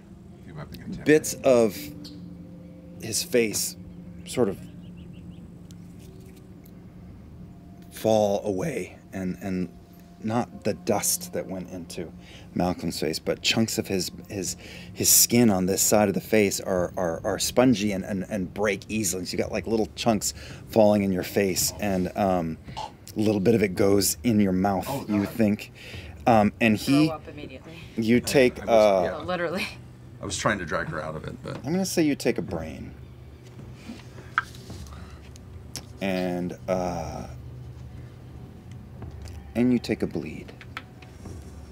I'm getting out of that hut. And he doesn't stop though. He falls on top of you and coughs and sputters. Well, I, at and- this point, I, that there's enough time that I'm. I- I get hit, but I'm not gonna stay down there. Yeah. But he actually is, moves over and past you. Sure, sure, sure. So he's away from me. And wait, so quick, I get a special thing with bleed. What is the source of the bleed? What is the source of the bleed? Yes. Declan is the source of the bleed. Declan is a phenomenon now, by he is definition. fully not himself. Someone grab That's him. parsing language. Is it fairy bleed? Like, is it anything? fairy bleed in this world. Okay, I don't know. No, that's there's fairy tales and tales of fairies. Anyway, he's up on his feet and he is running he over these feet? unstable rocks away from you, back towards the house. I'm I wouldn't. Yeah, I would, charging him. I was gonna say I wouldn't have let hold him him. get. Somebody up. grab him! I, yeah, I wouldn't have let him get up. I would have run and pushed. All right, so that would be a uh, I know. strike. Yeah, it's gonna suck. Can't help you. I'll say that. Well, two. Two. Four. You got four. Uh, I, I have nothing. I, Oh, how did okay. this? Um, you run into him, and his arm just slaps you in the side of the face. Um, not enough to truly harm you, but you get knocked back a foot or two, and he continues to run. You see him fall in these rocks because it's very uneven, and there's huge wedges that it's easy to like twist an ankle in Malcolm, here. grab him. He's going to fall off He stumbles and hits the ground. I'm gonna go right from there. I'm gonna I'm gonna seize upon the moment to go there and catch up with him and and, and subdue him. All right, make a move to catch up with him. He's about 40 feet ahead of you.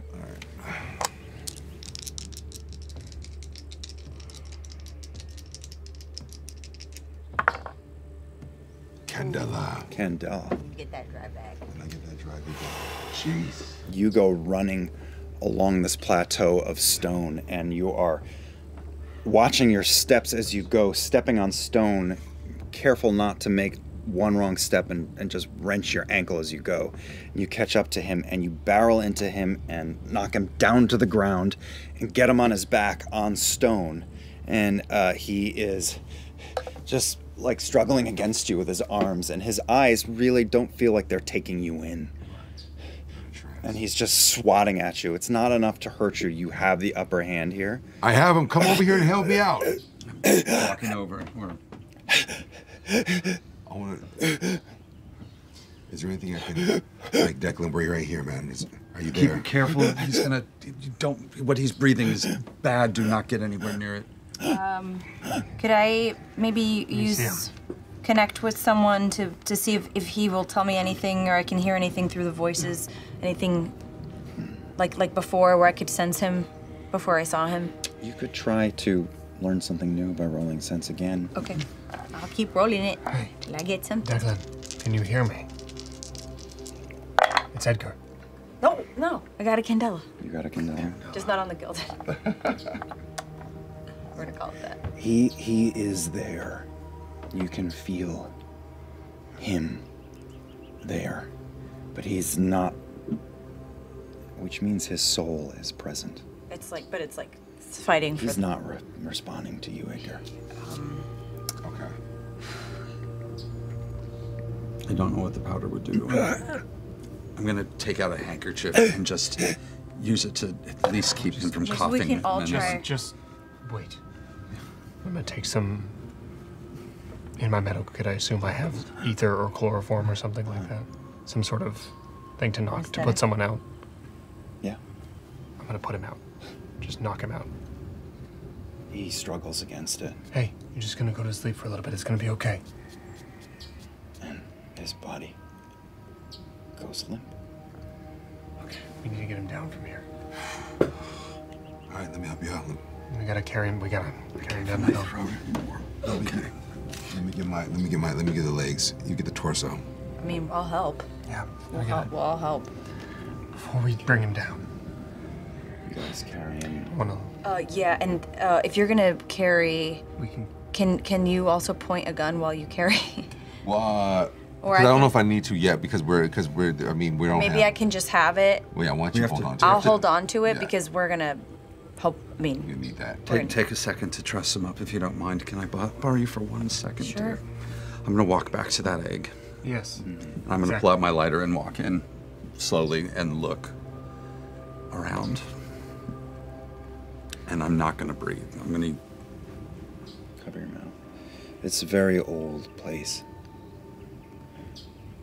Um, you can see in the far end where he was, where you found him, that there is traces of white chalky dust mixed with the soil here.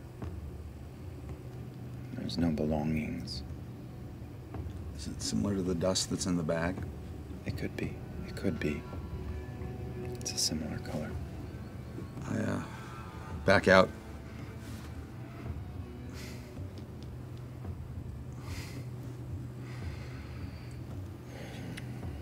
get going or down the hill. Do we have to make the decision? All right. Um, it seems like if he is, a, if he himself is a bleed, and we do not know the source of, we don't know what's causing the bleed, we don't know what's affecting him, that we should contain him and bring him back for, for we can bring him back for. The way to do that is to bring him home. Bring him home. Yeah. We got to knock him out though. And how long? How far is home from from where he is? Home is home. You're about a half day away from Half day away. I'm sure he's got plenty of that chloroform or ether. Like, you just keep knocking him out. And we should bring him back back to the town. I don't think we can go back to the house at all. Keep him tied down. What? Um, once we get him on the ship, we can restrain him. I'm knocking him out over and over again. It's not a good idea. It's not good for him. Yeah. We need to get him on the ship, but that's going to raise questions when we walk through town. The last. And the ship's not there. Is there, um, is, so they have their farm. Is there any kind of wheelbarrow like instrument we can use to kind of cover him up so that we can go through town and, uh, and kind of like disguise him, the fact that we have him in the wheelbarrow? How long will chloroform work? Depends on his system. And also, we should, can tie him up. It'll be easier to carry down the hill. Look, What? What we, what we have to do, we set the ship away. It's not going to be there waiting for us, and we can't just stand on the dock. We'll be able to do this simple, but yes. What we can do, I'm sure people on this island have rowboats. We steal a rowboat, we just row out to the ship. We don't make a noise, we don't make a fuss, we just leave. Do we see any rowboats nearby? Well, not here. We're not. No, no, no. I'm, but like, or, you know, we we can't be far from water or from another house. Here's what I'll do for you. You get him down to the house. That takes 15 minutes. You get out on the road with him and get near the coast. And it doesn't happen right away, but you do find a rowboat. This is a seaside place. Um, no one challenges you. And you climb in and lay your friend in the hull of this small boat and spend the next hour rowing your way back to the Dandridge.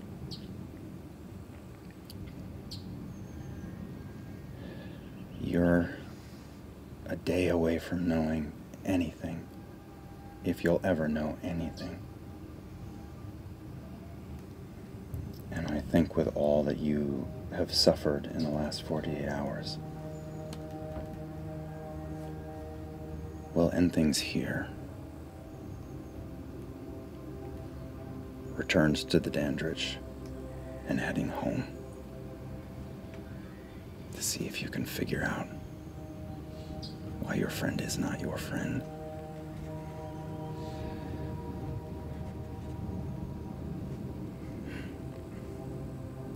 That's where we'll end our game. Well survived. Not for lack of trying. Mm. I know. Booyah, baby. High five, team. That was a good. That was a good time. My blood pressure's like. same, same, same, same, same. Bad or bad mold. well, I'm sorry. I didn't mean to hurt you too bad. Um, thank you very much for uh, going to sea and traveling to Serenity with me. Too bad we didn't find any. Well, for a split second there, when you lose consciousness, kind of serene. Well, we've made it to the end of the first piece of our chapter. Um, do me a favor, you guys. You were such lovely players tonight. Will you please remind the audience of who you are here on Earth One and who you were playing as here in the Fairelands? Um, my name is Alexander Ward. I um, I was playing Edgar, or Doctor Lycoris. Um, and uh, you can find me on the internet under that name. I'm around. Hi, I'm Aimee Carrero, and I'm playing Grimoria, who is a weird medium magician. and that's clearly a little homebrew action, um, thanks to our wonderful game master. Uh, my name is Imari Williams, and I'm playing Malcolm Trill. Uh, Tills, sorry. Trills. Trills. I should know my own last name. Uh, and I am uh, I'm a voiceover actor. You can find me on uh, on on Instagram under Imari Speaks, um, or on uh, TikTok under Imari underscore Atari underscore Ferrari. I love it. Came with that myself. And uh, Finsta. Mal- you know, and Malcolm, Malcolm is um, he's ex-military. He uh, comes from a very powerful family, and um, and I've survived uh, a great tragedy that, that struck me while I was serving in the war, the Great War of uh, of Newfaire, and I am um, and I'm basically uh, the muscle with a heart of gold. I would say.